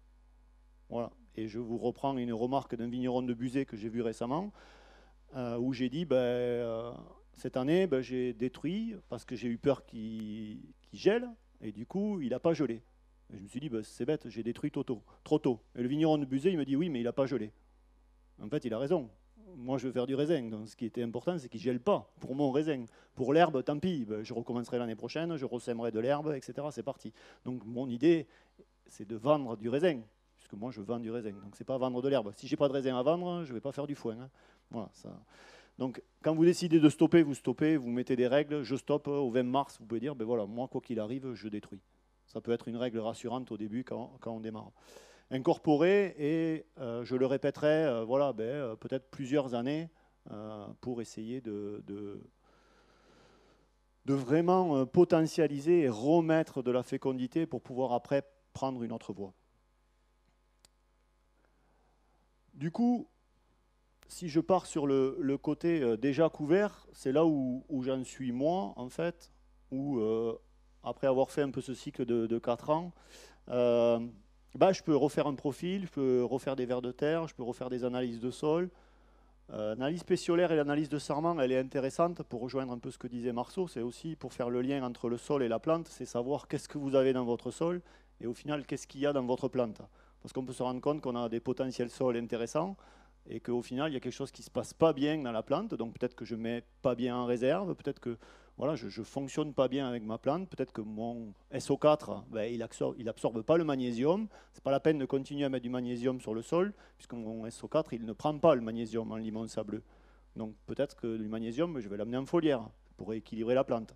Voilà, donc il y a des choses quand même à, creuser qui font que les analyses, même si elles restent parfois très théoriques, elles sont quand même intéressantes à manipuler. Euh, moi, ce que je vous mettrais comme règle, c'est de vous intéresser, enfin, comme règle, c'est de vous intéresser à la bioindication et que ça devienne une règle pour vous. C'est de travailler avec les plantes et d'observer qu'est-ce qui se passe dans votre sol grâce à, la bioindication. Trois ou quatre fois par an, ça serait à chaque cycle de, printemps, été, automne, hiver. Euh, euh, c'est une vraie valeur et qui vous coûte zéro, hormis connaître les plantes. Alors, je vous le présente de ce qui se passe chez moi. Alors, j'ai un peu modifié parce qu'à Gaillac, c'était un peu illisible. Donc, en fait, là, je vous ai fait des rouges, des verts et des oranges. Alors, si on prend la matière organique azotée, Conrad, tu m'arrêtes si je dis des bêtises. Hein. ben moi, euh, toutes mes plantes, elles me disent euh, que j'ai beaucoup d'azote. J'ai un sol très nerveux, très poussant. Alors, c'est des limons sableux euh, ici en Gascogne où on a de l'eau. Ben, forcément, ils sont très poussants. Donc, voilà. Au niveau carboné, je suis plutôt un peu léger, je suis plutôt dans le orange. j'ai du mal à, faire du stable. Ben, mon sol il est tellement nerveux qu'en fait tout ce, que je lui donne, il le dégrade, et surtout en plus si je l'incorpore. Euh, si je prends au niveau des plantes qui m'indiquent l'eau ou l'air, je suis complètement asphyxié à l'air, c'est-à-dire que je compacte. Bah, c'est logique, en vigne on passe beaucoup, pas tout le temps au bon moment parce qu'on n'a pas le choix et qu'il faut y passer. Et euh, un limon sableux, ben pareil, je suis asphyxié à l'eau. donc j'ai des excès d'eau. Donc là, on est en train de, caractériser, ça c'est les plantes qui me le disent, hein. c'est en train de caractériser euh, que euh, j'ai pas d'air et je suis asphyxié à l'eau. Au niveau des bases, donc j'ai un pH qui est correct sur mes limons. Euh, par contre, j'arrive pas à fixer le calcium. J'ai aucune plante qui m'indique que j'ai du calcium dans mes sols. Et quelque chose qui est quand même aussi terrible, c'est que mon activité biologique aérobie, elle est très faible et mon activité anaérobie, elle est forte. Donc là, en fait, grâce aux plantes, je suis en train de vous décrire ben, tous les problématiques que peuvent avoir un limon sableux. Ben, c'est l'hydromorphie, la compaction, euh, la fermeture euh, à l'air et qui du coup euh, ne nourrit pas vos bactéries et votre activité biologique. Voilà, j'ai tendance à fossiliser. Alors Gérard Ducerf, pour l'avoir vu, il me dit c'est pas gênant que tu fossilises, que tu aies des chiffres élevés, parce que vu le climat vers là où il va, ça serait peut-être pas mal qu'on ait quand même un petit peu stocké du carbone, parce qu'on aura à un moment donné euh, la capacité à aller le chercher. Alors, ensuite, pardon.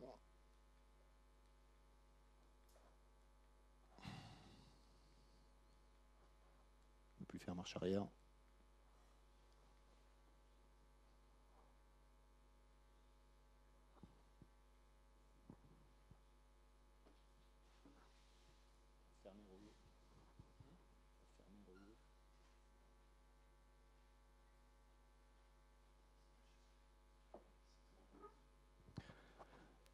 Les deux autres chiffres qu'il y avait, en fait, c'était euh, l'érosion et. Euh, on a dit encore avant. C'est jusqu'au schéma encore, encore avant. Voilà. Les deux autres, chiffres pardon, en vert, c'était le lessivage et l'érosion que j'ai vraiment fortement diminué. Bah, c'est normal, je fais des couverts et je suis, euh, le, plus souvent du temps sur l'année couvert. Et j'ai quand même de la nitrification par mes pratiques, hein, qui est dans l'orange. Ben, en fait, ça correspond à, tous les passages que vous faites hein, et qui est qui n'est pas forcément euh, très positif. Je n'ai pas de blocage, je n'ai pas de pollution. Voilà. Donc voilà tout ce que m'indique euh, la bioindication et qui me permet de dire que maintenant, ben, les nouvelles règles que je vais me fixer grâce à ces nouvelles observations, en fait, ben, c'est qu'il faut que je travaille un peu plus sur le carbone. Bon, ça rejoint un peu ce qui a été dit ce matin, que ça serait bien que je dynamise un peu mon activité biologique aérobie sur les 20 premiers centimètres parce que ça serait mon vrai moteur. Voilà.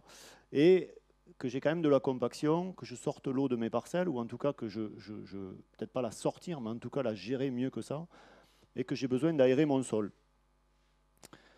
Donc je me, je me, retrouve, décidément, je me retrouve avec des nouvelles règles bah, qui seraient bah, euh, ramener du carbone, aérer, maximiser, puisque je veux redynamiser ma vie du sol. Donc il faut qu'à nouveau, je, je, fasse quelque chose pour que, que ça marche mieux. En fait, j'ai tous les éléments d'une voiture je l'ai prête à monter, mais il faut juste que je lui donne le bon carburant pour rouler, ou en tout cas que je trouve du carburant pour que ça roule. J'ai toutes les pièces, mais, mais ça avance pas. Quoi. Euh, et rentrer dans une sorte de stabilité, parce que la vigne, c'est une culture pérenne et, qu'elle a besoin en fait d'être stable et pas de chaos en fait, pas forcément de passer de tout à rien et de bouger les curseurs à toute vitesse. Surtout avec le cycle qu'a présenté Marceau, on voit bien que le, rendement et euh, la production, elle se construit sur plusieurs années. Et, à nouveau, pour avoir de la stabilité, ben, le répéter euh, plusieurs fois. Donc là, mon idée, ben, la photo que vous voyez, ben, je suis passé euh, à, du seigle dans le but de pailler et ramener du carbone au sol.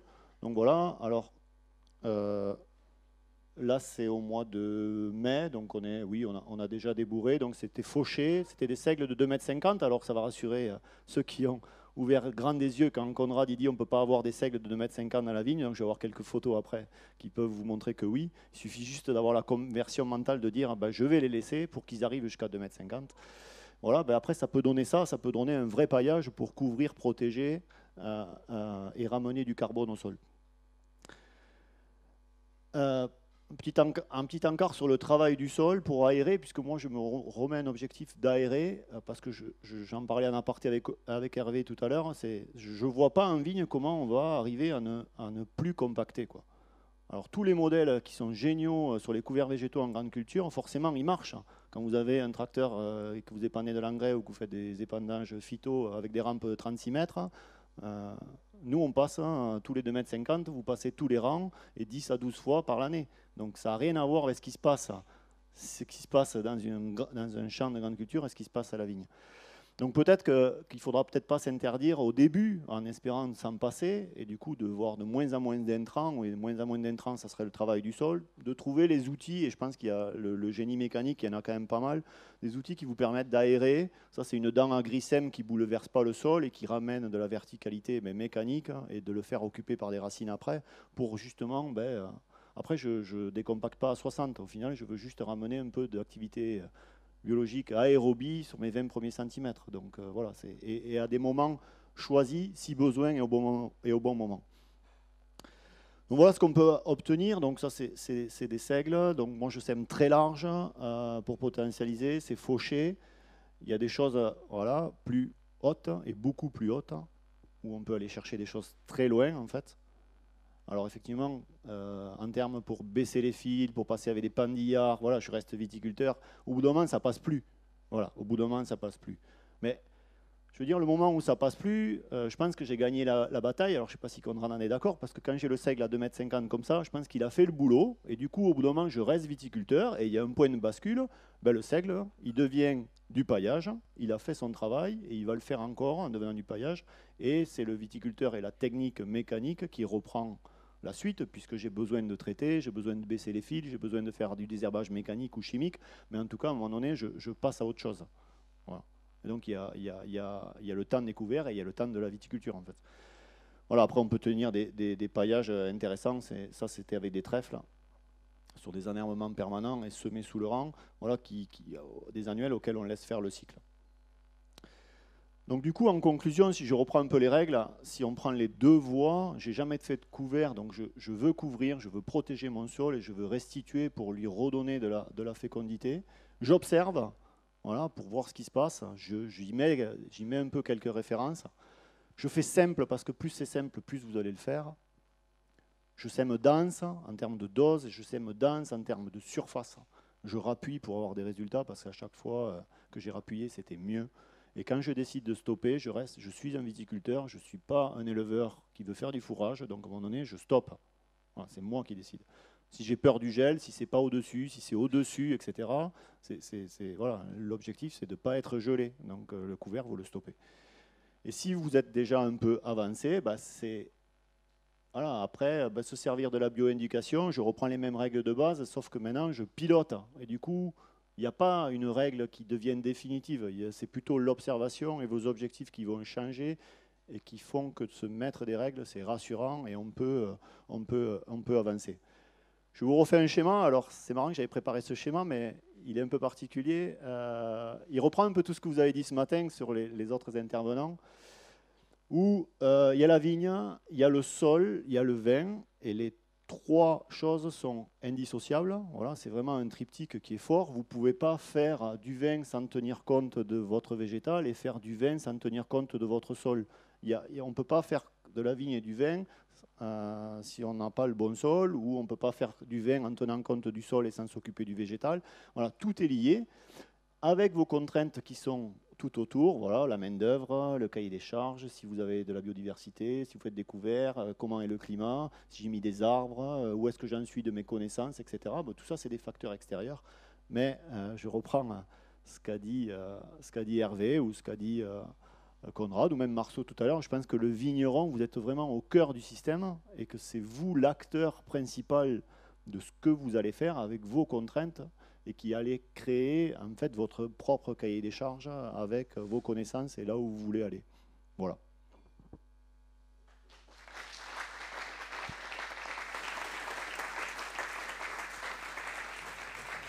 Tu m'avais dit 12 minutes, alors je ne sais pas si j'ai fait 12 minutes. Parfait, c'est parfait. J'ai failli lever la main et tu, tu es à la conclusion, donc c'est absolument parfait. Merci beaucoup François. Jean-François, intervention complémentaire euh, gersoise, toujours, où là on rentre euh, aussi dans la question de la production, de la régulation et puis de l'amortissement. Est-ce que les couverts, est-ce que et, en quoi et comment les couverts peuvent participer à ces fameux euh, chocs climatiques et pas que, mais il semblerait qu'il y ait une certitude et on la vit de plus en plus. Je pense au gel, je pense aux coups de chaud, je pense aux brûlures, je pense euh, aux gros abados ou aux grandes sécheresses qui arrivent maintenant et pour lesquelles le GIEC ne s'était pas trompé. Est-ce que ça fonctionne? Il semblerait que oui.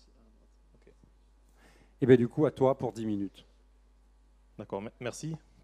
Donc je vais, accélérer. De toute façon, l'essentiel a, euh, a été dit ce matin. Donc moi, je suis Jean-François Agut, je suis viticulteur à, côté de Viqueux-en-Sac, sur la commune de La Grola. Euh, et donc, euh, je suis issu d'un enseignement agricole où on m'a appris quelque chose qui ressemble à l'inverse de ce qui, vous a, été expliqué ce matin. Et en fait, c'est une difficulté euh, lorsque vous mettez en application ces pratiques qui vous ont été enseignées et lorsque vous rencontrez euh, des difficultés agronomiques, euh, eh bien vous vous sentez à un moment donné limité. Vous vous sentez limité, pas au sens physique du terme, hein, je ne me propage pas, mais au sens de la connaissance. Et donc cette connaissance-là qui me manquait pour comprendre qu'est-ce qui se passait de bien ou de pas bien sur, sur mes sols, j'ai été la chercher par le biais de conférences, de lectures, et a été à la rencontre de, de, quelques, de quelques personnages. Je me suis euh, oxydé à, à, écouter Olivier Husson euh, euh, sur, les, schémas du, du redox, même sous perfusion d'acide ascorbique. passionné par les, récits d'Hervé Covès, et j'ai relativisé ma, schizophrénie en lisant Marc-André Sellos, comme j'ai compris que je n'étais plus seul et que j'étais biodiversifié moi-même. Donc j'ai appris également de la nature euh, quelques lois, et ce sont des lois pour moi qui sont fondamentales. Euh, la loi de l'apesanteur, ces forces euh, magnétiques, ces échanges d'électrons, toutes ces choses-là qui m'ont toujours, toujours interpellé sur le fait qu'on n'utilisait pas ça dans nos processus culturaux, nous qui travaillons avec des plantes, avec du vivant. Et une autre loi qui est extrêmement importante, c'est la loi de l'homéostasie. Ça a été cité ce matin. Euh, tout système vivant laissé à lui-même, en l'absence de perturbation, revient à l'état d'équilibre au travers d'une série de processus qu'on appelle le processus régulateur. En fait, il y a Joël de Rosnay, qui est un, épigénéticien, qui le compare au surf et il explique que c'est euh, en réalité euh, le contrôle des déséquilibres. Qu'est-ce qui à un moment donné sur votre planche va vous déséquilibrer? La vague, le courant, le surfeur qui est à côté, le vent. Et donc c'est en réalité cette loi-là, c'est cette faculté-là que la nature est là. À un moment donné, c'est de gérer les déséquilibres. Alors que nous, dans nos interventions, il faut être lucide là-dessus, on impacte tout le temps sur des schémas de déséquilibre. On déséquilibre en permanence euh, voilà, ces, aspects-là. Il y a une autre loi, et qui me paraît euh, essentielle également, c'est que toute fonction à laquelle on supplée s'atrophie. Et en fait, quand vous vous rendez compte de la manière dont vous cultivez, euh, lorsqu'on apporte du minéral, on supplée à la fonction du sol de nourrir, de, nourrir la plante. je vais passer rapidement parce qu'en fait, on, va, on va piocher sur, sur sur un diaporama. Euh, la réflexion, elle a en substance de, euh, par rapport à cet enseignement agricole que j'ai reçu, où on m'a appris à gérer euh, des pathologies végétales, à savoir stratégie anti-mildiou, anti-oïdium, anti-botrytis, grâce à l'utilisation de fongicides, la limitation de la concurrence par des, donc des adventices par des désherbants, euh, des ravageurs par des insecticides. Donc en fait là on, passe, on, est très éloigné du monde du vivant comme ça a été expliqué ce matin. Et donc là le principe il est simple, c'est un schéma euh, un petit peu euh, psychologique, c'est de dire je passe de la mort à la vie. Et en fait je veux mettre en cohérence ce, schéma-là. Donc là le principe finalement c'est de nourrir le sol qui va lui nourrir la, la plante. Donc forcément c'est une logique de couverture permanente des sols euh, et donc d'essayer de trouver les bonnes espèces et le bon mélange. Et comme l'a dit euh, tout à l'heure euh, François, c'est d'utiliser cette bioindication et de s'inspirer de ce qui pousse déjà sur ces sols-là pour accompagner les processus. C'est beau ça, c'est où? C'est à l'Agrola du Gers. voilà. les, les, photos sont interdites là. Hein. C'est expérimental, vous ne pouvez pas faire de photos. Je suis désolé. C'est une blague. Non, alors voilà. En fait, vous allez. Ça, c'est une expérience hein, qui a été, euh, qui a été menée euh, lors d'une expérimentation où je me suis dit bon, ok, le glyphosate a un avenir qui est visiblement réduit. Euh, comment je peux m'adapter à une technique comme ça. Et finalement, je repose toujours les bases de, la pratique agricole qui m'a été enseignée. Finalement, c'est pourquoi je désherbe, c'est pour limiter la concurrence en eau et en éléments minéraux. Euh, donc, euh, voilà, je, je, désingue tout ce qui vient faire concurrence. Je me pose donc la question, derrière, y a-t-il un végétal qui va utiliser cette fonction, qui va être en cycle décalé avec la vigne? Et euh, qui va permettre donc de faire son cycle l'hiver. Et une fois que la vigne aura besoin de ces ressources-là, elle, elle aura terminé son cycle et elle sera sèche. Je vais bien voir ce que ça va donner. Est-ce qu'il en existe déjà dans la nature sur mon exploitation? Et euh, est-ce qu'il y en a Est-ce qu'il y a des cultivars que l'on pourra implanter? Donc ça, c'était euh, une, petite aparté. C'est là, donc sur la logique que j'expliquais tout à l'heure, c'est que je me suis rendu compte que je luttais contre des problèmes dont j'étais à l'origine les problèmes de résistance, les régras toutes ces choses-là. Euh, c'est moi qui suis bien responsable de, cette situation. La compaction des sols, les baisses de rendement, l'augmentation du coût de production, c'est parce que j'utilise mal mon système, que je le manage mal, que, que j'ai ces problèmes à gérer. Donc comme j'en suis à l'origine, que je cherche à le gérer, à un moment donné, ça se rencontre hein, dans, le cerveau. Et, euh, et donc on, on, cherche à pallier à ce système-là. Donc là, l'expérience qui est menée là, euh, c'est de supprimer le glyphosate pour encourager le développement d'une luzerne d'Arabie qui, cherchait à s'installer. Mais en fait, je, ne pouvais pas mesurer euh, l'envie de s'installer puisque je la désherbais systématiquement. En fait, le jour où j'ai voulu la préserver, il y en avait 4-5 taches sur la, parcelle, euh, je me suis dit, bon, mais je vais la laisser faire son cycle pour qu'elle au moins se graine et voir de quelle manière elle va se propager dans la parcelle. Euh, ben en fait, c'est ce qui s'est passé le printemps suivant. En une année, c'est pas semé, c'est un enherbement naturel spontané qui s'est adapté à une pratique. Euh, voilà, ça a été une stratégie adaptative euh, du, de, milieu que j'ai cherché plutôt à accompagner plutôt que de le contrôler. Et donc, je me suis dit, ok, est-ce que ça va avoir sa fonction de limiter la concurrence en, éléments minéraux, en eau Est-ce que ça va se salir derrière? Est-ce qu'il va y avoir une compétition accrue? Et en fait, là, vous avez le résultat au mois de juin d'une vigne qui n'a pas euh, l'aspect nécessairement de, souffrir. il n'y a aucun usage de chimie sur cette, euh, sur cette expérimentation-là. Donc là, en fait, je me dis que ça, ce sont des voies d'avenir. Ce sont des voies où on va, plutôt que d'avoir un raisonnement, j'utilise de la chimie, euh, ok, la, plante a contourné cette chimie-là, je monte la dose, je mélange les matières actives, j'en utilise une autre. Bon, ok, je, suis au bout de la chimie, je vais passer par du mécanique qui va avoir d'autres effets euh, négatifs et dépressifs sur, euh, sur les sols, notamment sur l'oxydation, enfin tout un tas de choses qui vous ont été clairement expliquées. en dernier recours, on va voir s'il y a une solution par la biologie. Donc moi, je change directement, je part du point de vue que est-ce qu'il y a une solution euh, sur, la, sur le plan biologique euh, Est-ce que j'ai les connaissances Est-ce que je ne les ai pas Je ne je les ai pas, je vais chercher à, les, à, les, trouver quelque part. Et donc c'est ce travail d'investigation qui prend un peu de temps, mais en fait on a des gens qui... Je ne sais pas si vous avez bien pris la mesure de, des, des, compétences qui ont fait des présentations ce matin, mais c'est quelque chose d'assez remarquable. Et en fait là on va avancer très très vite. Donc en fait, en une année, si vous, avez la, perception d'un sol qui a été désherbé pendant 15 ans, 10 ans, 20 ans, 30 ans, euh, si vous êtes amusé à regarder la structure euh, de surface de ce sol-là, en fait, il est quasiment stérilisé, même s'il y, a la volonté, toujours pareil, parce que la nature cherche à couvrir euh, son sol, ce sont des, horizons toujours très compactés, qui ne sont pas bons. Et en fait, au bout de pas tout à fait 12 mois, on est déjà sous quelque chose qui a travaillé parce qu'il y, a des, êtres vivants qui se sont, installés là-dessous et qui ont, vous voyez, je ne l'ai pas, pas passé le motoculteur, hein, donc j'ai dégagé juste le, là ce sont des trèfles souterrains, qui c'est une expérimentation, et voilà comment ça, voilà comment ça, ça a marché.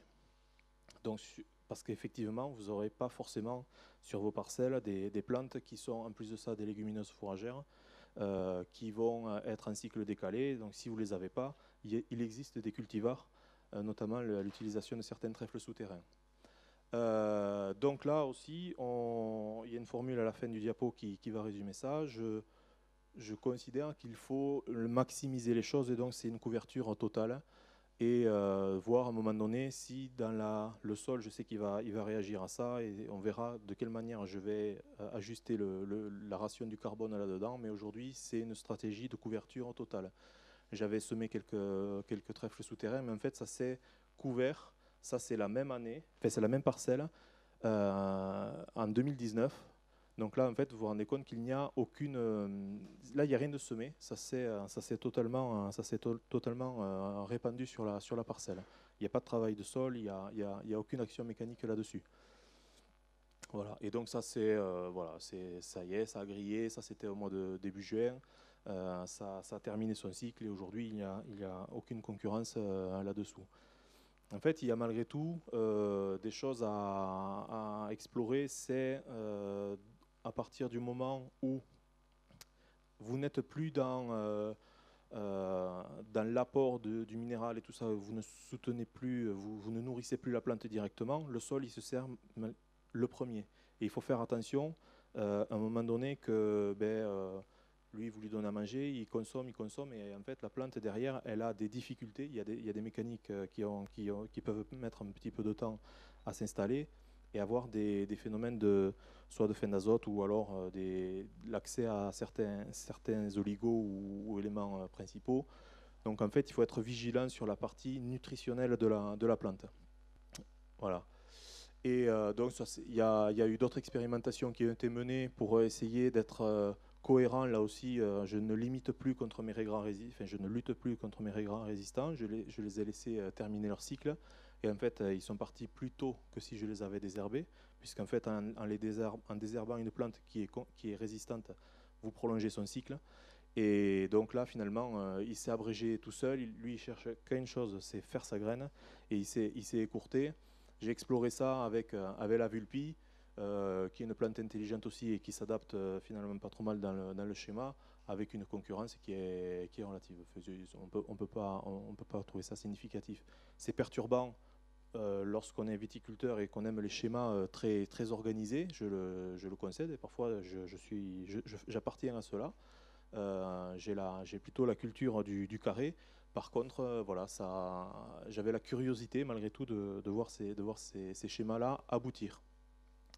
Donc après, il y a des choses diversifiées, il y a tout un, il y a tout un tas de, euh, de pratiques que vous connaissez, que, qui, ont été présentées par François, euh, avec des découvertes euh, annuels, voilà, pour aussi gérer la, ration du sol et avoir des, couvertures, des couvertures permanentes. Je ne suis pas dans une alternance. Pour moi, je sème et je n'ai je, pas ressenti la, cohérence de, euh, d'avoir une alternance, euh, parce qu'en fait, on cherche à pérenniser, à installer, verticaliser un profil, et en fait, dès, l'instant où, on vient le perturber, euh, voilà, moi j'avais perdu, perdu le fil rouge de la, de la cohérence, et donc voilà, j'ai adopté cette stratégie-là. Donc voilà, ça c'est une formule que je ne piquerai pas à Alain, c'est de lui, c'est la fin d'une lutte sans fin. Ça résumait bien finalement le, le, schéma dans lequel je m'étais inscrit. Donc là aussi, c'est je, je supplée en fait le travail du sol euh, pour essayer de, voir s'il y a des plantes qui euh, vont m'apporter ces fonctions-là. Donc ils vont euh, me le verticaliser, limiter la concurrence hydrique, parce que ça en fait au mois de mai, c'est fin mai, début juin, c'est tout sec et voilà, y a, voilà ça ressemble à ça. Donc voilà, ça c'est euh, la mise en pratique de ce qui a été présenté un petit peu ce matin, où à un moment donné, on couvre les sols, on le protège de, on le protège de la lumière, et en même temps, ça a une vertu nutritive du, sol et, d'accompagnement de la vie biologique. Et donc, c'est de cette manière-là où je suis passé d'un système du mort au, vivant. Donc, ça peut ressembler à ça. Alors, effectivement, en période de gel, on peut trembler. Euh, mais en fait, je crois qu'il faut avoir aussi une attitude responsable devant la situation. C'est que, ben oui, je suis viticulteur moi aussi. Euh, je, et de l'expérience que j'ai du gel, c'est euh, si je suis gelé, je suis gelé. Et si je le suis moins ou plus, ça ne me, ça me traumatise pas. À partir du moment où je suis gelé, je suis gelé et c'est comme ça voilà. C'est à un moment donné la responsabilité devant, devant la situation. Euh, J'investis dans un contrat d'assurance Et puis, euh, et puis voilà, ça se joue à pas grand-chose. Cette année, j'ai eu un petit pet de gel euh, et qui n'est pas significatif par rapport à la, à la présence de, de couverts ou non. Euh, là, c'est vraiment une histoire de, bas-fond, euh, de, couloir, de couloir gélif. J'ai des situations qui sont très sensibles au gel, donc effectivement, je ne me suis pas exposé sur ces endroits-là. Je pas non plus. Euh, donc, il n'y a aucun couvert. Il y a, on est sur du travail et, de la tonte. Eh j'ai pris ma petite rouste qui s'imposait parce qu'elle est mal placée. Et puis c'est comme ça. Donc ça c'est ça c'est la continuité. donc cette photo-là euh, au, printemps, vous la retrouvez euh, l'été. Je répète qu'il n'y a aucune intervention chimique euh, en termes de désherbage. Et, donc là, on est sur une couverture, on est sur une couverture totale. Donc des techniques de semis, on, pourra en parler. François en a parlé. C'est des, des, semis, c'est pas pas mon, mon, matériel, mais c'est celui qui a, qui, a, été utilisé. Donc vous avez un petit peu le mail là pour, euh, voir euh, ce que ça peut, donner lorsqu'on met en place euh, des, couverts diversifiés. Donc là, la, vie biologique, revient. Hein. il y a des insectes, il y a, des, abeilles, il y a des lapins, y a tout, le gibier revient. Là aussi, il faut parler un petit peu de la cohérence lorsqu'on gère, des habitats. Il ne faut pas oublier de le dire et qu'à un moment donné, lorsque vous avez euh, des compagnies de, perdreaux, de faisans, de, lièvres et de, enfin, voilà, des, animaux concrètement, ou même des pollinisateurs, ça, je m'impose une règle, vu que je respecte ce vivant, de travailler la nuit pour euh, éviter de, voilà, de, faire le moins de mal possible. Voilà, donc euh, il y a des arbres, il y a, des choses qui sont déjà présentes, mais il, faut, accompagner ces processus-là. Euh, il y a ce. Voilà, ça c'est. J'ai une formule que, que j'aime bien c'est que dans cette biodiversité, on arrive à faire venir ce genre de vertébrés. Et, euh, et là, vous êtes parfaitement euh, installé dans, dans un schéma de, de progrès rapide parce qu'on vous, apporte des, on vous apporte des clés, on vous apporte des réponses. Et, et cette, cette, ce qui me manquait de cette agronomie-là, Conrad a, a, commencé à me l'initier avec Alain. Et là, il y a Lucien qui m'accompagne beaucoup sur euh, Lucien Segui, qui m'accompagne énormément sur euh, ben, justement ces, ces, espèces, ces plantes. C'est un botaniste à l'origine. Et lui, en fait, il a une lecture du sol euh, qui est extraordinaire qui, voilà, qui, et, qui vous empêche de faire des, idioties sur, des, sur des espèces que vous pourriez suggérer à votre sol, alors qu'il vous dit, ben, en fait, la réponse, tu l'as en, regardant tes parcelles.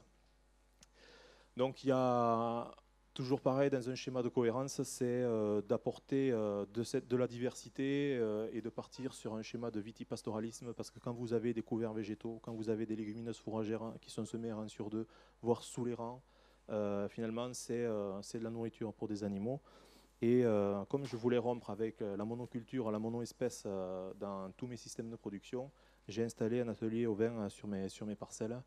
Et donc pour à la fois gérer, euh, gérer cette biomasse, mais aussi pour avoir euh, du couvert végétal qui passe par un tuyau digestif et qui m'apporte de la diversité biologique que l'on n'a plus parce qu'on n'a plus de, retour au, fumier qu'on pouvait utiliser euh, auparavant.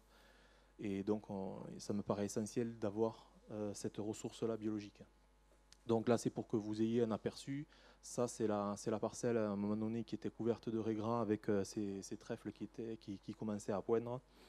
Et vous avez euh, donc un premier passage sur, par, les, par les animaux et au bout de, 24 heures, euh, vous avez le résultat. Donc les graminées sont totalement rasées et, euh, et, après ça a laissé place aux, légumineuses fourragères. Donc c'est une, une, une, autre façon. Là, on n'utilise plus d'antigraminées spécifiques ou sélectifs. On, on, utilise des animaux plus intelligents que ça. Bon, alors ça c'était pour parce que c'était une présentation pour les animaux. Euh, là, c'est le stade critique où il faut sortir la vigne, enfin, les, les, moutons de la vigne, parce que là, ça, là euh, vous, vous, payez cher, euh, vous payez cher la, le, duo. Là. 30 secondes. Alors j'ai terminé. En fait, ça c'est une deuxième production de biomasse après le pâturage des moutons qui ont laissé des espèces. C'est ça où en fait vous allez apporter un petit peu de, de, de, complexité. Vous allez mettre dans vos couverts quand vous avez des animaux qui ne sont pas intéressants pour les animaux et qui vont vous les laisser et qui vont refaire une biomasse après qui va, elle, être une ration pour le sol.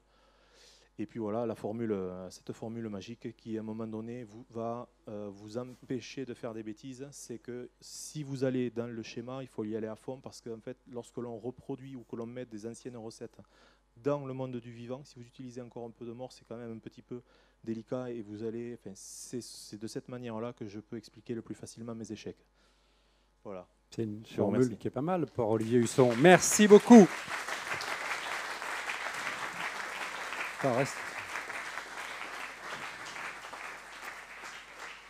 Merci euh, pour ce témoignage euh, complet et complémentaire. C'était clair ou pas? C'était clair, hein? Ça n'impose. Il y a des. On a bien entendu qu'il y avait des abeilles, qu'il y avait des vers de terre, qu'il y avait de la faune sauvage, qu'il y avait de la biodiversité, qu'il y avait de la vie, qu'il y avait du carbone et de la vie. Donc tout le monde est content. Là, c'est le, le, le, canon productif, c'est le canon agroécologique qui sauve vraiment la planète. À chaque fois qu'on boit un coup, on fait un geste incroyable pour les écosystèmes. Non? C'est pas comme ça que tu le vois? C'est pas ça ton objectif? Enfin, Je sais pas comment vous voyez les choses, vous. Vous avez bien mangé à midi, ça va? Je vous ai pas demandé, je suis désolé. Oh, je suis... Non, ça a, ça a été? Non, parce qu'on a... C'est vrai? Pas de réclamation? S'il y en a, vous passerez au bureau des réclamations. On l'a pas ouvert encore, mais... Pousse café Oui, mais ça, c'est tout à l'heure. Vous viendrez à la ferme, vous verrez. Vous avez mangé uniquement des produits sur sol vivant et bu aussi, bien évidemment. Ben oui, y compris du bœuf à l'herbe qui n'a mangé que de l'herbe chez Andy Cocup, euh, pas loin d'Auch, euh, à la sub propre, certains d'entre vous. On a entendu parler, enfin on n'est pas là pour parler de bouffe. Euh, du coup, qu'est-ce qu'on disait? Je sais plus. Tout va bien? C'était clair? Tu veux rajouter quelque chose? Non, la vie est belle? La, vie est belle et tu continues. Merci. On va. Merci beaucoup. Merci à toi. oui, vous pouvez l'applaudir évidemment. franchement, ta formule, je la garde parce qu'elle me va bien. Un je l'ai un peu dit hier, mais euh, c'était moins, moins évident. Puis j'aime bien les exposés clairs, comme ça, il n'y a pas de questions à la con derrière. On gagne un temps incroyable. Ça, fait plaisir. Non, c'est vrai. Sinon, ouais, mais que pourquoi que tu l'as fait comme ça, que tu avais dit à machin Non, mais là, boum, bam, bim, on y va. Maxime, Maxime Formichi, où est-ce qu'il est? Ah, ben il est là, il est devant. Alors peut-être un sujet un, petit peu moins, un petit peu moins enthousiasmant, quoique, quoique. Hein euh, on avance, on avance, on avance. Euh, monsieur était médecin, et puis après il est devenu vigneron, puis maintenant il redevient médecin. Alors, et on s'est croisé, je crois, à Paysagine Marciac, mais je ne sais plus où exactement, où est-ce qu'on s'est croisé l'an dernier, à Paysagine Marciac. Et euh, comme, vous pourrez et vous pouvez le faire, bien évidemment, puisque cette manifestation, vous l'avez vu, elle est à géométrie variable, c'est vrai que c'est un peu un club de potes, il ne faut pas dire le contraire, parce qu'on devient amis, Hein, c'est l'histoire des symbioses et c'est l'histoire de, l'amour d'Hervé et, qui nous entraîne dans le tourbillon de la vie. Mais, c'est avant tout une manifestation du partage, de l'échange, du dialogue. On n'est pas toujours d'accord, mais ce n'est pas un problème. Hein. L'idée de Marciac, c'est un peu le terrain neutre, c'est les rencontres improbables. Il y a des gens qui débarquent par-ci, par-là. Alors là, aujourd'hui, on est sur une journée professionnelle, sur inscription. Lundi, c'est euh, sur inscription aussi, mais c'est grand public et, c'est l'idée de croiser ces regards. Mais comme, comme il y en a dans, beaucoup d'endroits, comme il y en a des petits logos sur les bouteilles, comme on se pose la question de si c'est dangereux ou pas, si ça fait mal à la tête ou pas, etc. etc. on s'est dit qu'on allait traiter le sujet de front, pas celui qui fait mal, les sulfites. Merci. Merci Alain. Alors d'abord, je suis très content qu'on m'ait donné la parole parce que c'est... Vous m'entendez pas? Là, ça va mieux? Contre le menton, oui, d'accord. Alors, Merci de m'avoir donné la parole. Donc, je suis, j'ai une double casquette, ce qui m'a permis un petit peu d'explorer ce sujet. Donc, les sulfites et les effets sur la santé. Il n'y a pas beaucoup d'informations, aussi bien quand on cherche de la bibliographie médicale, quand on regarde euh, dans les bouquins d'œnologie. Mais je pense que ce qui est important, quelle que soit euh, euh, la raison pour laquelle vous êtes ici, c'est que nous sommes tous des consommateurs. Et je vais essayer de vous donner quelques petit conseil, ou en tout cas vous donner quelques renseignements sur ce sujet. Les sulfites sont des additifs alimentaires. Le chef de file des sulfites, c'est le SO2, c'est comme ça que l'appellent les vignerons. C'est le dioxyde de soufre, on l'appelle aussi anhydride carbonique. Il est obtenu par euh, combustion du soufre Et donc il y a deux molécules d'oxygène qui vont se lier avec le soufre pour former le SO2. Le SO2 est un gaz qui est euh, très volatile il a une propriété essentielle que l'on utilise en œnologie, c'est qu'il est soluble dans l'eau et bien entendu dans le vin. Euh, lorsqu'il est présent dans une préparation alimentaire, les sulfites, on va les reconnaître parce qu'il y a un numéro de code qui va de E220 pour le SO2 et jusqu'à E228 pour d'autres dérivés qui ont été développés à partir du SO2. Euh, on connaît le soufre depuis très longtemps dans l'Antiquité, mais il a été rendu, on va dire, euh, devenu très, très important lorsque les Gaulois sont devenus des vignerons vers le IVe siècle, lorsque la vigne s'est implantée euh, en France à l'occasion d'un petit réchauffement climatique. Ils maîtrisaient très bien la technologie du tonneau, Sauf que quand ils ont commencé à mettre les vins dans les tonneaux, ils ont eu des gros soucis de donc euh, ça tournait au vinaigre euh, de manière un petit peu systématique. Et ils ont eu la très bonne idée de faire brûler du soufre dans les tonneaux et ensuite d'y le vin. Ce qui a bien marché puisque de nos jours, on utilise encore ce type de procédé. Sur le plan des propriétés technologiques, les sulfites sont très appréciés parce qu'ils ont deux fonctions essentielles. Ce sont des antioxydants et euh, des antiseptiques. Si on prend par exemple une pomme, qu'on la coupe, vous, avez déjà vu qu'elle brunit sur toute sa surface. Si on applique des sulfites sur une moitié, eh bien elle va redevenir blanche comme si on venait de la couper. De la même manière, si on coupe une pomme en deux et qu'on arrose de sulfite une partie, il n'y a uniquement que l'autre partie qui va brunir en raison de l'oxydation et des bactéries qui vont se développer. Cette action, donc, elle est des sulfites euh, comme euh, additif alimentaire, elle est préventive et curative. Et dans le mou, on l'utilise aussi comme antioxydase aussi bien lorsque le raisin est atteint par la pourriture grise ou lorsque, pour lutter donc contre une autre enzyme qui est plus naturelle dans le raisin, qui est la tyrosinase. Les sulfites n'ont pas une très mauvaise réputation chez nous, puisque je pense que sur toutes les bouteilles, il y a écrit contiennent des sulfites, et ça n'empêche personne de boire le vin. Aux États-Unis, il s'est passé quelque chose dont on n'a peut-être pas eu euh, beaucoup d'écho ici. Dans les années 80, donc il y a eu 27 morts d'un coup, dans, un laps de temps assez euh, court. Et on a incriminé les sulfites de manière assez facile, puisque la plupart des personnes qui étaient décédées avaient mangé dans des restaurants de crudités et de fruits et légumes. Et après avoir, mangé ces crudités sur lesquelles on avait déversé des quantités de sulfite probablement trop importantes pour leur garder un aspect de fraîcheur, eh bien ces gens sont décédés en faisant des crises d'asthme vraiment très violentes. Alors, lorsqu'il y a un souci comme ça, eh bien, on a cherché un petit peu s'il y avait eu d'autres euh, euh, causes de décès. On s'est aperçu que ben, d'autres aliments avaient causé des décès dans la population. Et je vous ai sorti ici une référence bibliographique où il y a donc quelqu'un qui est décédé d'une crise d'asthme fatale après avoir bu du vin qui contenait des sulfites. Donc en tant que vigneron, je crois que moi, ça m'embêterait que quelqu'un décède après avoir bu un peu de mon vin. Alors, ce n'est pas du tout pour euh, donner des leçons, ou pour, euh, mais je pense qu'il faut être conscient que les sulfites peuvent avoir des ennuis chez certaines personnes. Alors, les États-Unis ont réagi très vite puisqu'ils ont pris des mesures. En 86, ils les ont interdits dans les fruits et légumes pour ne pas, pour ne pas les garder trop frais trop longtemps. Et puis, ils ont obligé les gens qui les utilisaient dans les boissons et les aliments à signaler leur présence dès qu'il y avait 10 mg par litre pour les boissons, 10 mg par kilo pour les aliments. L'Europe a repris cette réglementation, mais 20 ans après. Donc vous voyez qu'il y a peut-être des lobbies chez nous hein, qui, n'ont pas intérêt à ce qu'on arrête de boire du vin ou manger des, des aliments contenant des sulfites.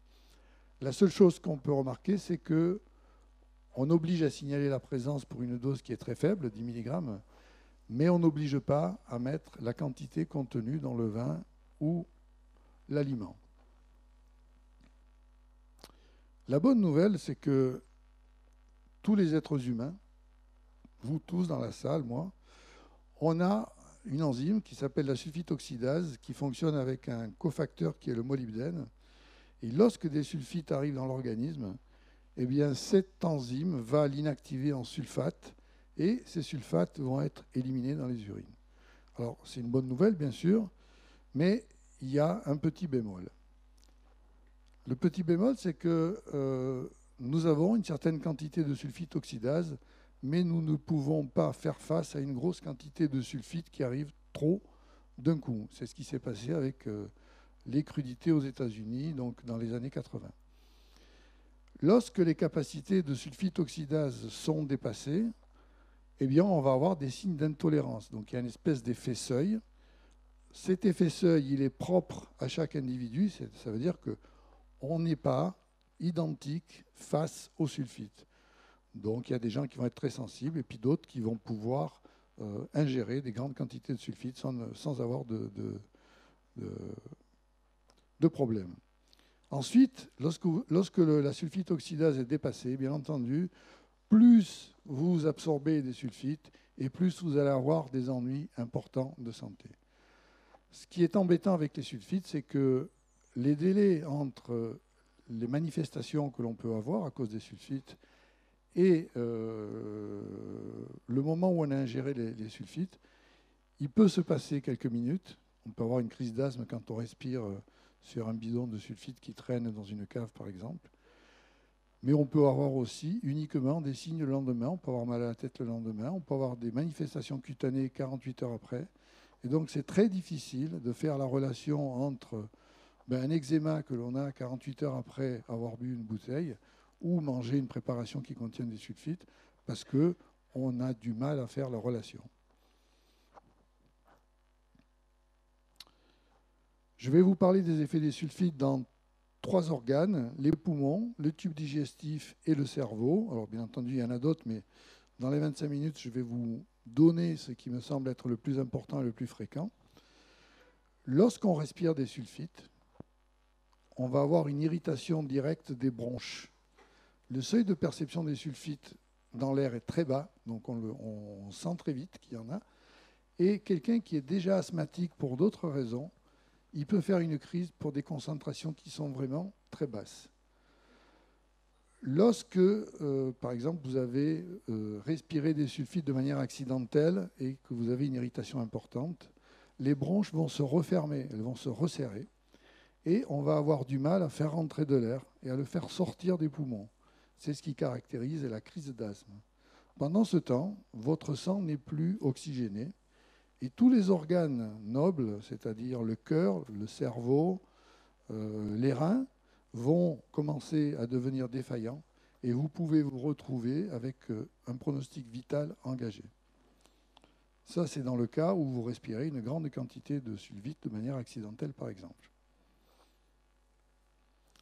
Lorsque vous avalez des sulfites, on va prendre l'exemple, vous avez un vin qui a un pH de 3 150 mg par litre de SO2.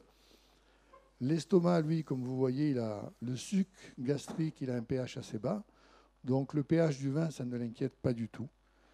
Ce qui veut dire que quand vous allez boire du vin qui contient des sulfites, si vous avez l'impression d'une brûlure, vous allez avoir tendance à dire tiens, ce vin, il est acide. En fait, ce n'est pas le vin qui est acide. C'est qu'en arrivant dans l'estomac, il y a formation de SO2 moléculaire en plus grande quantité que ce qu'il y a dans la bouteille. Et ce SO2 moléculaire, il est directement corrosif pour le revêtement de l'estomac. Donc quand vous avez des brûlures après un repas, je pense qu'il y a beaucoup de gens qui doivent prendre du gaviscon ou, des choses comme ça, il faut se poser la question parce que le vin n'est pas assez acide pour provoquer des brûlures. Vous pouvez avoir une brûlure au moment où vous allez vous coucher après un repas, une brûlure qui remonte ici donc ça, c'est un reflux dans l'œsophage. L'œsophage supporte encore moins bien l'acidité et euh, la présence de, sulfite. Et enfin, et ça je peux vous en parler parce que pendant 30 ans, j'ai cherché pourquoi j'avais des douleurs ici dans le thorax qui m'obligeaient à rester toute la nuit debout. Eh bien, j'ai fini par trouver que c'était les sulfites. Il se passe que quand vous avez un reflux dans l'œsophage, l'œsophage, il a un muscle ici, et pour se défendre, il va le contracturer. C'est très douloureux, et vous vous retrouvez avec une douleur ici au niveau du thorax qui vous fait croire que vous avez un infarctus. Et en général, quand vous arrivez à l'hôpital avec ce type de douleur, on vous fait un électrocardiogramme. Donc ce n'est pas le sujet, mais pour dire que c'est très violent et que c'est très difficile de faire la relation avec le fait d'avoir ingéré des sulfites. Lorsque l'estomac ressent les brûlures, qu'est-ce qu'il va faire? Le plus vite possible, eh bien, il va éjecter euh, tout ce qu'il vient de, recevoir vers l'intestin. Et donc l'intestin va recevoir un bol alimentaire un peu plus acide que d'habitude, contenant des aliments pas tout à fait digérés et contenant des sulfites. On vient de s'apercevoir, il n'y a pas très longtemps, donc vous savez que le microbiote fait l'objet euh, de toutes les recherches et de toutes les attentions. On vient de s'apercevoir dans un euh, travail récent que les sulfites, et ça on ne le savait pas, vont euh, dégrader ce microbiote, tuer des bactéries dans l'intestin et libérer des composantes des bactéries dans l'intestin. De la même manière, les sulfites vont altérer la muqueuse, c'est-à-dire la barrière qui commande les échanges entre les aliments qui sont dans l'intestin et le sang. Il peut se passer, des choses très curieuses. Si la muqueuse est altérée, eh bien l'alcool contenu dans le vin peut passer beaucoup plus vite dans le sang. Ça peut vous donner un pic d'alcoolémie beaucoup plus élevé. En gros, ça veut dire que si vous buvez un vin peu sulfité et que vous êtes contrôlé par les gendarmes, vous pouvez vous en sortir peut-être plus facilement que si vous avez bu un vin beaucoup sulfité qui a abîmé votre muqueuse. De la même manière, lorsque les sulfites vont passer dans le sang à partir de l'intestin, ils vont arriver dans le cerveau. Donc on va le voir en détail tout à l'heure. Eh bien, en arrivant dans le cerveau, il va y avoir une diminution de votre état de vigilance qui va potentialiser l'effet de l'alcool et vous allez être peut-être soumis à des problèmes de vigilance au volant. Et donc attention, lorsque vous buvez, ça n'est pas forcément l'alcool qui altère votre vigilance, mais les sulfites. Le passage de molécules de grosse taille dans le sang, qu'ils arrivent de, de l'estomac, donc du bol alimentaire, ou de la dégradation des bactéries contenues dans le microbiote, c'est quelque chose d'anormal. Donc ça va provoquer un certain nombre de problèmes d'allergie, d'inflammation, de syndrome, ce qu'on appelle fibromyalgique. Et puis donc vous, par contre, ça, vous n'en aurez euh, les effets que plusieurs jours plus tard. Et là aussi, c'est très difficile de penser au sulfite. Par contre, dans l'immédiat, vous pouvez avoir des douleurs ou de la diarrhée, mais c'est très difficile, là aussi, de penser que c'est parce que vous avez ingéré des sulfites. Le cerveau est l'organe le plus sensible à l'effet des sulfites. Une cellule nerveuse, lorsque donc, les sulfites arrivent, pénètrent à l'intérieur, eh elles ne vont plus être capables de produire leur propre énergie parce qu'il y a un blocage d'un certain nombre d'enzymes qui vont fabriquer de l'ATP. Il, il, va y avoir aussi une tendance à l'oxydation des cellules parce que toutes les enzymes qui interviennent dans le, système antioxydant sont bloquées. Il va y avoir accumulation de peroxyde et surtout, il y a un composé qui est le glutathion réduit qui n'est plus fabriqué dans cette cellule. Et donc, très rapidement, on a un arrêt de fonctionnement des cellules nerveuses. L'exemple, c'est vous prenez deux verres de rosé à midi. pourquoi le rosé? Ben, On peut supposer qu'il a un peu plus de sulfite que les autres. Et puis vous avez, vous avez du mal à aller travailler l'après-midi, vous êtes euh, fatigué, vous avez, euh, vous avez, mal à la tête. Euh, bien ça, c'est lorsque la cellule nerveuse a du mal à fonctionner. Si vous continuez l'intoxication chronique au sulfite, ça peut arriver, vous êtes commercial, vous passez votre semaine à l'extérieur, vous mangez au restaurant, vous ne contrôlez pas ce que vous mangez ou ce que vous buvez, eh bien vous pouvez avoir un certain nombre de cellules nerveuses qui vont mourir et peut-être à la longue, si ça dure des années, ben, avoir une diminution de votre intellect. Je vais juste vous signaler qu'il y a une maladie génétique qui a permis de bien comprendre comment fonctionnaient les sulfites. C'est une, euh, maladie orpheline, donc c'est très rare. Euh, il y a des nouveau-nés qui naissent sans sulfite oxydase. Alors, malgré qu'on les soumette à un régime sans sulfite, le simple métabolisme des acides aminés soufrés, donc qui sont la méthionine et la cystéine, va faire accumuler petit à petit des sulfites au niveau du cerveau et ils vont mourir dans un tableau de convulsion, donc d'épilepsie, avec une destruction complète du cerveau. Voilà. Heureusement, il n'y en a pas beaucoup.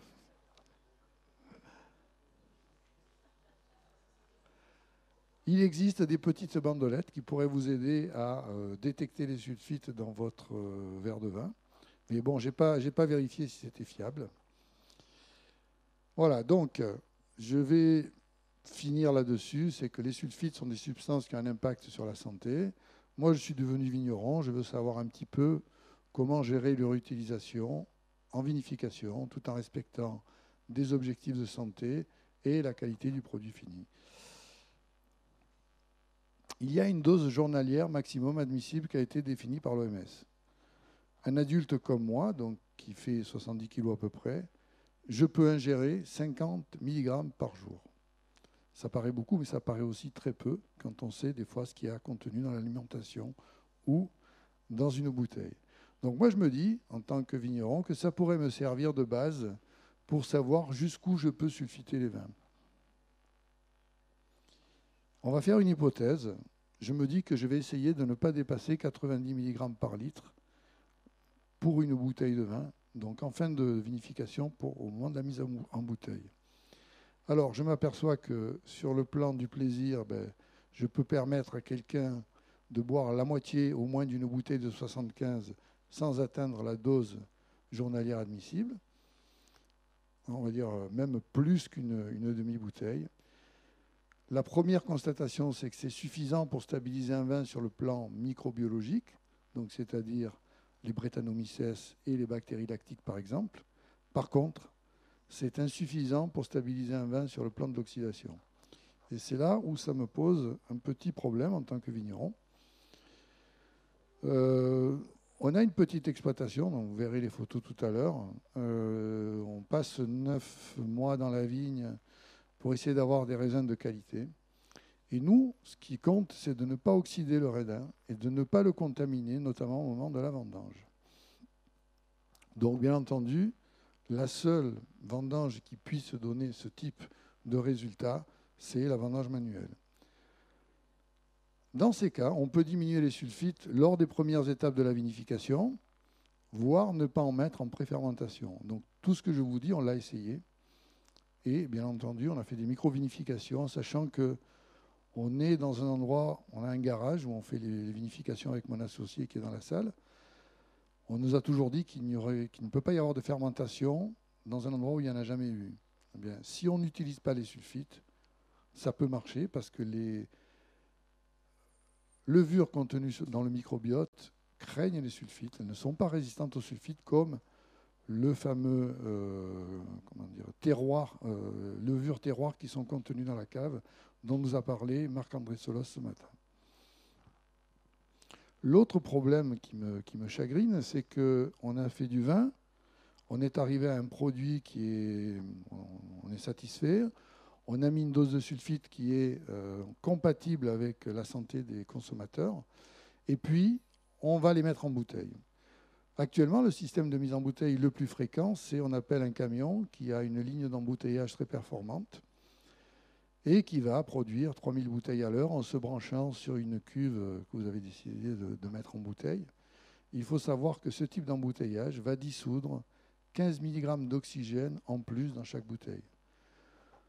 Pour inactiver 1 mg d'oxygène, il faut 2 mg et demi de SO2 ça veut dire que avant de mettre en bouteille, vous allez être obligé de rajouter entre 50 et 75 mg de SO2 total en plus. Donc là, on n'est plus dans des, euh, euh, des objectifs de santé. Ce qui est important aussi, à mon sens, c'est de donner l'information au consommateur.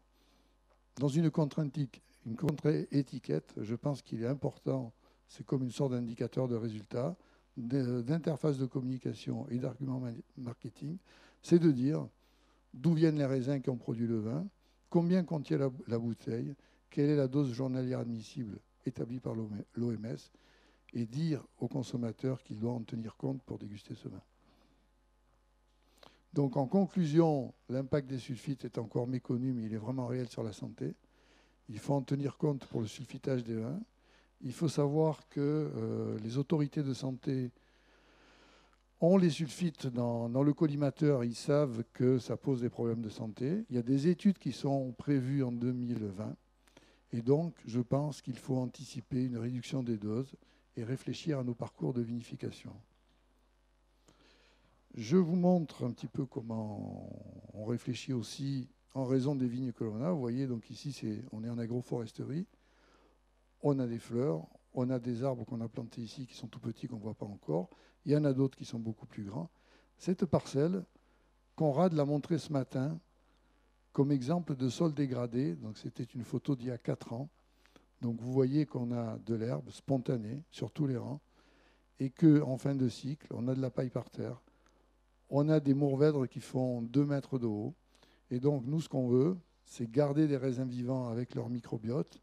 Parce que la question que l'on peut se poser, si le microbiote est important pour la santé, c'est peut-être important de l'utiliser pour fermenter notre vin. Et donc, garder un vin vivant et sulfiter le moins possible pour la santé des consommateurs. Voilà, merci.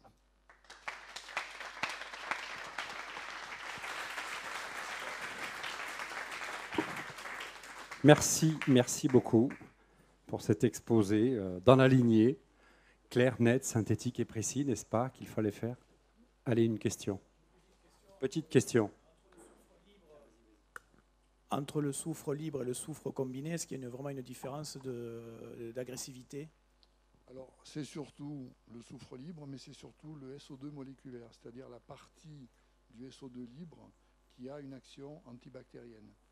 Parle de micro, micro. Après, dans l'estomac, non, parce que de toute façon, euh, dans l'estomac, non, puisque c'est euh, la totalité des sulfites qu'il va falloir euh, inactiver. Quoi. Mais je vous parle des, brûlures d'estomac parce que, donc, moi, professionnel de santé, j'ai mal à l'estomac. J'ai des tas de copains à Marseille qui sont professeurs en gastroentérologie. J'ai été les voir plusieurs fois. Ils m'ont fait des fibroscopies. Ils m'ont dit bah, as une gastrite. Ils m'ont bourré de gaviscon, machin, un truc. Et ce n'est qu'en travaillant là-dessus par hasard que, à un moment donné, j'ai compris. Donc, ce qui compte, c'est de faire la relation entre un trouble que l'on a et qu'on n'a pas forcément identifié et euh, l'absorption de sulfite. Merci beaucoup. Ok. Merci beaucoup. On coupe ici, puisqu'on va essayer de, finir les présentations. Jean-Baptiste Cordonnier, Château Antonique, dans le, dans le Médoc. Euh, eh bien, on t'a demandé d'être ici aussi. Euh, on t'a demandé d'être ici. Pourquoi? Parce que il y a une initiative qui nous paraît euh, surprenante, mais finalement elle n'est pas tant que ça, singulière et pertinente. La famille Cordonnier s'est engagée dans une nouvelle aventure. Qu'est-ce que vous avez fait cette année qui vient de passer, à part être dans la vigne? On, a, on, a, remis l'humain au cœur, parce que c'est bien beau de parler de tout ça, mais si on oublie le facteur humain, euh, tout ce qu'on met, tout ce qu'on essaie de mettre en place, euh, si on n'a pas les, têtes et les bras pour euh, le mettre en place, eh ben ça ne marche pas. C'est quoi le, le, constat de ce facteur humain? Alors, autant vous délivrer le secret puisqu'il est dans le programme. On va parler des vignerons du vivant. Voilà, ben, un, constat qu'on peut faire, c'est que si on veut embaucher un ingénieur agronome, on aura 20 candidats, 50 candidats. On peut passer une annonce, c'est pas compliqué. Quand on veut embaucher un vigneron et qu'on n'est pas exigeant, on n'a pas beaucoup de candidats. Et quand on veut euh, embaucher un vigneron euh, compétent euh, et qui plus est pointu, qui ait été un minimum formé à cette dimension de l'agroécologie, eh bien, on n'a quasiment plus personne.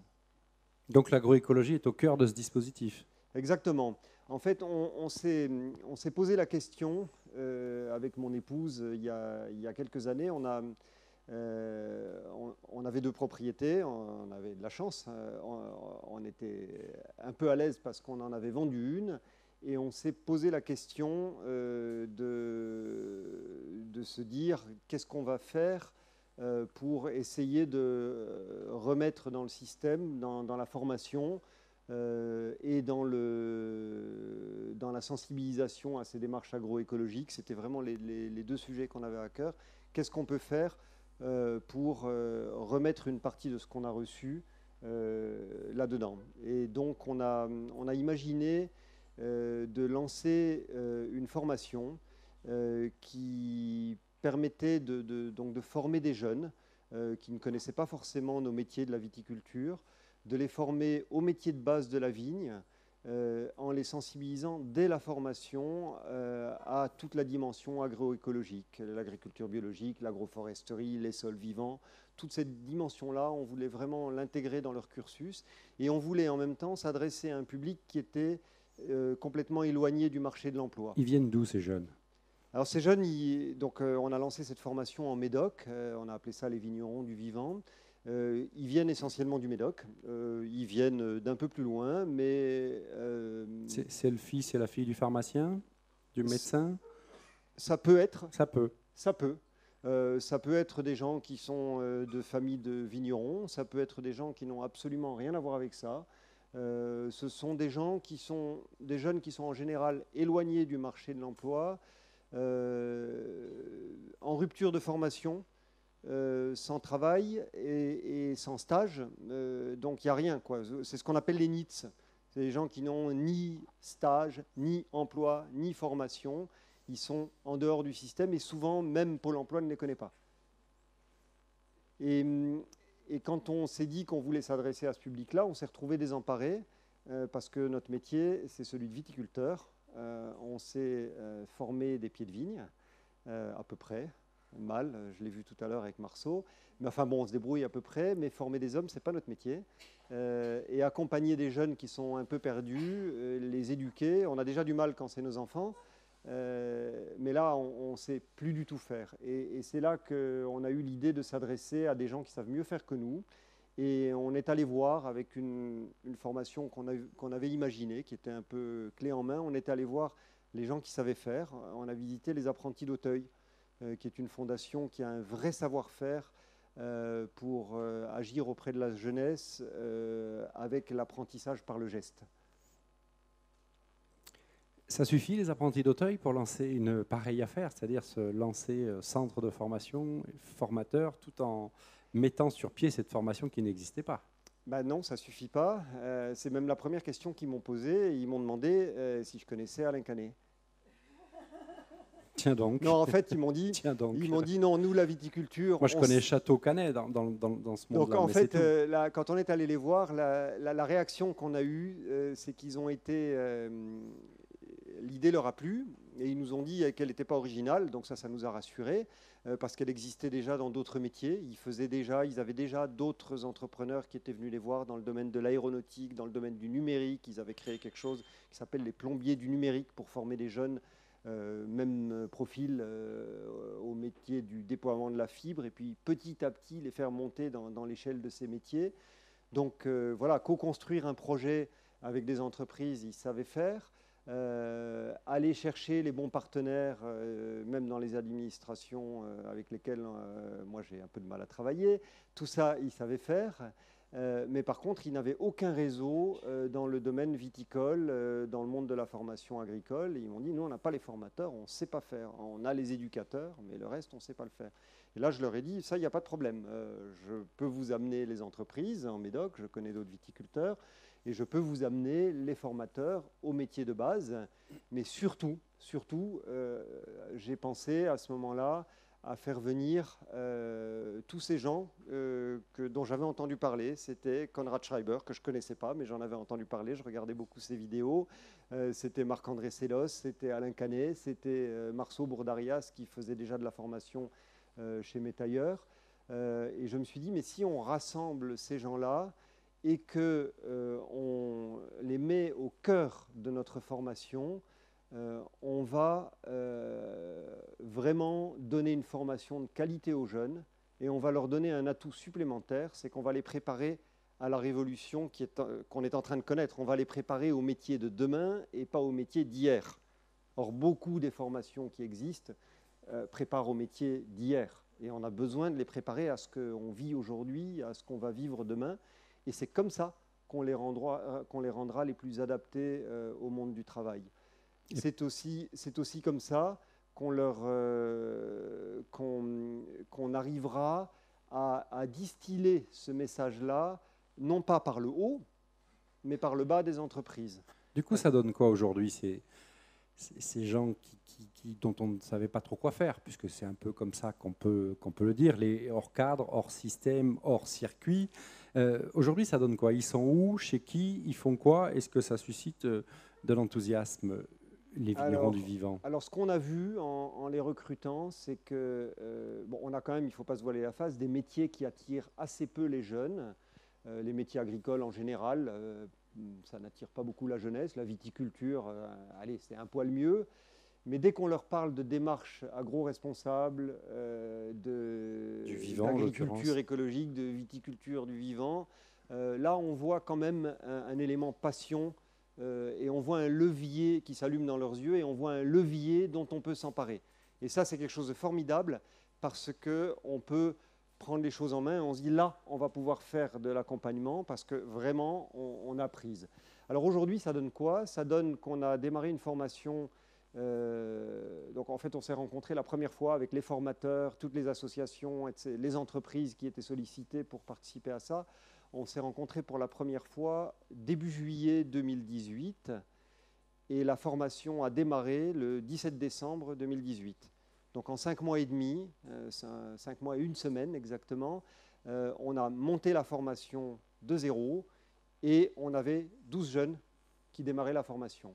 Et aujourd'hui, sur ces, sur ces 12 jeunes, il y en avait 5 en situation de handicap. Donc là, on a, on a pris dans la figure le problème des personnes en situation de handicap et qui, dans un pays hyper administré socialement comme la France, étaient pourtant hors système. Donc ça, ça nous a vraiment beaucoup questionné. Et euh, on a, ces 12 jeunes ont suivi euh, une formation de trois mois qui était vraiment une préparation à l'emploi. On a fait essentiellement de l'éducation au savoir-être en entreprise. C'était l'essentiel du boulot parce qu'il fallait tout reprendre à la base. Et un début de formation technique. Et au bout de trois mois, ils sont rentrés, pour ceux pour lesquels on a estimé que c'était possible, euh, on a continué avec euh, une formation en alternance, un contrat pro. Ça veut dire que ceux qui n'ont pas continué dans le contrat pro, il y en avait quatre, euh, on a continué à les accompagner par ailleurs. On ne les a pas laissés, on les a pas abandonnés en cours de route, sachant qu'au départ, le seul critère de recrutement, c'était qu'il n'y avait pas de critères. Donc on a refusé personne, on a pris ceux qui se présentaient. Et donc sur ces 12 jeunes au départ, on en a 8 qui sont aujourd'hui en contrat pro, et qui devraient en principe euh, être euh, au moins pour 7 d'entre eux embauchés en CDI. Voilà la perspective euh, avec les, 12 jeunes de départ, sachant que ceux qui n'ont pas continué dans, le contrat pro sont toujours accompagnés et qu'il y a des solutions en ESAT, en entreprise d'insertion, voire même pour l'un d'entre eux directement en entreprise qui ont été trouvés. Ok, donc un euh, taux de réussite important. Deuxième euh, bilan, deuxième session lancée probablement Alors on lance, euh, donc voilà, on était, on était dix propriétés à, s'être réunis autour de ce projet. C'est assez amusant parce que quand ça, il a ça a été dur de convaincre les, les neuf autres Ça a été... Long. Long. Dur, non. Très amusant. Très euh, mais voilà, ça a été, ça a été dans le Médoc, on s'amuse, on le saura. Voilà, et, donc on a, on a décidé de lancer euh, une deuxième, euh, une deuxième boutique. Voilà, donc là on lance la, deuxième promotion des vignerons du vivant. et, et, on a la perspective d'ouvrir un deuxième projet à l'horizon 2020 dans une autre région. Et ce qui est intéressant, c'est qu'on a, on a intégré un projet, on devrait intégrer un projet qui s'appelle Vitirêve, qui est, qui est monté par la région Aquitaine, euh, Nouvelle-Aquitaine, et qui devrait nous permettre euh, d'avoir un recours euh, peut-être un peu moins soutenu au levier du mécénat, auquel on a eu beaucoup recours pour l'accompagnement personnalisé des jeunes. On pouvait peut-être se le permettre dans une viticulture relativement riche comme celle du Médoc, mais dans d'autres régions moins bien dotées, ce sera peut-être plus difficile.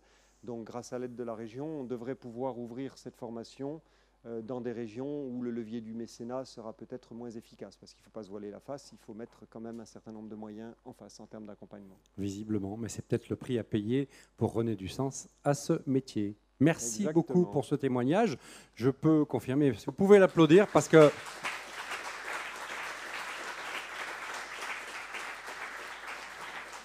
il semblerait, il semblerait que monter une pareille affaire, ça ne soit pas de tout repos.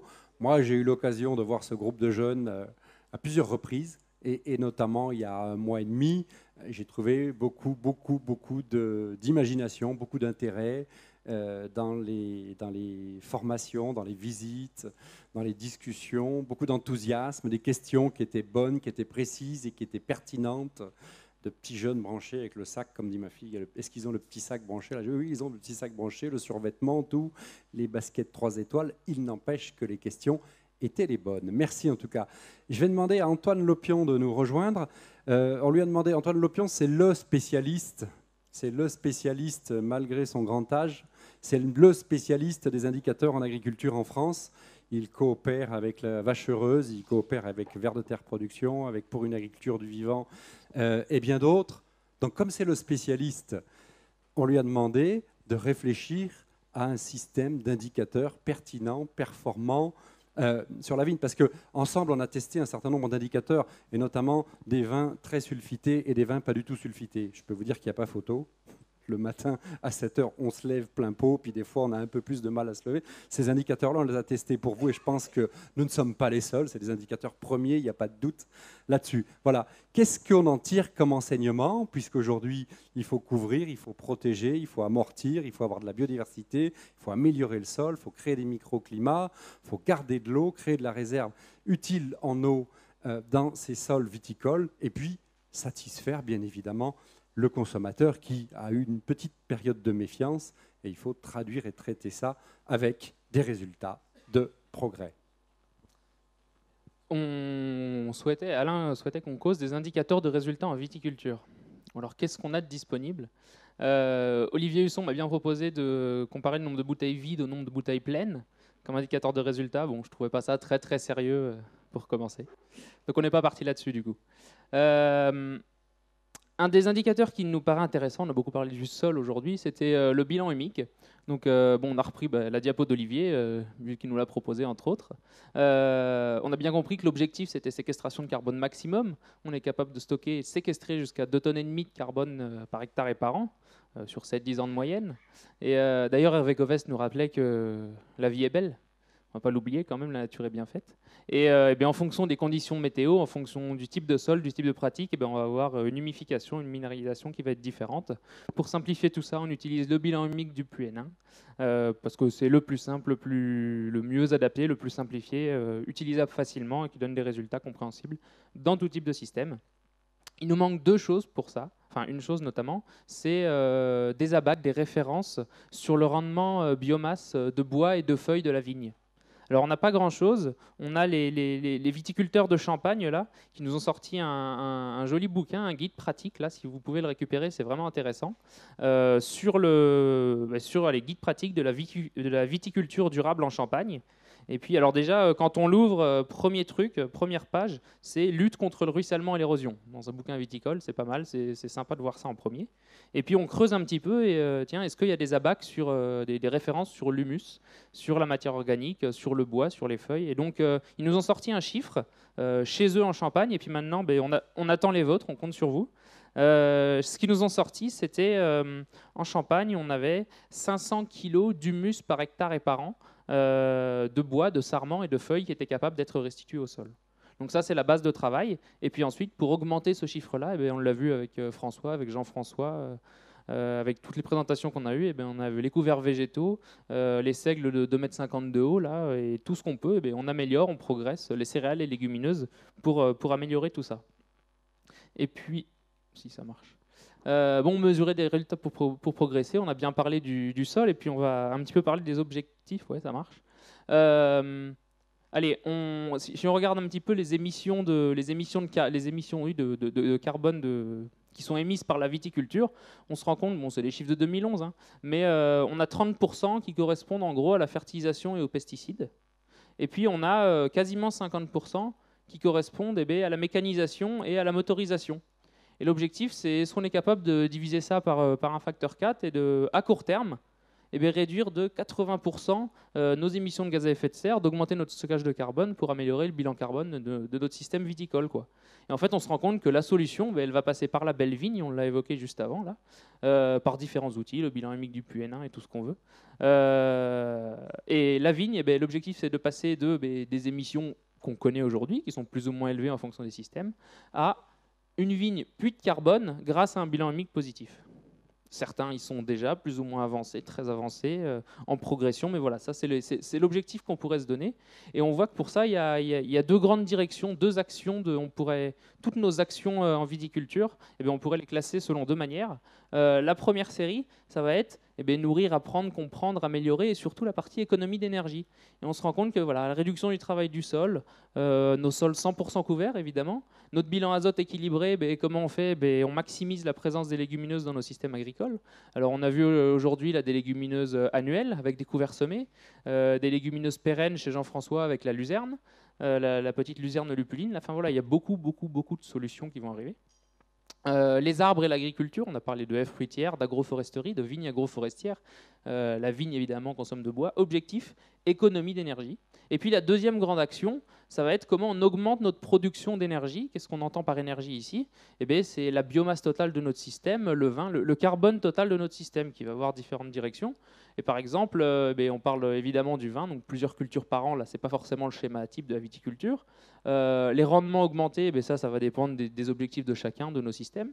Et puis éventuellement l'énergie, euh, les lits et les marques, les, marques du vin, voilà, ça peut être une option, une utilisation de ce type de sous-produit de la vigne qu'on pourrait utiliser comme ça.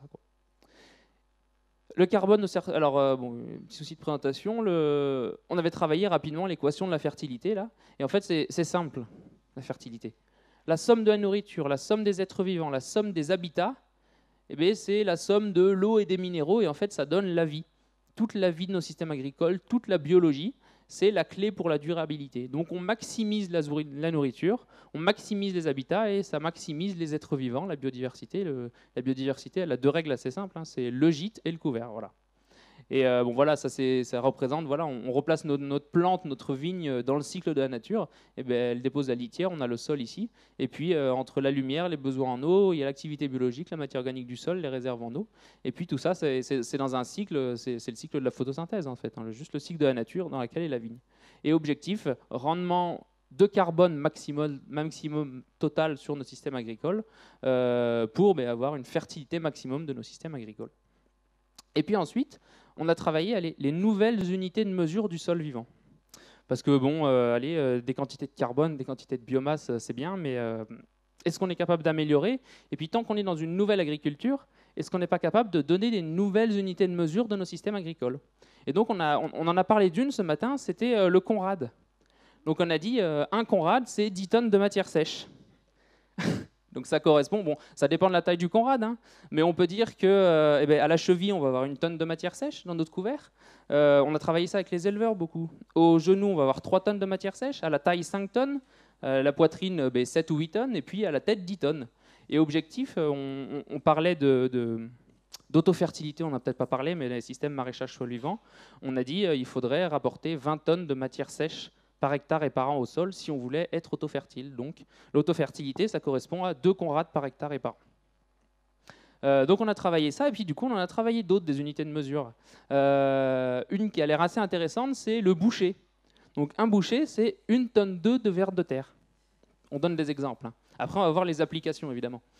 Et puis euh, une dernière, c'est le mulet. un mulet, c'est la quantité de matière organique qui permet de rehausser le taux de matière organique des sols de 1% pour vous donner un ordre d'idée. Puis maintenant, je vous propose de voir toutes les applications qu'on peut avoir de, ces systèmes-là. Le premier, c'est allez, semé un maïs brésilien, Christian Abadi, c'est la phrase de Christian Abadi, ça. Avec une bonne chier durée de la flotte, il est monté à 6 mètres. J'ai fait mon conrad en 6 mois. Bon. Ton couvert est un peu léger. Remets 10 tonnes de BRF pour faire un conrad. On a dit un 10 tonnes de matière sèche, 10 tonnes de bois, de paille, de, ce qu'on veut. Avec un paillage pareil, tu as déjà fait ton conrad, du coup, forcément. Hein. Et puis, tu as mis 10 cm de BRF du coup en système de maraîchage sol vivant. Ça fait au moins 5 conrades. Mais attention, tes vers de terre, ils ne sont pas capables de manger tout ça en un an. C'est Marcel Boucher qui nous explique ça, évidemment. Surtout que dans la parcelle, tu n'as pas un gros boucher. On rappelle le boucher, hein. c'est une tonne d'œufs de vers de terre dans le sol. Bon. Du coup, vu les conrades qu'on balance dans le champ depuis 5 ans, on doit être au moins à deux bouchers. Du coup, on a mis un mulet, et avec ça, on devrait récupérer rapidement un boucher d'ici deux ans. Mais attention, attention, c'est compliqué, parce que la conversion entre le mulet, le conrad et le boucher, ben, elle ne va pas être toujours simple.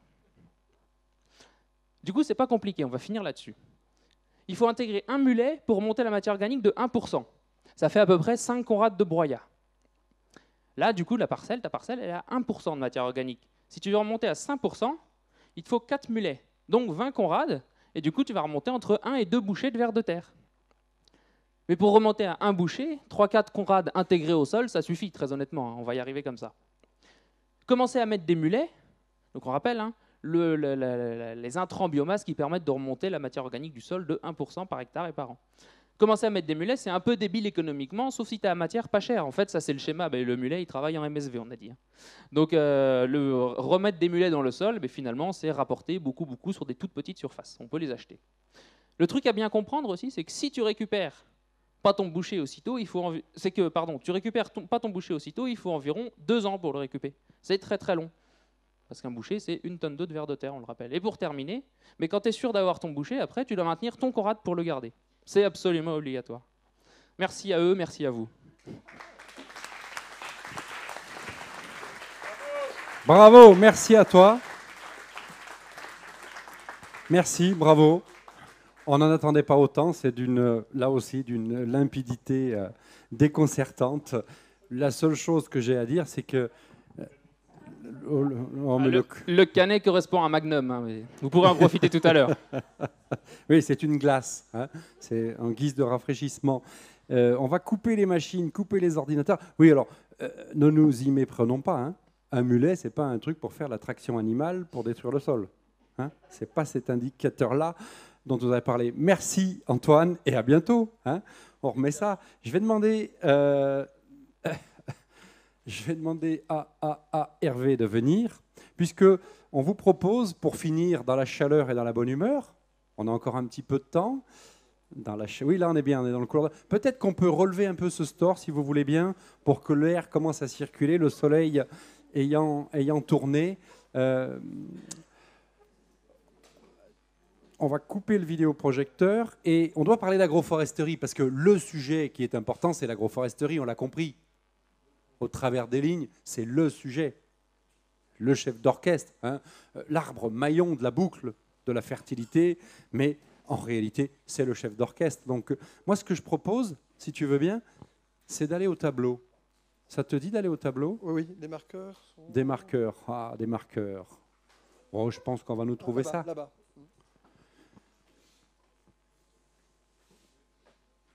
Moi, je ne les vois pas, mais ils sont ah bah non, la boîte est vide. La boîte est vide. Ils sont là, ils sont là. SOS. Tu vas peut-être le mettre euh, au milieu. Moi, je te propose, tu as un micro, tu as un micro, tu as un tableau. Est-ce que tu veux travailler euh, en paysage ou comme ça? Ça te va? On va faire comme ça. On, va, faire comme ça. Tu peux t'approcher un petit peu. La lumière, la lumière revient. Donc, on va. Merci, Conrad on, va faire l'atelier, l'atelier qui était prévu au programme, qui est celui de l'agroforesterie, sauf qu'on va le faire ensemble. Parce qu'on est en symbiose, parce qu'on coopère, parce qu'on discute, parce qu'on dialogue. Donc, Hervé, dessine-moi une vigne, s'il te plaît. On va équiper une vigne en agroforesterie.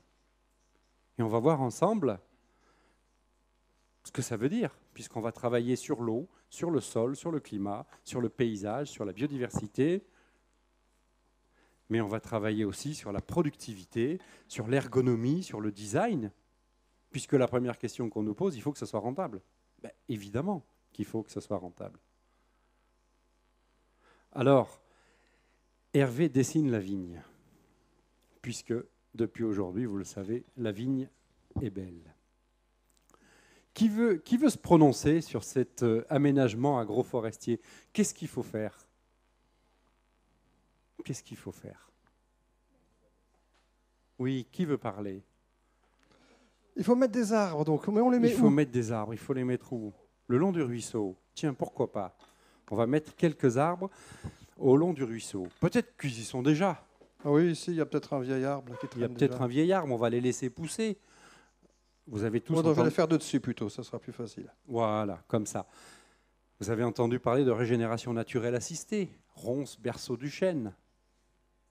On va planter, laisser pousser, gérer et entretenir. Donc on va mettre des arbres au bord des cours d'eau.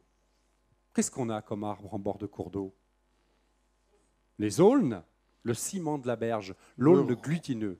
Le roi des aulnes. Le roi des aulnes, un bois d'œuvre incroyable aux couleurs jaunâtres, n'est-ce pas? Du frêne, bien sûr. Du sureau, comme son nom l'indique, il pousse sur, Sur l'eau. saule. Le saule. Le premier. Youpi Le premier à fleurir. Ouais, il pro- il produit tellement de pollen, tellement de nectar à l'intersection entre les petits bourgeons, quand les bourgeons commencent à, à- à- à émerger, qu'il nourrit non seulement tous les insectes pollinisateurs qui crèvent la dalle à la sortie de l'hiver, que, leurs larves. Hein, une chrysope, par exemple, ou une cirfe, la- l'adulte qui passe l'hiver est un pollinisateur. Il a besoin du pollen et de, de, la, et de, ce nectar. Et ces larves, les petites larves, elles ont besoin de la sève qui commence à remonter dans le sol. Et donc, c'est à la fois la mer, le gîte et le couvert. Quoi. Voilà. Très bien. Il nous manque encore une plante ou deux de la ripisylve, pas que. La vigne, merci. Et tu pourrais dire le houblon aussi. hein, soyons complets. La vigne et le houblon sont nés dans la ripisylve, bien évidemment.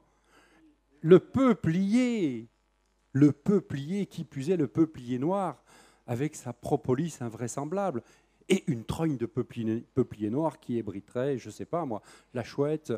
On a besoin de chauves-souris en vigne? Ben oui, disent-ils. Tiens donc. La trogne, c'est clair pour tout le monde, la trogne L'arbre tétard Oui hein? Là, on, répète. On, est en dernière année. hein? C'est ça. On, passe l'examen là. euh, Fin août, on passe l'examen et on s'installe. Ah, mais non, vous êtes déjà installés pour la plupart. Donc, euh, c'est pas tout à fait ça. Donc, des trognes d'arbres tétard. Comme? La vigne est une trogne. On boit du jus de trogne chaque jour qui passe. Parfois plusieurs fois par jour, je dirais même trois fois par jour. Et c'est le Hein soir que je reconnais bien ta trogne. la vigne est une trogne, avec ou sans réserve. Donc nous avons du peuplier, beaucoup de propolis. C'est bien la propolis, non? Il semblerait pour nous et pour les pollinisateurs et les abeilles en particulier. Une plante qu'on pourrait nommer encore, l'érable champêtre, pourquoi pas, avec lui une très grande plasticité qui va pousser les pieds dans l'eau comme au sommet du coteau. Intéressant. Je le dis maintenant parce que c'est important, l'érable champêtre a coévolué avec la, ligne- la vigne. Et la vigne, sa définition exacte, même s'il y en a plusieurs, la vigne est une liane qui a coévolué avec l'arbre. Citons le noisetier aussi, n'est-ce pas? On on le laisse le pied dans l'eau, les noisetiers, ou on commence à les planter un petit peu plus loin maintenant On peut en avoir quelques-uns dans la ripisylve, ça peut être pas mal, mais on est à géométrie variable.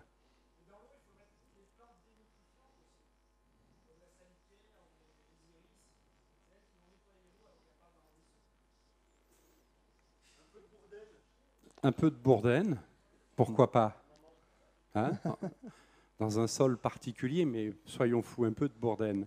Qu'est-ce qu'on va faire d'autre? Donc on a bien équipé la ripisylve, il y a du bois jeune. Est-ce qu'il y a des ronces dans cette ripisylve? Des ronces, oui. Vous avez vu que l'enherbement que préfère la vigne, dans l'enherbement qu'aime bien la vigne, il y a la ronce. Parce que la ronce, c'est le berceau, certes, du chêne, mais aussi des glomus qui viennent, qui viennent apporter toutes ces relations mycorhiziennes de nos vignes. D'accord, d'accord. Est-ce qu'il y a du lierre dans cette c'est- quand même une des rares fois où on dit ah il faut mettre des ronces autour de notre truc et où il n'y a personne qui gueule. Ouais, dis donc. Ils osent plus maintenant, tu vois. Ils osent plus. osent plus. Merci pour les ronces.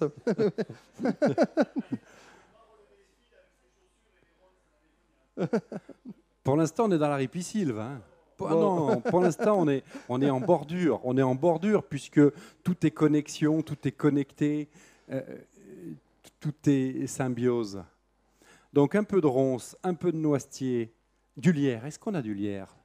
Ah oui, le lierre. Ah, pourquoi le lierre? Pourquoi le lierre? Cette plante géniale pour nourrir les abeilles, notamment, mais pas que, bien sûr. Hein? Une plante qui fleurit, elle, à contre-cycle, très tard, Mm. avec des ressources incroyables en nectar, en pollen. Le gîte et le couvert également. Le gîte et le couvert, une plante persistante, rappelons-le. Donc, de quoi brouter, de quoi s'héberger toute l'année. Le lierre fait sa photosynthèse à partir de 4 degrés. C'est-à-dire dès qu'il fait 4 degrés, il fait de la photosynthèse et donc bien sûr une partie de cette sève qui est produite va nourrir la vie du sol et les champignons par ces fameuses mycorhizes qui sont dans le sol. Voilà. Donc dès qu'il y a un petit rayon de soleil avec ces plantes, ces plantes vivaces qui peuvent faire de la photosynthèse en hiver, on arrive à nourrir notre trame de champignons. Ok, merci. Est-ce que la vigne aime beaucoup le vent? On va mettre des coupe-vents Est-ce qu'on met un petit coupe-vent? On va dire qu'on a un couloir de vent là à l'ouest qui est insupportable, y compris pour le vigneron. Donc est-ce qu'on on se paye le luxe d'une petite haie coupe-vent, brise-vent, champêtre, nature, sauvage, vive, enfin une haie quoi Bocagère. On l'appelle champêtre. On n'a pas trouvé mieux. On est sûr qu'elle est bonne pour l'eau, pour le sol, pour la biodiversité, pour la faune sauvage. Une petite haie. Qu'est-ce qu'on va planter dans cette haie? Cet exercice est somme toute un peu théorique. On pourrait le traduire sur le terrain et l'adapter à la parcelle, bien évidemment. Le modèle n'existe pas, pour que les choses soient bien claires. Ce qui existe, c'est le projet. Le modèle, il doit se traduire sur chacune des parcelles. Avec vous, avec celui qui fait, avec son choix, ses volontés, son projet, bien évidemment. Qu'est-ce qu'on va mettre comme ça dans cette petite haie brise-vent? De l'alisier. Ça va l'alisier? Oui, Sorbus, alisier torminal Sorbus torminalis, une rosacée. Alors moi, sincèrement, dans le coupe-vent, c'est vraiment un problème, vous savez, un jour, j'ai voulu installer un coupe-vent à côté de ma framboiserie. hein. donc on avait euh, 7000 mètres carrés qui étaient... Chaque fois qu'il y avait un coup de vent, euh, les tempêtes de 90, tout ça, tous les tunnels étaient... Donc on a voulu acheter un coupe-vent en, filet Netafine, là, vous savez, un gros filet coupe-vent qui sont vendus. Puis ça coûtait... il fallait déjà qu'on change toutes les serres. On n'avait plus le pognon d'acheter ça. Donc en fait, ce qu'on a mis, c'est des, arbres vraiment qui poussent très vite. hein. Et à la bêtise, on avait, fait la, on avait fait une bêtise de mettre quelques acacias. Si ça avait été à refaire, j'aurais plutôt mis des, des, des- peupliers, enfin des, des frênes, toutes ces plantes pionnières qui poussent vite. Quoi, voilà. Et celles qui poussent vite chez vous, ce sont celles qu'il faut mettre pour les coupe-vents. Hmm. Rapidement, et après, ces coupe-vents, on commence à les densifier avec des plantes plus robustes, hein, et quelquefois qui sont utilisées de façon plus traditionnelle. Dans le midi, on mettra du cyprès, euh, euh, et ailleurs, on mettra bah, la plante qui fait le bon coupe-vent du secteur dans lequel on se trouve. C'est-à-dire hmm, du sorbier. Hmm, Oui. Non. Moi, c'est ce que j'avais fait. Hein. L'aubépine. Mhm. Le prunelier. Voilà. Alors cette haie, ça y est, elle est là. Et puis, euh, on n'a toujours pas, on a fait des couverts à peu près réussis.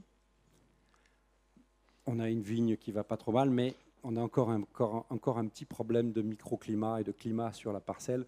On passe un cap et on va planter des arbres. Pêcher, le pêcher de vigne. Le pêcher de vigne, bien sûr. hein. Et là, on va planter quelques arbres. Alors, je ne sais pas si c'est sur le rang, je ne sais pas si c'est dans le rang, tenu à la hauteur du rang, ou est-ce qu'on va enlever un rang ou deux de temps en temps.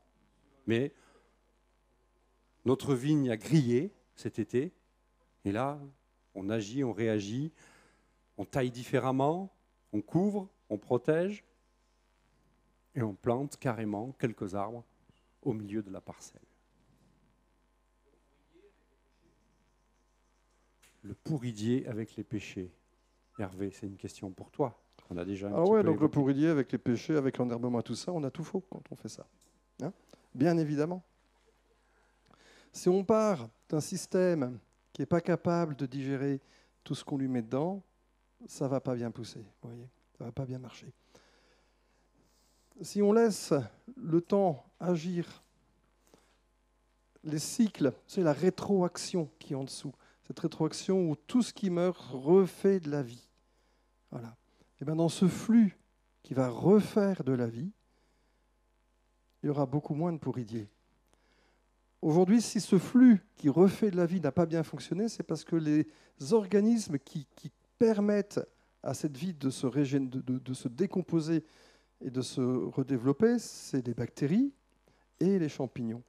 Et dès qu'on met un petit peu d'ammonitrate, dès qu'on met un petit peu, enfin trop d'ammonitrate, trop de superphosphate, même le superphosphate, il ne faut pas mettre beaucoup pour détruire ces champignons mycorhiziens. Vous voyez, donc euh, si on les a plus, c'est ce qu'on voyait tout à l'heure dans les petites vidéos, là, ces petits champignons mycorhiziens qui rentrent à, l'intérieur, s'ils sont plus là, eh ben, ça fait de la place pour que les armillaires pénètrent à l'intérieur. Oui, Marc-André.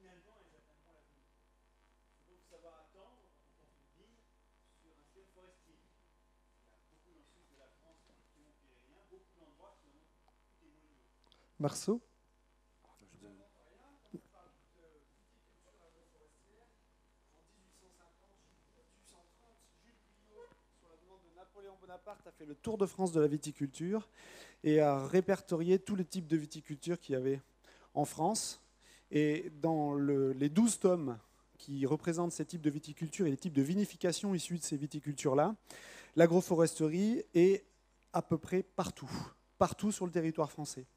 La vigne est une plante qui a coévolué avec l'arbre. Ah bah tiens, ça me rappelle, ça me rappelle le boulot, ça. Merci, c'est parfait. Mais ça, ça, répond que partiellement, parce que tout le monde vous dit mais non, mais non, mais non, mais non. Essayez, testez-le. Et si vous voulez pas le faire partout, faites-le juste dans un petit coin. Et sur votre vie n'a plus bordélique pour qu'il n'y ait pas de problème. voyez et lorsque vous verrez que dans l'endroit qui est le plus mauvais, c'est là que ça va commencer à marcher le mieux, là vous deviendrez le plus grand défenseur de, des péchés de ces arbres qui vont, qui vont finalement vous régler vos problèmes de pourridier, d'esca et de tout le bazar aussi. Enfin, l'esca, c'est pas que ça, il y a aussi la taille, on l'a vu. Ouais. voilà.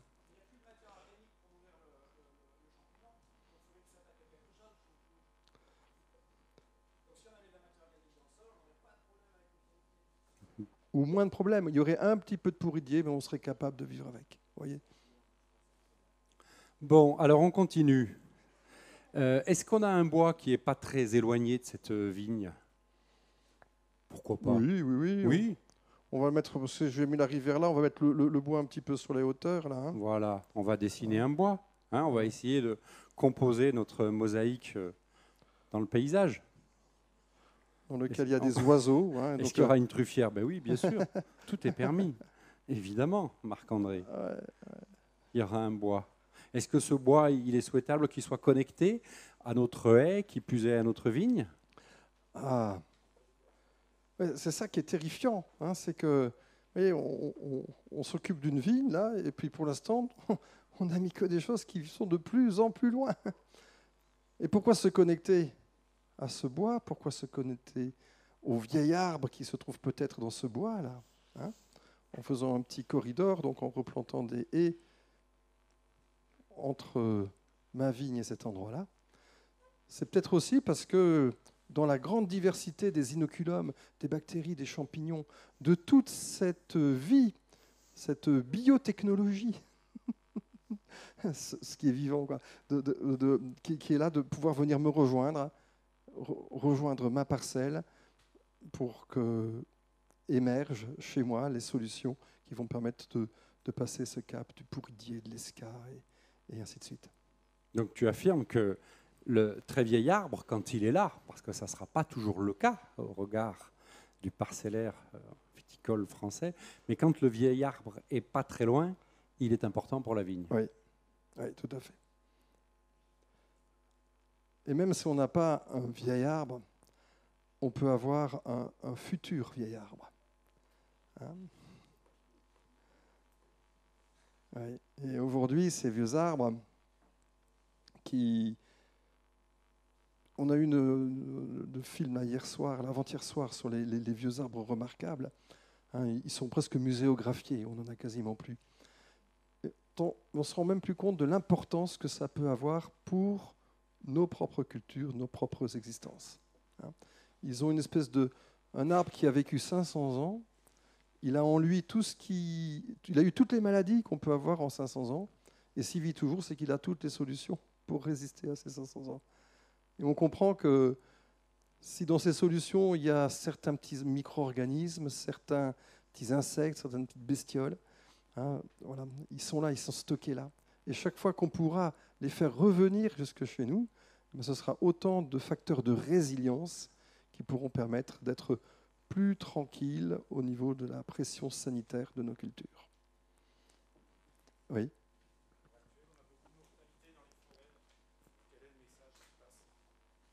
Je disais à l'heure actuelle, on a beaucoup de mortalité dans les forêts. Donc quel est le message qui passe vers la vigne? Tout, notre écosystème est en train d'évoluer en ce moment, on le ressent fortement, même notre écosystème humain, nos maisons, on commence à y avoir trop chaud par moment. Oui. Donc euh, tout, est en train de changer, tout est en train d'évoluer. Plus au sud, il y a des endroits, des gens qui, où il y a de merveilleuses forêts. Plus au sud, il y a des merveilleux vignobles. Plus au sud, il y a des tas de choses extraordinaires. Il faut peut-être qu'on réfléchisse à la façon de se connecter à ça, de se relier à, ces choses-là. Hein. Lorsqu'on a un endroit, il va falloir ressemer, il va falloir replanter, et il va falloir faire ce que tous les animaux disséminateurs font quand ils sont dans la nature. Ils disséminent des graines et ils disséminent la poussière qu'ils ont sur leurs pattes. Hein.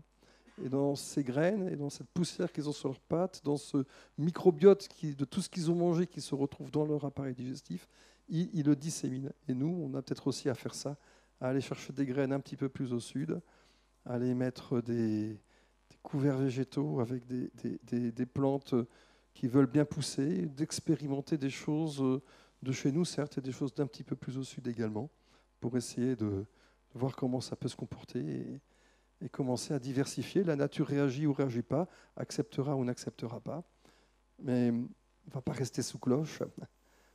voilà. Y aura-t-il du, bois mort là dans ces, dans ces corridors, dans ces haies, dans ces ripisylves? Oui, parce que ce bois qui meurt, ce bois qui meurt, qui est là, au même titre que le lierre, que mes sols et tout ça, du bois qui meurt, il se décompose en champignons ce champignon, ce mycélium, qui est très présent dans le bois en hiver, va alimenter plein de petits animalcules dans le sol, notamment des petits colamboles, des choses comme ça. Tous mes carabes, tous mes staphylins, tous mes auxiliaires du sol qui mangent pas spécifiquement du colambole, mais en hiver, quand ils crèvent la dalle, ils ont plus que ça. Donc plus j'ai de bois qui pourrit quelque part, plus j'ai de colambole, plus d'auxiliaires. Parce que ce, bois mort permet de faire la jonction entre la fin de l'hiver et le début du printemps, hein, de façon à ce que les petits insectes, là, les auxiliaires, puissent faire un, carême sans trop serrer la ceinture. Quand au bord d'une parcelle, il y a quatre beaux cerisiers vieux qui sont en train de se faire bouffer par le lierre, on garde les arbres ou on garde le lierre? On peut garder les arbres et le lierre bon, de toute façon, ça doit se prendre sur la tête si c'est trop dangereux. Hein. Mais, non, non, pas hésiter à, à, les garder. Sur la vigne, en fait, sais pas trop, le, les, châtaigniers, par exemple, sur le vieux bois de, de châtaignier, sur le, le bois du cœur des châtaigniers, il est décomposé par une mérule particulière dans laquelle va se développer un petit diptère particulier qui lui est, tolérant et un porteur sain d'un virus qui, est celui qu'on achète sous le nom de la, du, comment, le truc qu'on utilise contre les, les carpocaps du châtaignier et de la pomme, de la, carpovirusine. Voilà. hein. Je ne sais plus le nom de ce virus, mais c'est voilà. Et ce petit diptère porteur sain, qui a plein de carpovirusine, plein de ce petit virus en lui, quand il se balade dans les, vergers de pommiers ou de châtaigniers, eh ben en fait, euh, tous les carpos qui seront là, qui eux sont sensibles à ce virus-là, euh, mourront il y aura une régulation qui se mettra en place. Dans ce bois vieux et mort qui n'a plus, enfin qui ressemble à plus rien, hein, c'est là que naît ce qui va protéger les jeunes plantations autour. Et je suis sûr qu'en qu'en fouillant dans la vigne, dans ces vieux arbres et par rapport à la vigne, mais on l'a pas, je ne l'ai pas encore fait, on ne l'a pas encore fait, on trouvera plein d'histoires de ce genre-là à raconter, que dans ce vieux bois qui est en train de pourrir, il y a des choses qui vont être très bonnes pour notre vigne.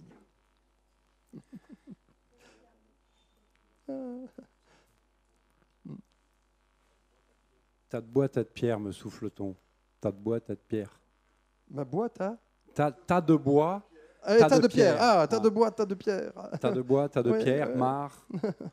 Ah oui, on s'en a oublié la mare. On n'a Ouais. pas oublié la mare, on a déjà une petite ripiscille. ouais, on vrai, a un peu d'eau.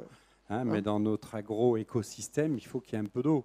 Il faut qu'on aille puisse Une aller petite- boire. une petite Sinon, mare c'est pas la part. peine de vouloir toutes ces bestioles, tous ces régulateurs et tous ces auxiliaires. Pour le lierre, souvent, quand l'arbre est en fin de vie, il laisse prendre le lierre dessus, le dessus. hein, mais vous voyez bien que le lierre n'envahit pas et ne fait pas mourir les arbres. Il y a quelques cas particuliers, bien évidemment. En tout cas, c'est une plante, somme toute, assez géniale et très utile. hein. on va bien parler de chaîne alimentaire totale et, globale. Le bois de chêne alimentaire, donc. Le bois de chêne alimentaire, évidemment. Celui du jet et du gland dispersé. Ouais. Pour le, le- c'est le lierre, hein, euh, les très vieux lierres, lierres produisent des terpènes. Ces terpènes sont absorbés par, par le bois un peu malade, et en fait, ces terpènes sont fongistatiques. Et donc, un vieux, un vieux lierre va protéger son vieux support de la décomposition. Elle est pas belle, la vie? Hein? Franchement, elle est pas belle, la vie. Alors, du coup, euh, tout ça, euh, ça va nous amener des papillons, Ouais. Ah, J'aime bien avoir des papillons dans le cœur. moi. tout un tas, tout un tas de bestioles, beaucoup d'oiseaux. Qu'est-ce qu'ils vont faire, ces oiseaux? Alors, qu'est-ce qu'ils vont faire? Ouais. Eh ouais. Alors, vous voyez, lorsque on, on fuit les oiseaux et qu'on a tout support pour qu'il n'y ait plus d'oiseaux, eh ben, il y a des grands vols des tourneaux qui arrivent et qui viennent coloniser les lieux. Maintenant, si vous aviez des fruits toute l'année, Je crois qu'on mettait des appareils maintenant pour imiter les chants d'oiseaux dans les vignes. si vous mettiez des fruits toute l'année, donc il y aurait des oiseaux toute l'année, et qu'est-ce qui viendrait s'installer ici? Parce qu'ici, il y a des oiseaux toute l'année, en haut de cet arbre-là, un rapace. Et je peux vous assurer qu'un rapace à 200 mètres de votre vigne, c'est déjà beaucoup, beaucoup, beaucoup moins d'oiseaux qui viennent chaparder tout ça. Alors, il nous reste à parler de ces arbres qu'ils seront maintenant au milieu de la parcelle. On prend le risque de perdre un petit peu de place. On a équipé, entouré cet îlot de vignes. On a planté, taillé, valorisé. Oui, c'est du boulot, mais à chaque fois que je taille un arbre, j'ai un produit. J'ai de la fertilité ou de l'énergie ou, ou autre coproduit puisqu'on a beaucoup parlé, alors maintenant qu'on a de nouvelles unités de valeur, des Conrad, des bouchers, euh, hein, n'est-ce pas, etc. On va peut-être faire des trognes du coup. hein. Il est tard, il fait chaud. Pourquoi on ferait des trognes du coup au milieu de la vigne? Chose qu'on n'a évidemment pas inventée puisque les Étrusques le pratiquaient déjà. Pourquoi on ferait des trognes? Pourquoi la trogne apparaît comme ça soudainement? L'arbre fruitier en bordure, pourquoi pas? Biodiversité, au cœur de ma vigne, je ramène encore un peu plus de biodiversité. Parce que ma trogne, avec sa tête creuse, elle va abriter Mais la fameuse chauve-souris, la chouette, le ver de terre, le carabe, qui sait?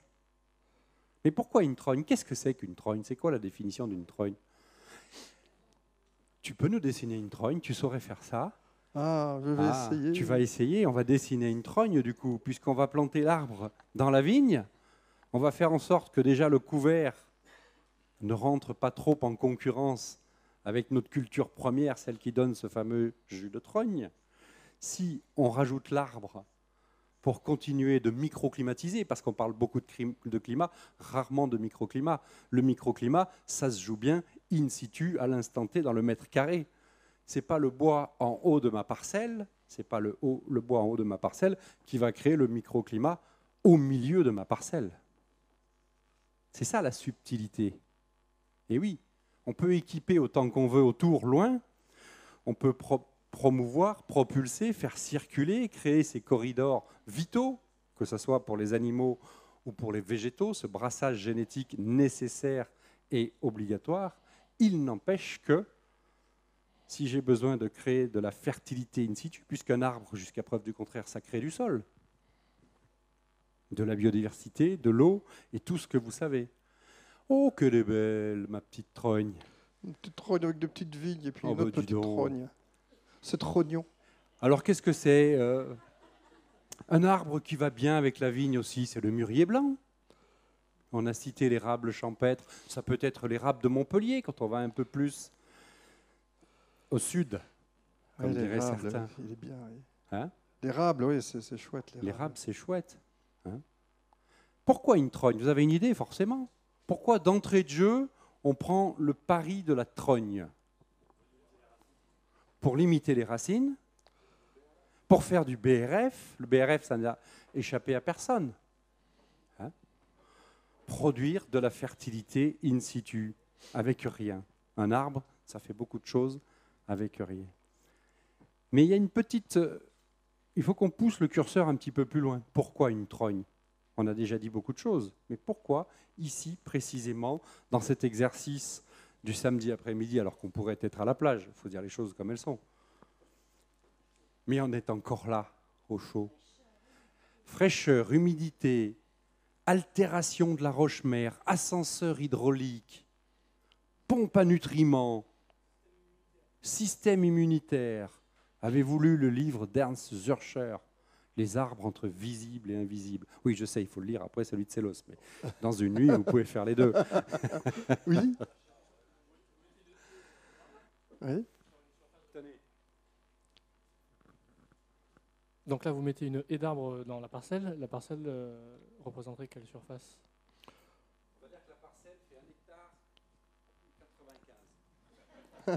Si ça vous va. Ben quoi? Faut bien dire quelque chose. Hein, mais ça vous va? Comme taille de parcelle? C'est pas grand, c'est pas petit.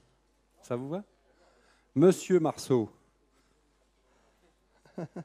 Non, toi, ça ne te va pas un hectare 84. Me fous pas le bordel, hein?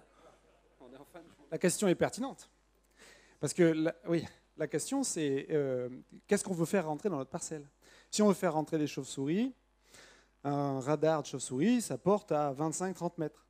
Ça signifie que si vous voulez que les chauves-souris régulent le démis, la cochilis dans vos parcelles, puisque une chauve-souris, ça mange la moitié de son poids en une nuit, autant dire problème réglé, ça veut dire qu'il faudrait au grand minimum une haie tous les 50 mètres.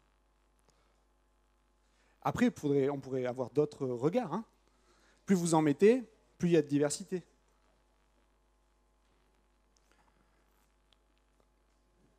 Oui.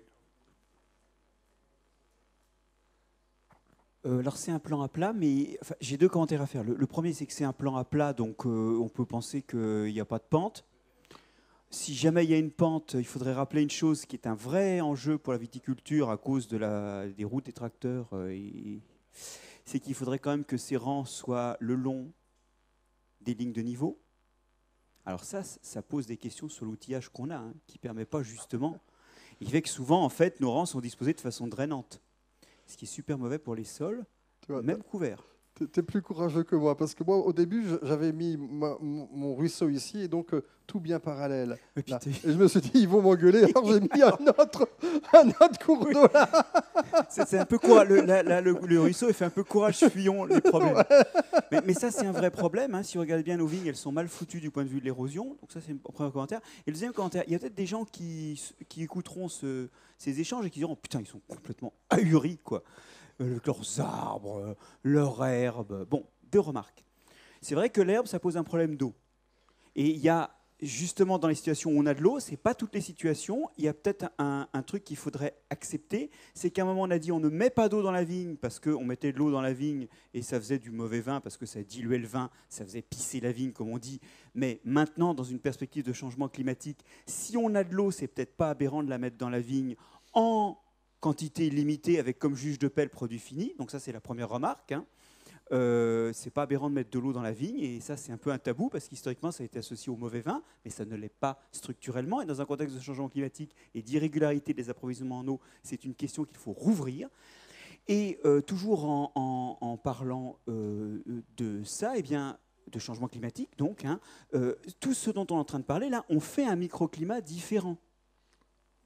Et ça, ça peut être une des façons de faire un, matelas qui permettent d'agir localement par le microclimat pour mitiger les excès climatiques auxquels on peut s'attendre. Ça n'a qu'une valeur limitée. Mais ces machins-là ne sont pas du tout planants comme outil par rapport à un climat qui est en train de changer. Ok, merci. Alors du coup, on est autorisé à mettre des arbres, à faire des trognes? Alors, on va faire des trognes. Pourquoi on va faire des trognes? On va faire des trognes avant tout. Alors on, verra, hein, parce que ces schémas théoriques, sont bien, mais il faut les exprimer, et c'est le cas. Aujourd'hui, il y a un mouvement de fond, il y a beaucoup de projets qui sont en cours, il y a des projets qui se sont faits, qui vont se faire, il y a un engouement important, et tant mieux, vous en êtes la fidèle eh, représentation, et, et chaque projet sera unitaire, évidemment. C'est chez vous, à un moment donné, dans des conditions bien particulières. Ici, on traite la généralité. On a traité la colonne vertébrale de la fertilité avec les couverts végétaux. On essaie de traiter la colonne vertébrale de l'arrivée de l'arbre et du retour de l'arbre dans la parcelle. Moi, moi, je, vois un, moi, je vois un truc important dans la trogne. Tiens donc. Voilà. Alors, je t'écoute. C'est que Je t'ai vu. vous savez, la, la vigne, sa place, c'est à la lisière de la ripisylve d'ailleurs. À la lisière. La vigne, coévolue avec le bois, mais elle permet à une forêt d'arriver. Donc lorsque je commence à mettre du, du bois dans ma vigne, je commence à faire ce que la vigne veut faire, faire progresser la forêt. Elle fait une espèce de pot à la forêt pour euh, protéger justement ces zones de ripisylve qui sont inondées, donc toute la petite végétation disparaît. Elle fait des grandes lianes qui vont reboucher, refaire une peau à cette forêt pour que le sous-bois puisse vivre hein, et rester un sous-bois derrière cette ripisylve. Elle vient pour cicatriser ces zones-là. Dans d'autres cas, la vigne, elle est aussi là pour, euh, et on voit dans toutes ces, ces vignes qui sont abandonnées, et on, voit au bord du bois, on voit la, vigne qui commence à pousser, et la forêt qui reprogresse à partir de là, comme si elle voulait préparer l'arrivée d'une forêt. Et donc, son truc à la vigne, c'est de faire du lien avec les arbres de la forêt, avec ces arbres. Mais nous, nous, on veut que ça reste quand même ouvert, parce que parce qu'on est dans un pays de vignes et de pain et de blé, de vin et de pain, et, qu'au milieu, on veut toujours qu'il y ait un petit peu de lumière et suffisamment de lumière qui arrive pour avoir des beaux et bons raisins bien sucrés. Et donc la trogne, en fait, c'est ce qui va nous permettre de, limiter cette progression de la forêt, tout en faisant en sorte que cette forêt soit tout le temps là.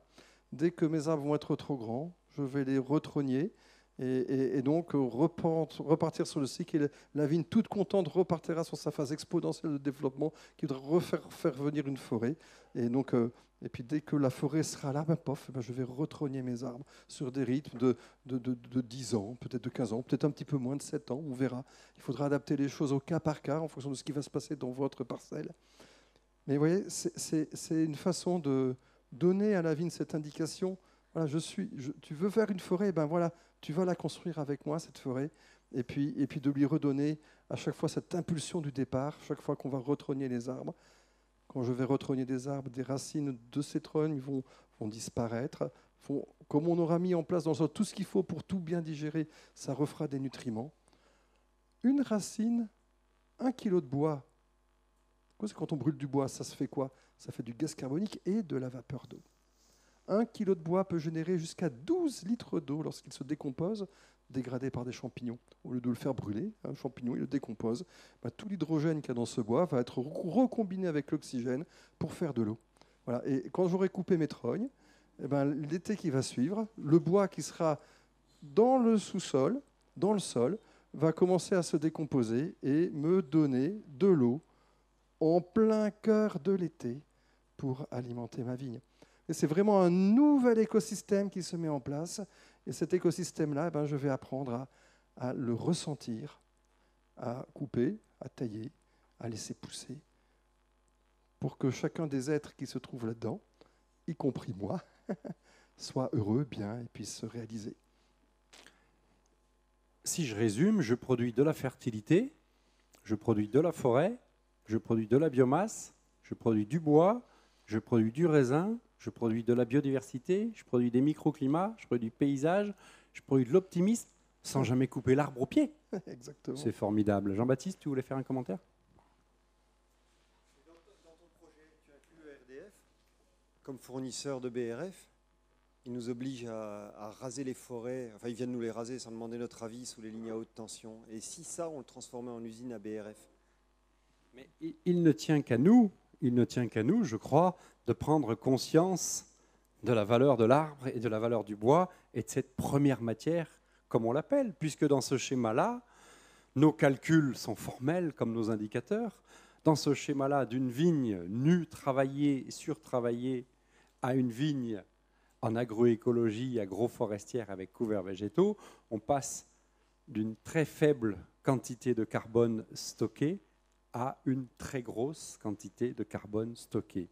Et Hervé nous le rappelle assez souvent, le carbone, c'est la vie. Et effectivement, pour mettre en place, pour impulser, valoriser, il peut être souhaitable et parfois judicieux que de récupérer cette matière qui est pour l'instant un peu encore trop poussée dans le coin des champs. On le voit qu'il faut payer pour les rentrer sur les plateformes, il faut payer pour les sortir. Peut-être que des fois, il faudrait que les flux soient un peu plus accélérés et un peu plus cohérents. Vous êtes les ambassadeurs de cette agroforesterie viticole dynamique.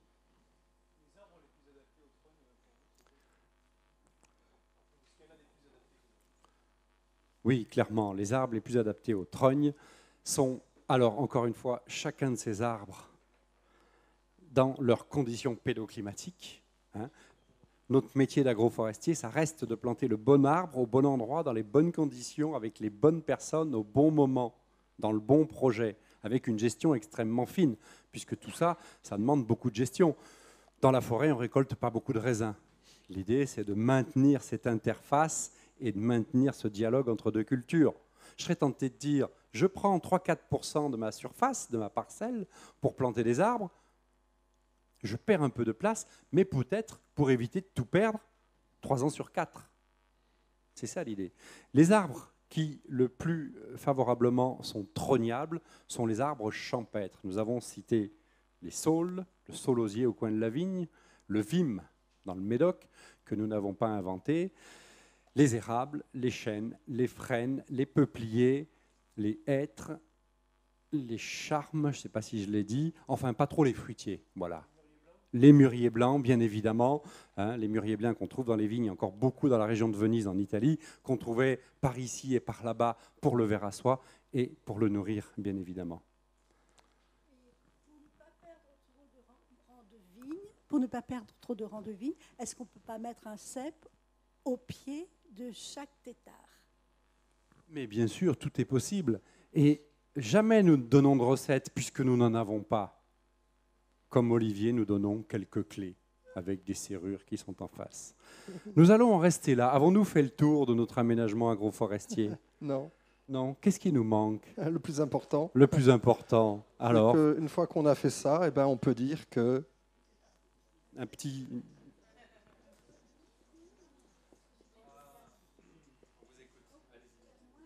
Euh, je voulais juste rajouter, c'est une vieille question là, que j'ai euh, depuis au moins 15 ans, sur euh, tous les, les ruisseaux qu'on appelle... Bah, ça y est. Temporaires? Voilà, sur les réseaux temporaires. Moi, je viens de Touraine et en Touraine, bon, j'ai travaillé sur les rivières et quand on prend les réseaux en amont, ils sont coupés à blanc, hein, il n'y a aucune végétation. Et en fait, bah, par rapport à votre travail sur l'agroforesterie, pardon, je me dis que c'est déjà euh, des, des, réseaux énormes. euh, Si on laissait soit la régénération naturelle faire, soit les paysans prendre euh, en compte euh, la richesse que ça peut apporter euh, bah, au niveau de l'exploitation. Après, à voir comment on peut le gérer, mais c'est déjà des réseaux Ouais. énormes, en fait, tous ces, tous ces fossés euh, qu'on appelle euh, intermittents. Voilà. Intermittent, voilà, c'est ça.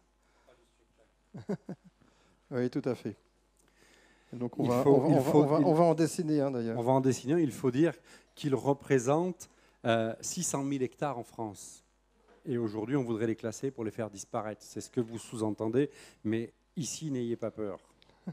Restons en contact, restons connectés, écrivons-nous, parlons-nous. Ça fait une semaine que nous avons dé- démarré ce 11e paysagisme martiaque et c'est une question sous-jacente. Deux mesures pour sauver l'agriculture, une mesure de couvert végétal, une mesure de couvert horizontal. Avec ces formations, nous, planteurs d'arbres, assumons clairement de laisser pousser partout où on peut. Reste à sensibiliser, reste à informer. Nos structures euh, qui existent depuis une trentaine d'années ont fait leurs preuves, évidemment, enfin j'espère en tout cas. Maintenant, il faut changer d'échelle. Changeons d'échelle ensemble. Écrivez-nous, sollicitez-nous, parlons-nous, concertons-nous, ayons une ambition agroforestière pour la France. La vie est belle. Je vous remercie. Il me reste à donner la parole à Noël Lassus et à Michel Gendrier pour conclure cette belle journée, je crois. Euh, excusez Laurent Brault que l'on avait mis au programme un peu de force, mais qui n'était pas disponible, qui nous a accompagnés tout au long de l'année euh, pour ce Tour de France de la viticulture en agroécologie. Messieurs, à vous les micros.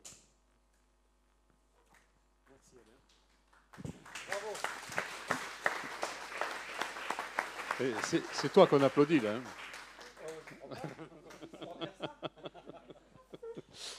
Bon, pour faire suite à ce que dit Alain, euh, au niveau de l'association que représentent les vignerons indépendants de France, dont Michel vous dira un petit mot, Michel est le Michel Gendrier est vigneron en Touraine et c'est euh, le président de la commission environnement des vignerons indépendants de France. Ça veut dire déjà que ce sujet est euh, toujours à l'ordre du jour chez les vignerons.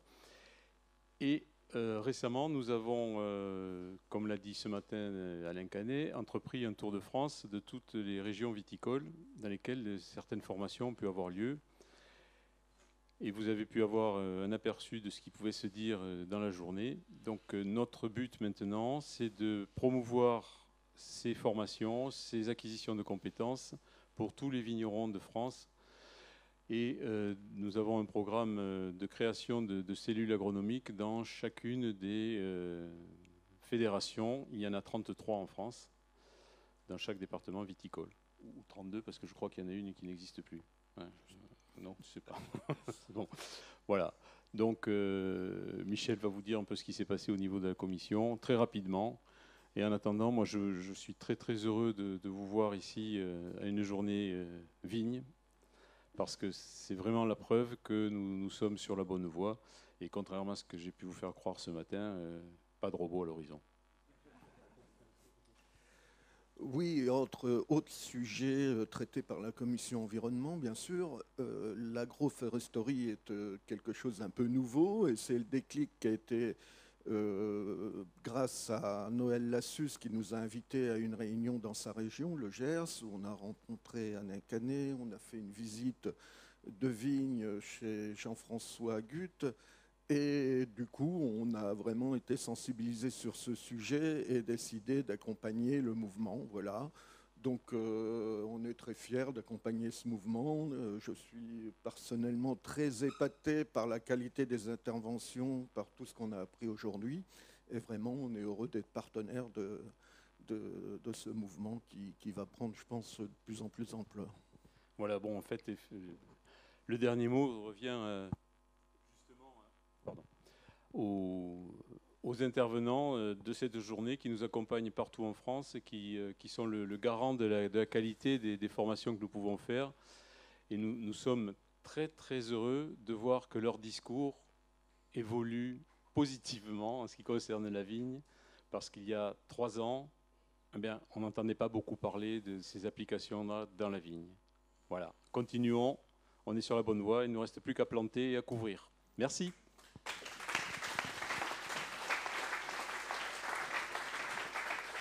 Merci. Merci beaucoup pour ces, pour ces mots de conclusion extrêmement positifs. Je voulais une fois de plus, on l'a fait peu ou pas assez, une fois de plus, une fois de plus, ils sont nos, gilets orange, les bénévoles, parce que nous ne, serons, nous ne serions rien sans eux. Euh, Noël en était un petit peu le, le chef d'orchestre. Euh, L'équipement des salles, même si on a eu un petit problème technique, parce qu'on a peut-être un peu trop tiré sur une prise et le temps qu'on trouve la bonne, mais l'équipement des salles, la prise de vidéo, peut-être qu'aujourd'hui, ce matin, tout le monde ne connaissait pas Vers de Terre Production. Euh, Vers de Terre est un de nos outils d'amplification du message, de mise en ligne des contenus de, formation qu'on utilise beaucoup, qui montent et qui progressent euh, beaucoup.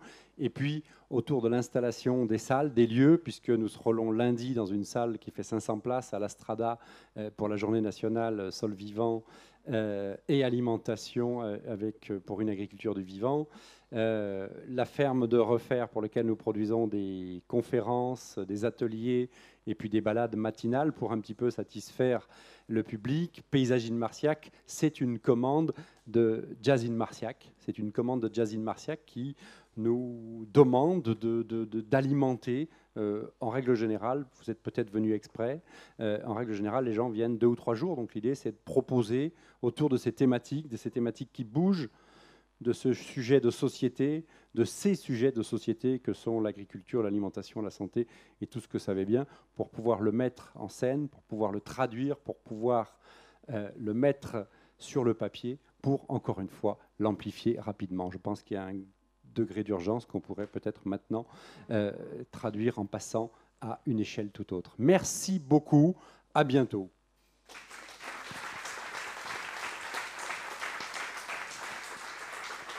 À la, demande de, quelques-uns, on réouvre pendant 10 minutes la, la librairie. Enfin, je crois qu'elle l'est toujours, puisqu'il y avait encore deux ou trois personnes qui voulaient quelques livres. Ah, bonne soirée à vous.